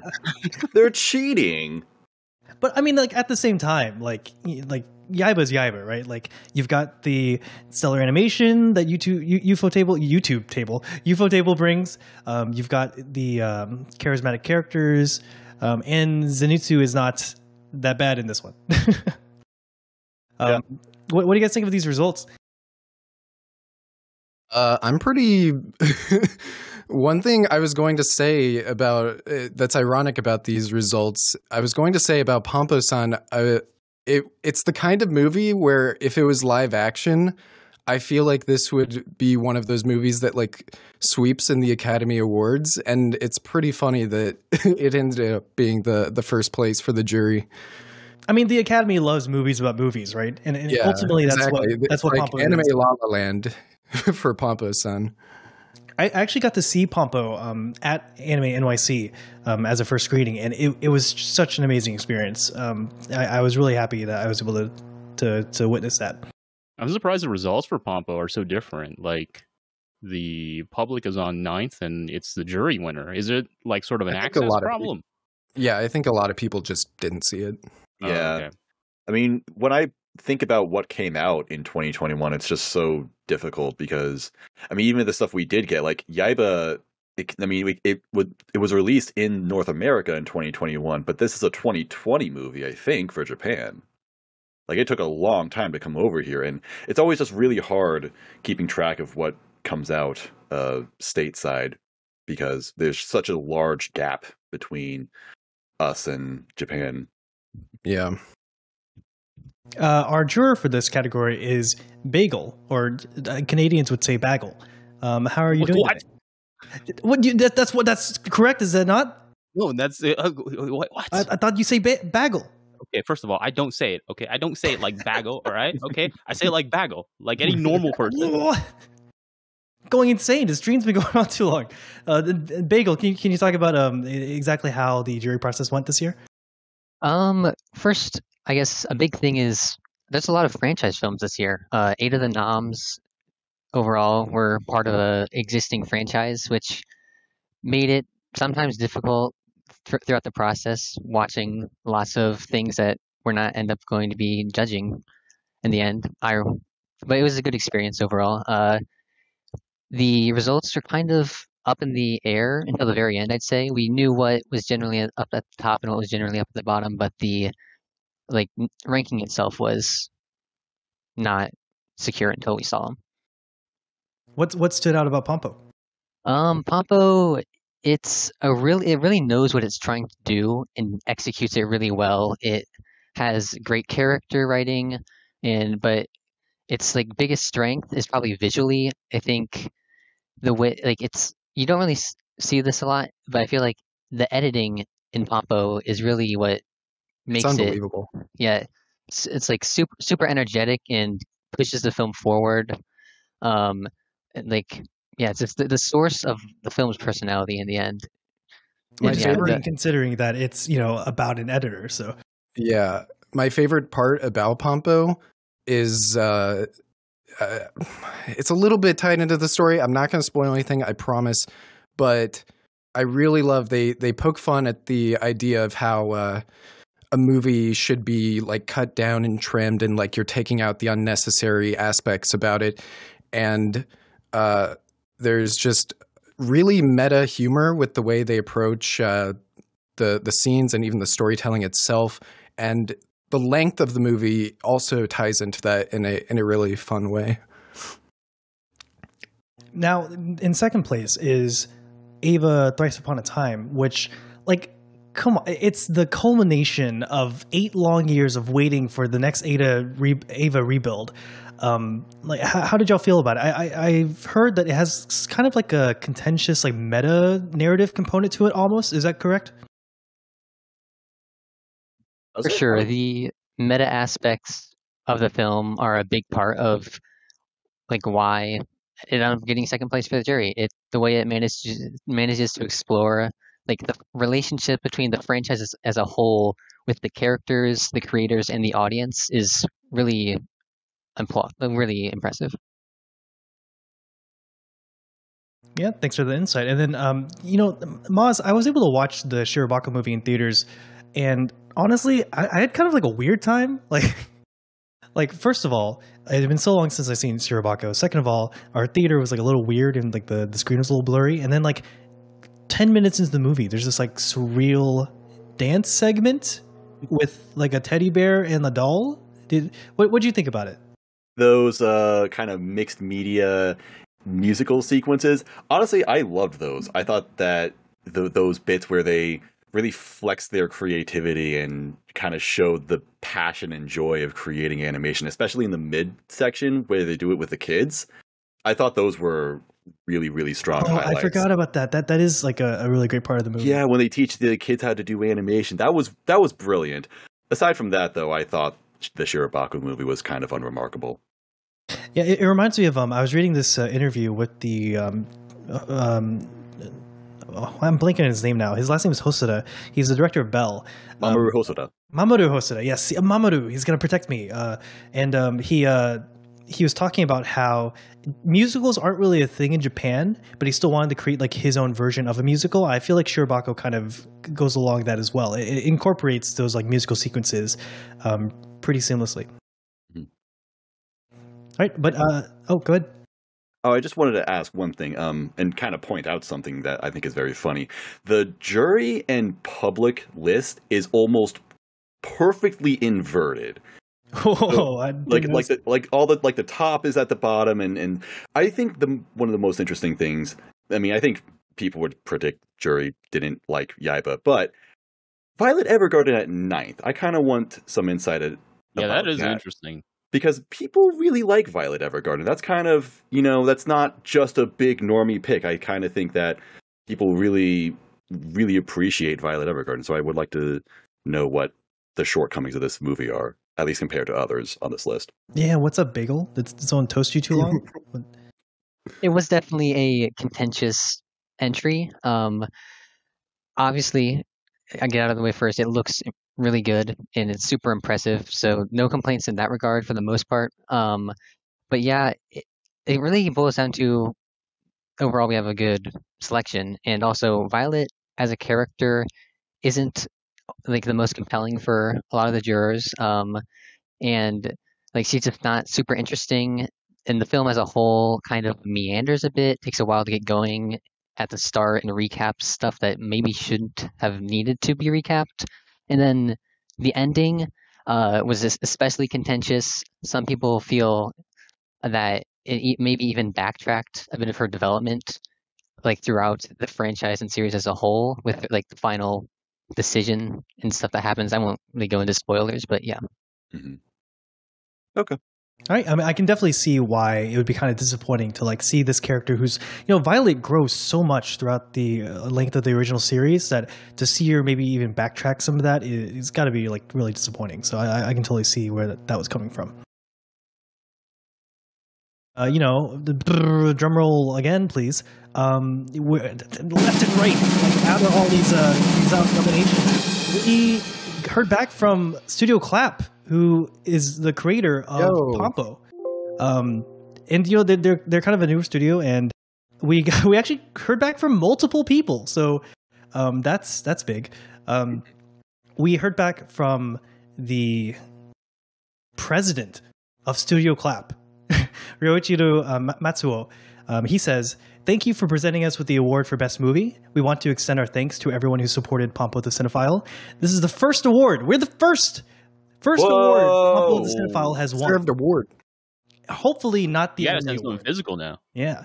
Moreover, the fact that both the director, Takayuki Hirao, and Clap themselves have won an award is a great honor, and we are extremely pleased. From spring onwards, we plan to release the film in theaters in North America. You were hearing it here first, guys. Pompo is amazing. You got to go see it. It releases in spring. See it. In North America and other countries, we hope you'll go see it on the big screen. So thank you for that. That was an amazing message to receive. But not only that, we did get a message from the director as well, Takayuki Hirao. Um, he says, Nice to meet you. This is the director of Pompo the Cinephile. It is a great honor to receive this award. I started making this movie with the hope that people would watch it and cheer for someone trying to step out into the world, who encourages people who are trying to chase their dreams. The fact that that hope, through the medium of film has crossed the seas and reached people all over the world who speak different languages and have different cultures makes me very happy. Thank you so much. Very nice. Super cool. And I mean, we all have the same sentiment towards um, the director for being able to create a work that, that is able to uh, to resonate with us so hard. I, I, I I was definitely trying to stifle some tears while I was sitting in that seat at uh, at A- at AMYC. Yeah, dude. It's a very like very genuine, heartfelt movie about like just passion, creative passion. Like you can tell, you can definitely see all of the the love that was poured into it. Yeah. Yeah. But that that was best movie. Um, thank you so much, Bagel, for coming by. Bagel. Thanks for having me Bagel? Bagel. Bag, bagel. Either works. Bagman. Bagman. Yeah, Bagman. Okay.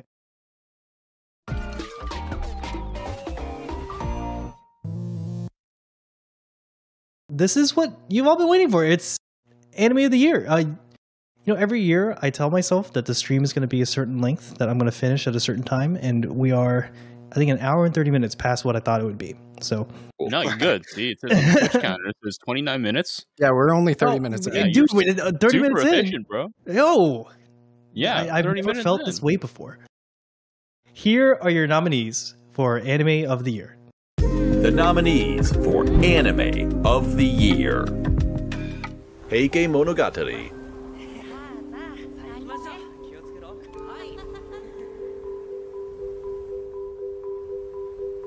Jujutsu Kaisen.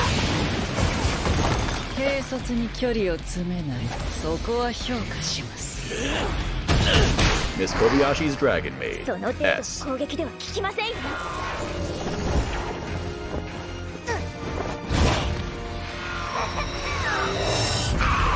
Mushoku Tensei.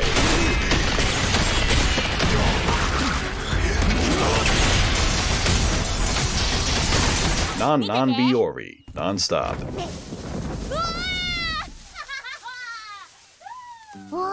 すごいその名も Odd Taxi. オットタクシーだ何バッチリ決まった感出してるけどオットタクシ Shingeki no Kyojin, Final Season, Part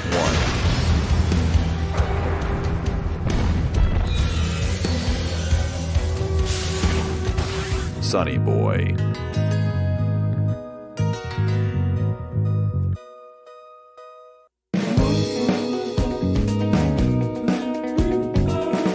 SSSS know.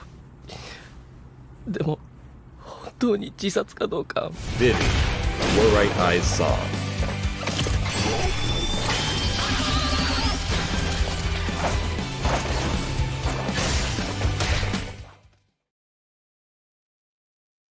Our anime has made a decision. Anime of the year. The jury winner. Sonny Boy. And the public winner for anime of the year. Mushoku Tensei. Woo! Yeah. Yes, let's go, baby. Let's go, baby. yes, yes, go. good guys That's win what it's all again. about, another, another win. Joe, uh, underrated champion finally gets. yeah, underrated. Thank God. Joe, Joe, Yeah. Joe, Joe, Joe, Joe. The dark horse. Mushoku Tensei is often called the grandfather of all isekai. Oh yeah, people do say that. Does that does that make sense to you? Um, I, I don't know. I don't really. so Mushoku Tensei, right? Um, was so one of the things that's really important when we're understanding like what grandfather means is Mushoku Tensei was very influential in pushing a kind of story archetype that was called Naro, which is a reference to the site that it came from. Um, it didn't really invent anything because a lot of authors before Mushoku Tensei um, had already been using some of these templates, but it was kind of the uh, the lightning in the bottle that really legitimized a lot of these kinds of stories. So that's why you have a lot of authors. So like Mushoku Tensei is a very strong influence. Even even people who were writing before are uh, writing before Rifujin, the author, um, like for example, like Kanekiru Kogitsune, the author of Remonster, nevertheless mentions Mushoku Tensei as like an influence, even though like he had been writing like years before him. Um, it's very influential, but um, eh, I, I think you, you can th- sort of think of it like the iPhone. You know, like the iPhone didn't necessarily quote unquote invent many things, but it was very critical in sort of like lighting a fire for very specific things that allowed the development of smartphones as you know what they would be now today. I mean, comparing Mushoku Tensei to the iPhone is a high praise indeed. I- I'm pretty sure the modern day smartphone was basically created because the iPhone was created. So Well, I mean, yeah, I mean, I you know, I guess, yeah, I guess not a lot of people on Twitter are trying to cancel iPhones. That might be Um, why I use uh. Android a lot specifically. as as for the uh, as for the jury side, you know, I, I was we were talking about what the favorites would be for the jury earlier in the year, and th- there are words being thrown on like, oh, I think Non Non Biyori finally might get a chance for a slice of life to win, or oh, Odd Taxi has to be it. I mean, Odd Taxi was the one where everyone made like a video in the same week. Um, Sonny Boy, wh- what about Sonny Boy makes it like so? Uh, I mean, Sonny Boy is this is not the first time it's shown up in these awards. So what, what's going on here? More like the Sonny Boy Awards, but I I love Sonny Boy. I it was I'm so sorry that is my alarm. Sorry.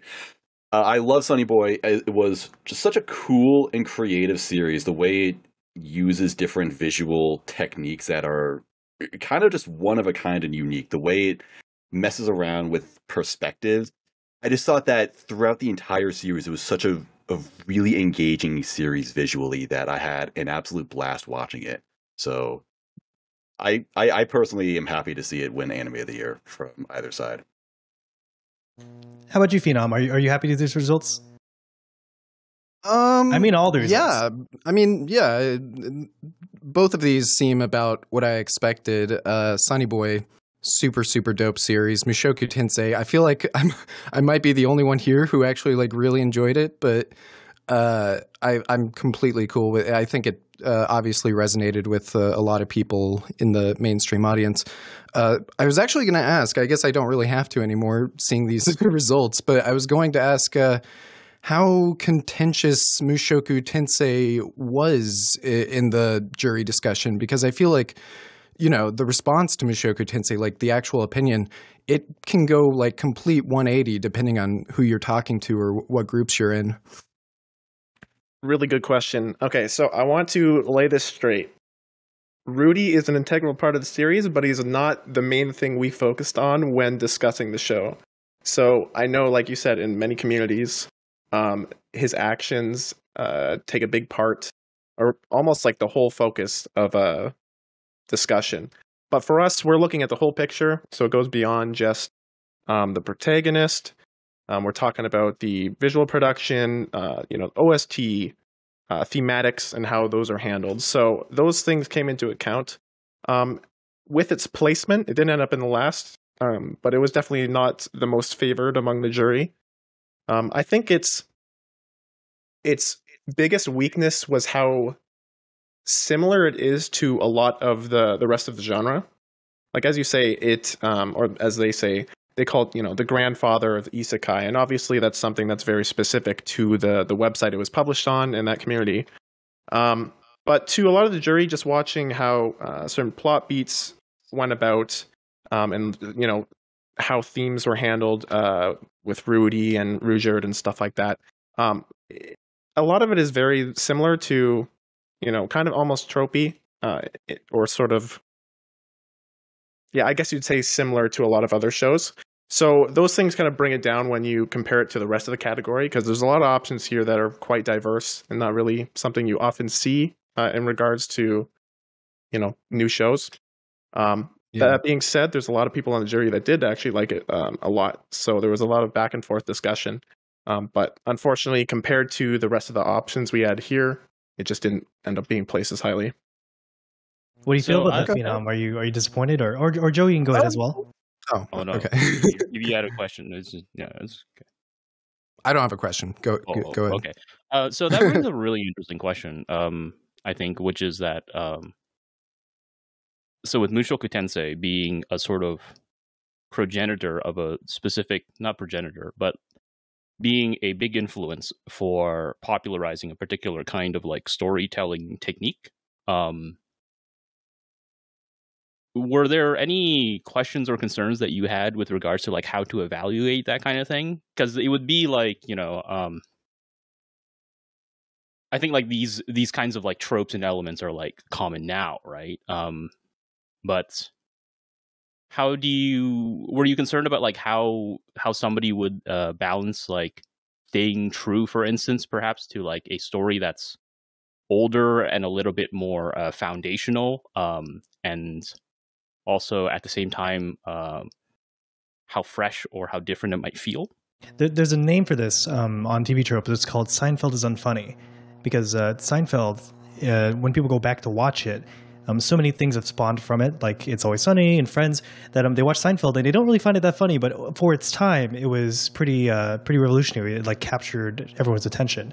Um, and then like Ghost in the Shell is also another uh, kind of example of this that spawned a lot of later derivative works. Um, yep. What, what, what's Um, your answer, Lou? Okay, so it's it's a tough topic because Mushoku is really quite controversial. So I don't want to present anything in like a, a really weird way.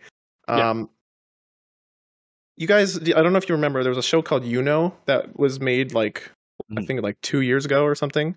Yeah. like Oh, a really visual old novel. visual novel one. Like yeah, the edge of the world. Yeah. yeah, so I know I don't think the reception of that one was very good. I did play the original visual novel a long time ago, and I quite liked what it did.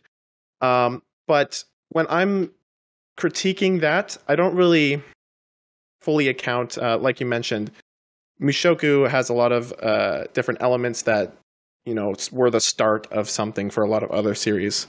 So the fact that those exist isn't something that we're complaining about, really. It's just how they're executed in general. Um, and to the jury, a lot of those things were just not super handled well. Um, they felt. So it's less a factor of oh, it's the first time it did it. It's so generic. Like I think there's a lot of things in Mushoku that are they're actually like they have some depth to it. Um, but even in terms of like presentation, you know, they've got this. They're going for like a classic story kind of presentation um, with the whole grainy sort of uh, shaky cam they had, and they they tried to uh, replicate that almost cell image.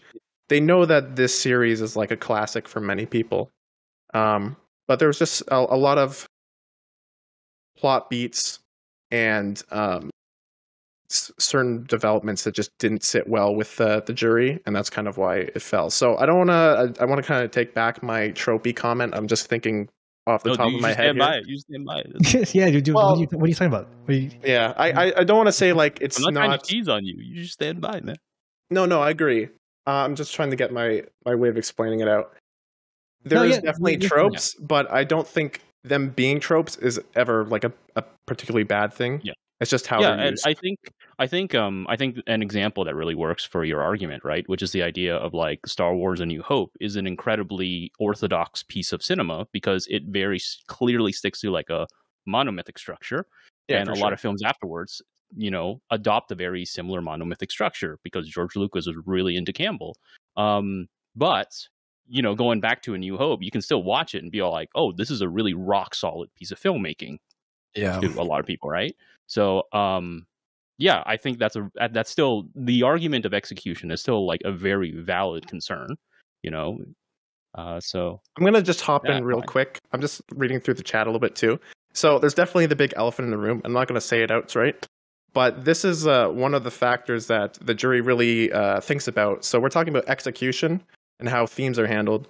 And I think one of the things that a lot of people um, assume we do is we'll see something kind of controversial and think that's not handled well or is this bad.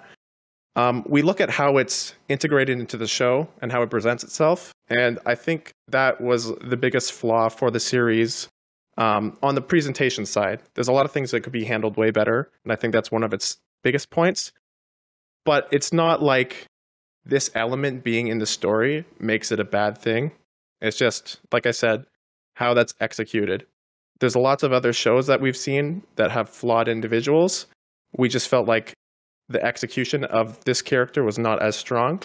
Um, and that was one of our reasons for why we felt this placement was kind of justified for us. and you know that's that's how the jury feels. But obviously, there, there has to be something to it that uh, is able to encapture and uh, really um, grasp the public attention.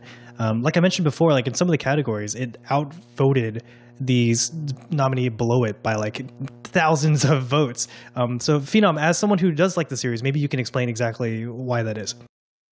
Yeah, so obviously I can't change anybody's. Uh, I'm I'm not here to change anybody's opinion on on the show. Like if you don't vibe with the way certain things were handled, then that's that's completely fine. And I actually completely agree uh, with the sentiment that this is coming out this year. Like this needs to be judged by modern standards. You can't just say, "Oh, it came first and use that to excuse any flaws in the writing because that just doesn't fly when it actually is coming out with a modern like 2021 production.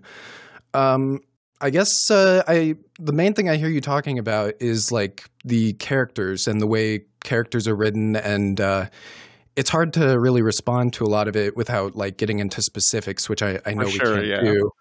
Uh, but the my my favorite part about the series, I would say, is the characters. It's the the way the characters you know change and grow, and like no spoilers, but like by the end of the series, you have these really like some of the most interesting, climactic, like emotionally resonant uh, conclusions to some of these character arcs and like dynamics that I've seen in a long time. So I'm wondering, was it was it those in particular that you had a problem with, or was it uh, like earlier in the series, like certain things that were going on? Or I personally, I'm like, it is not a perfect series. Like part two, there are some really like dry stretches of the of the series that uh, I'm sure also impacted your decision. But I'm just wondering, like, without spoiling or getting too deep into like everything in the series, I'm wondering, like, what specifically are you talking about? The jury had issue with uh, the characters. Okay, that is very specific. Yeah, Um, I know. do want to highlight. um, I'm not going to spoil anything. I have read the series, so I know what you're talking about in the end, which also kind of shapes my view on things. Um, Yeah. in in regards to like how developments end up being and stuff like that. Um, the show is uh, the story about Rudeus and him becoming a uh, how do you say it like a better person basically um, or more satisfied with his life at least that's how i interpret it um, so everything in the show kind of bounces off him you know all the characters that he uh, groups up with um, how he uh, his actions and like if he does something or tells someone to do something like in the in the sec the end of the first season there was some like uh, conflicts that happened that resulted in like bad things because of Rudeus and his decisions. And that's not even like the controversial stuff it's just plot points and like different things. Um so all those little bits kind of get added together and then we as the jury look at it and say okay do you think that you know his decision here made sense? Um do you think these the way these characters responded to something he said is actually like working thematically? Like there's a lot of um focus put onto those elements especially compared to like some of the other shows. You've got personal favorites from me uh being sonny boy uh heike and Dynazenon, which all ended up in the top. Um Yeah, I was going to ask about character Heike, writing you know? um, in just in regards Yeah. to like in drama, it, it, it plays like fourth, I think, but over here it's it's second. Um, which I, I think is not necessarily like you know obviously juries are composed of different people, but um, I think it also goes to show how like polarizing it is. You know, like it, it- I think it's a kind of like it really hits you or it didn't, and you know it's obviously a much hyped series considering like Naoko Yamada's first work outside of KyoAni and and adapting this like wonderful, um, really cherished old Japanese tale that everyone knows. Um, could you talk a little bit about Heike? Sure um Heike also, was uh, uh, sorry, chat. Um, right after this, um, it's not over. Uh, we we've showed anime of the year, but we've got some special guests still coming. Um, uh, they couldn't come live, but we're gonna show you what they had to say, and uh, and we've got some other goodies for you as well. So stay tuned. Um, yeah, so Heike, um, kind of like a modern twist on uh, or retelling of the story. Uh, I think it gives a lot of care to the um, the actual like source material, I guess you'd say. Um, and Yamada's like view on the series uh, and like how she wants things to be presented. Um, she puts a lot of care into it. Um, yeah, I think it's it works really well as like a thoughtful tragedy, and I'm, I'm supposedly the ending because I haven't read Heike. It's not something that we typically um, read in the West, I guess you'd say. Um, I heard that the ending was a bit different, and I think it almost complements the whole series a bit more. Um, so that plus the way the characters are, they have like a very careful execution, both the the female characters and the male, um, and the visual production, all that combined help raise it above most of the rest of the uh, rankings. All right. Well, thank you for that. Um, we that was a very spirited and long conversation, but I'm glad we had it. Um, hey, guy, that was that was the end of the year. We're we're at the very end now. th- The thing is, like I said before, we're not we're not exactly finished, but um, just continuing the long slew of acknowledgments that we've received. We heard back from the producer of Sonny Boy. Oh my God! Let's Whoa. go! Let's go! We, we literally got our boy. We got our boy.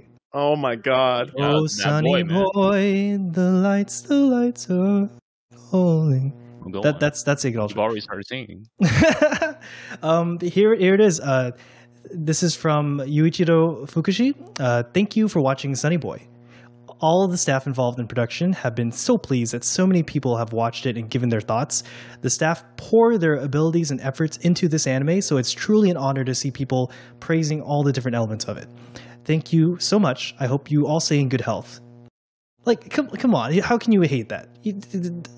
I feel healthier just reading that. You guys That's who, pretty who've been complaining about Sonny Boy and chat, you should feel so- sorry now. Yeah, feel- man. Go Look at this look- nice man. This man. Look Yeah, up an image of Yuichiro Fukushi and, and just imagine being That's right.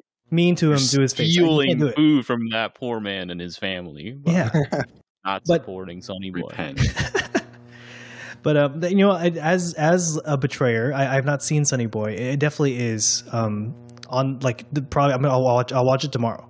And uh, Uh, I'm gonna group watch it with you, Wilson. hey, It was my second, number two anime of the year. My number one anime of the year was Odd Taxi. Odd Taxi Oh, should have won. Odd. Taxi, hell yeah, bro. Because Odd Taxi, here, look, no one has any complaints about Odd Taxi, therefore it should have won anime of the year. That's my, I actually that's have my one take. complaint about Odd Taxi. It's very Well, that's minor. though. impossible. There's Very no minor. way. and here's the thing, I all right? agree, it is- the it is, film you that they're releasing is gonna solve that. That doesn't Oh. exist right now. Odd, right now, Odd Taxi is perfect. I think for me, Odd Taxi is like what I want the quintessential like average anime to be. Like it's so fantastic in so many ways. It's completely a full package. Um, really outstanding for an original series. I think for the jury, it's just a case of like there's so many great shows in a year. It's hard to really like acknowledge everything. That's kind of the point of the awards, though. You want to. Uh, we have these nominations we pick out, and we're like, hey, the public. I know a lot of it ends up being popularity based, but here's some stuff that we thought was outstanding that you may enjoy. Whether or not you do, that's up to you guys. But um, Yeah. Odd Taxi is definitely one that stood out, and I'm glad the public actually really enjoyed it too. Yeah. Yeah, that was cool to But- get uh, Odd Taxi in the public.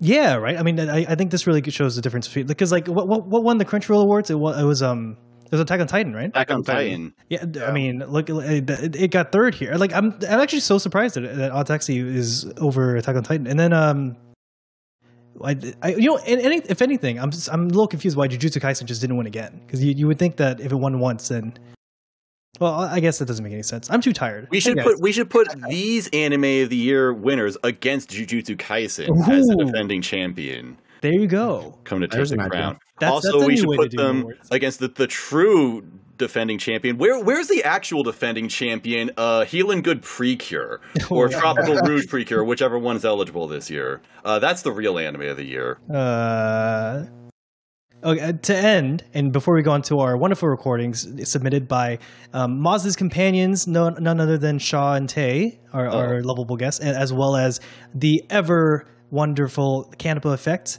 um, that I'm sure all of us have warm feelings for. Uh, Joe, Joe owns a lot of Canipa shirts. Oh yeah. Yeah, I, I want a Canipa shirt. Where'd yeah, you get Cal, I got shirt? like four of your shirts, bro.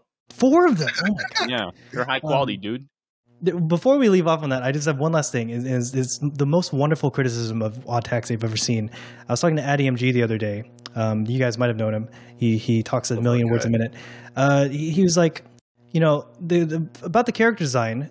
You know, they're all animals, and that's great, and they all look very cool. But you know, they really value character design that really fits with the character um, thematically. And walruses, they're they're they're they're pretty friendly. So it doesn't really fit that Odokawa is kind of surly. True. Friendly, That's fri- true. friendly Maybe while- that's intentional. Oh, Maybe that's broken an down. intentional He's- he's contrast. by the system. Okay, Phenom, I'm sorry, we can't start. This is gonna be an hour conversation about Innocent all lost. right, all right, all right. All right, uh, thank thank you guys so much for coming out. Um, it, it's been a great time, and I'm I was very happy to be able to talk to you. Thank you. Thanks for having us, guys.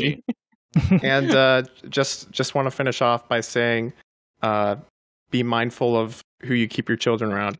What? God. Whoa. Wait. What did, What? what did he mean by this? What? what? What?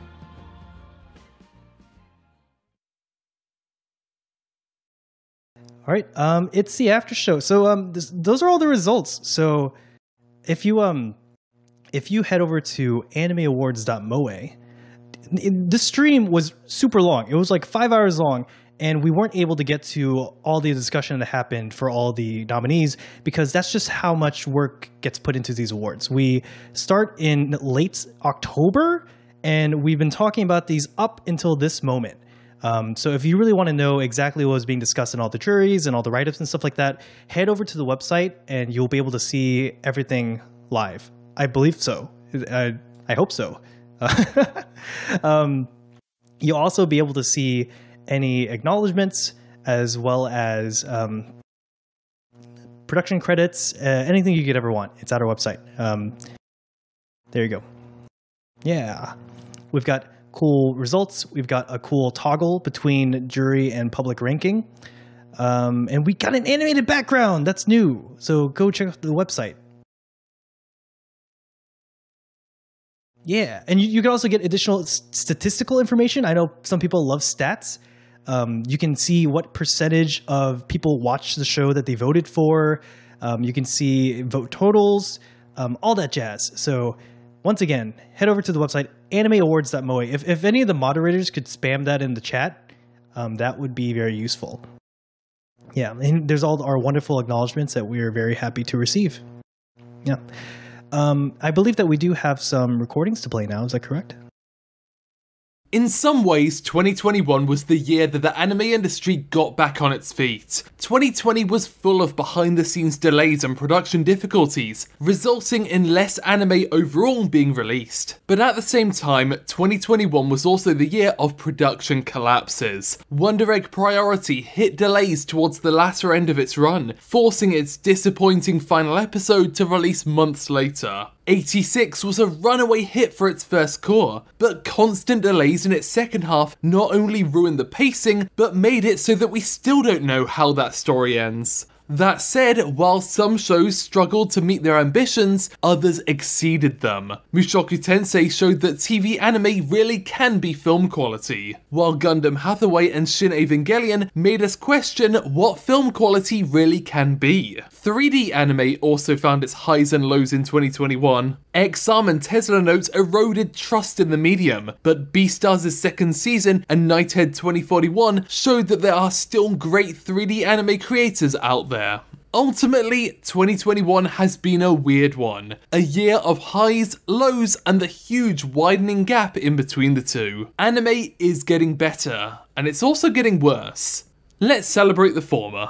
I know a sweep when I can see it, and while Mushoku Tensei isn't exactly my kind of thing in terms of the characters, it is exactly the kind of visual adventure I've been dreaming of. The series took the public awards for animation, background art, and cinematography, and it was second in character design, losing out to the deserving Odd Taxi. Mushoku Tensei's success has been a statement. It took years of careful planning and coordination, an extra three months in between cours, and an entirely new studio to create it. Ultimately, it started out because a producer loved the light novels, but it only got to this point through the work of a huge amount of incredible artists. On the other hand, the jury has done a great job of making sure we don't forget about some of the more niche masterpieces that aired in the last year. Known for bringing One Punch Man and Boogiepop to screen, Shingo Natsume released his own original series, Sonny Boy, last year to muted acclaim. The jury voted for its character designs and background art, and it's hard to argue with that. The designs are simple yet effective, never letting us know too much about these characters until the show's ready to reveal it. And of course, Studio Pablo's backgrounds are just magical.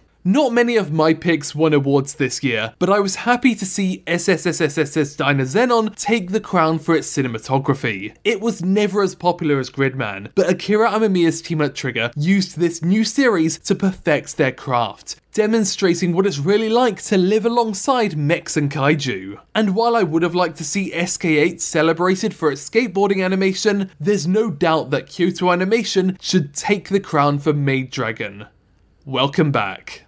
2022 is going to continue being a bit weird. We're still going to see a bunch of Western Netflix stuff desperately trying to convince us it's anime. We're still going to see plenty of delays and production disasters. And we'll be right back here again next year to find the cream of the crop. Or just watch the r slash anime community give every award to whatever the biggest Kadokawa light novel adaptation happens to be.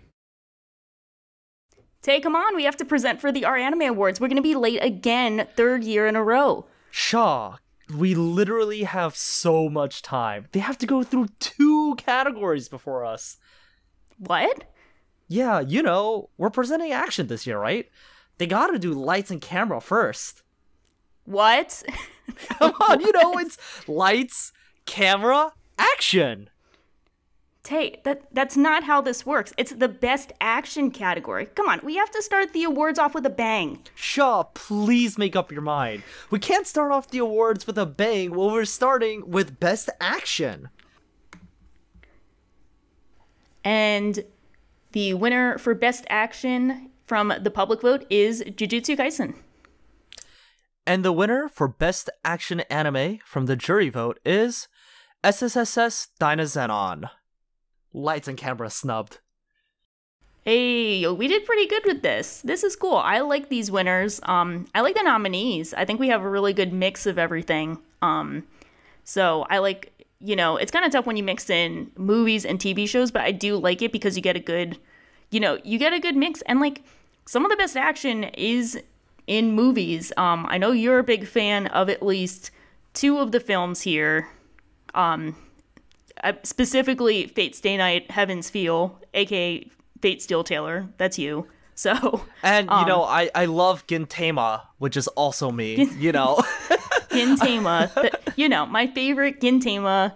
You know, this the sequel to Gintama, of course. Um, exactly the actual final. Uh, Not the movie and- semifinal. Nope, the actual final. But as The one of like seven final. people who watched the Gintama final uh film, what was your thoughts on it? Uh, in in it coming in seventh, uh, in the vote for the public and third for the jury. You know, the jury never disappoints until at least the next category. At least on this category, they've not disappointed. um, it's kind of cool though because, uh, you know, I watched the Gintama film uh, a couple months back, and you know, at first, like sometimes the production wasn't always there, but the final fight really had some interesting, you know, really interesting experimental sakuga. It got really sketchy, got really interesting, and it was presented in a very interesting psychological way, which doesn't sound on brand for Gintama, but like it was very fitting. So I like to see the jury, you know, acknowledging that. Um, I think it's cool.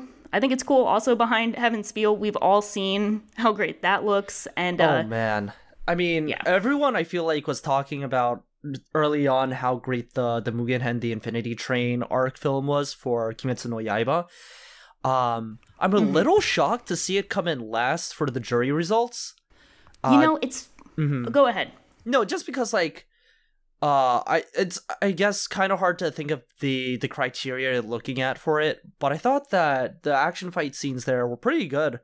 Um even though there wasn't you know, there's really only like 2 3 of them, but I think definitely Fate Stay Night Heaven's Feel 3 Spring Song blew it out of the water. I think the the final ish fight, I guess the third to last fight in the film um is one of the most if not the most uh, impressive fight scene I've ever seen. Um, that Yeah. has to be up there with with really any of the the big hitters that you can call. Um, fuck. One of the big hitters you can call. Oh. Peak fiction. um, I agree, and I think it's kind of interesting because you know I've heard people say that like Demon Slayer, the action was better in the TV show than the movie, so maybe that opinion, which I've heard more than once, is reflected in the jury. But um, gotta give some love to our actual winners. Um, Mhm. you know. I'm a fan of Jujutsu Kaisen a lot more than I expected, but recently, especially when rewatching a lot of the fights, I have to give it so much credit for the very smart very unique ways it's showing different fights across the series. Like recently, we talked about what I call the my best friend fight, where they God, do the I love the my best friend fight. yeah, I love my best friend. That's so you and me, That that's I'm you and me. Yeah, that's us. It's us right now. Yeah. So um, that's what I think of. I like the Nobara fight where she's like hits the like nail in her arm and then that manifests in the demon. Just like a very wide range of very cool action scenes. So I think it's really cool that the public had that come 1st Mhm. Um, you know, very fitting, very good winner. So I think very much deserving. What's surprising to me is I love SSSS Dynazenon, but Mhm. it would have been tough for me. So I think while it is an action anime, the action part of it isn't why I love Dynazenon, if that makes sense. I, I Yeah, don't think yeah. oh like the the fights and the transformation sequences and all that is really why I love Dynazenon. I think to me it was the the more grounded parts of it, the character relations, the the growth that they go through. Um, that was why I liked it. So it is interesting to see Dynazenon go there where it because I don't think it had like the most impressive fights of them. Um, but I think the fights kind of resonated with the characters. Uh, in particular, I love the part where uh, you have Yume going something beam. Uh, yeah, same. That's me trying to remember any power in any anime. I know, but I also love the the JJK fights. Um, I especially just like how brilliant they looked animated. Um, I think it was Mhm. incredibly impressive. Um, so I think uh, there's there's stuff to to love from both of these winners. You know, um, whether you're going to action anime for the action or you're looking at action anime and you're surprised with what they're doing to supplement the action. Yeah. Um, I think this is a good IGN five out of five. There's a little bit of something for everyone in this category. So good job, public. Good job, jury. Good job all around. I mean, I think Uma Musume season two should have been here, but you know, Yeah. feel free to Well- drag me off stage now. Once again, good job, jury. Good job, public. Good job, and good job to everyone.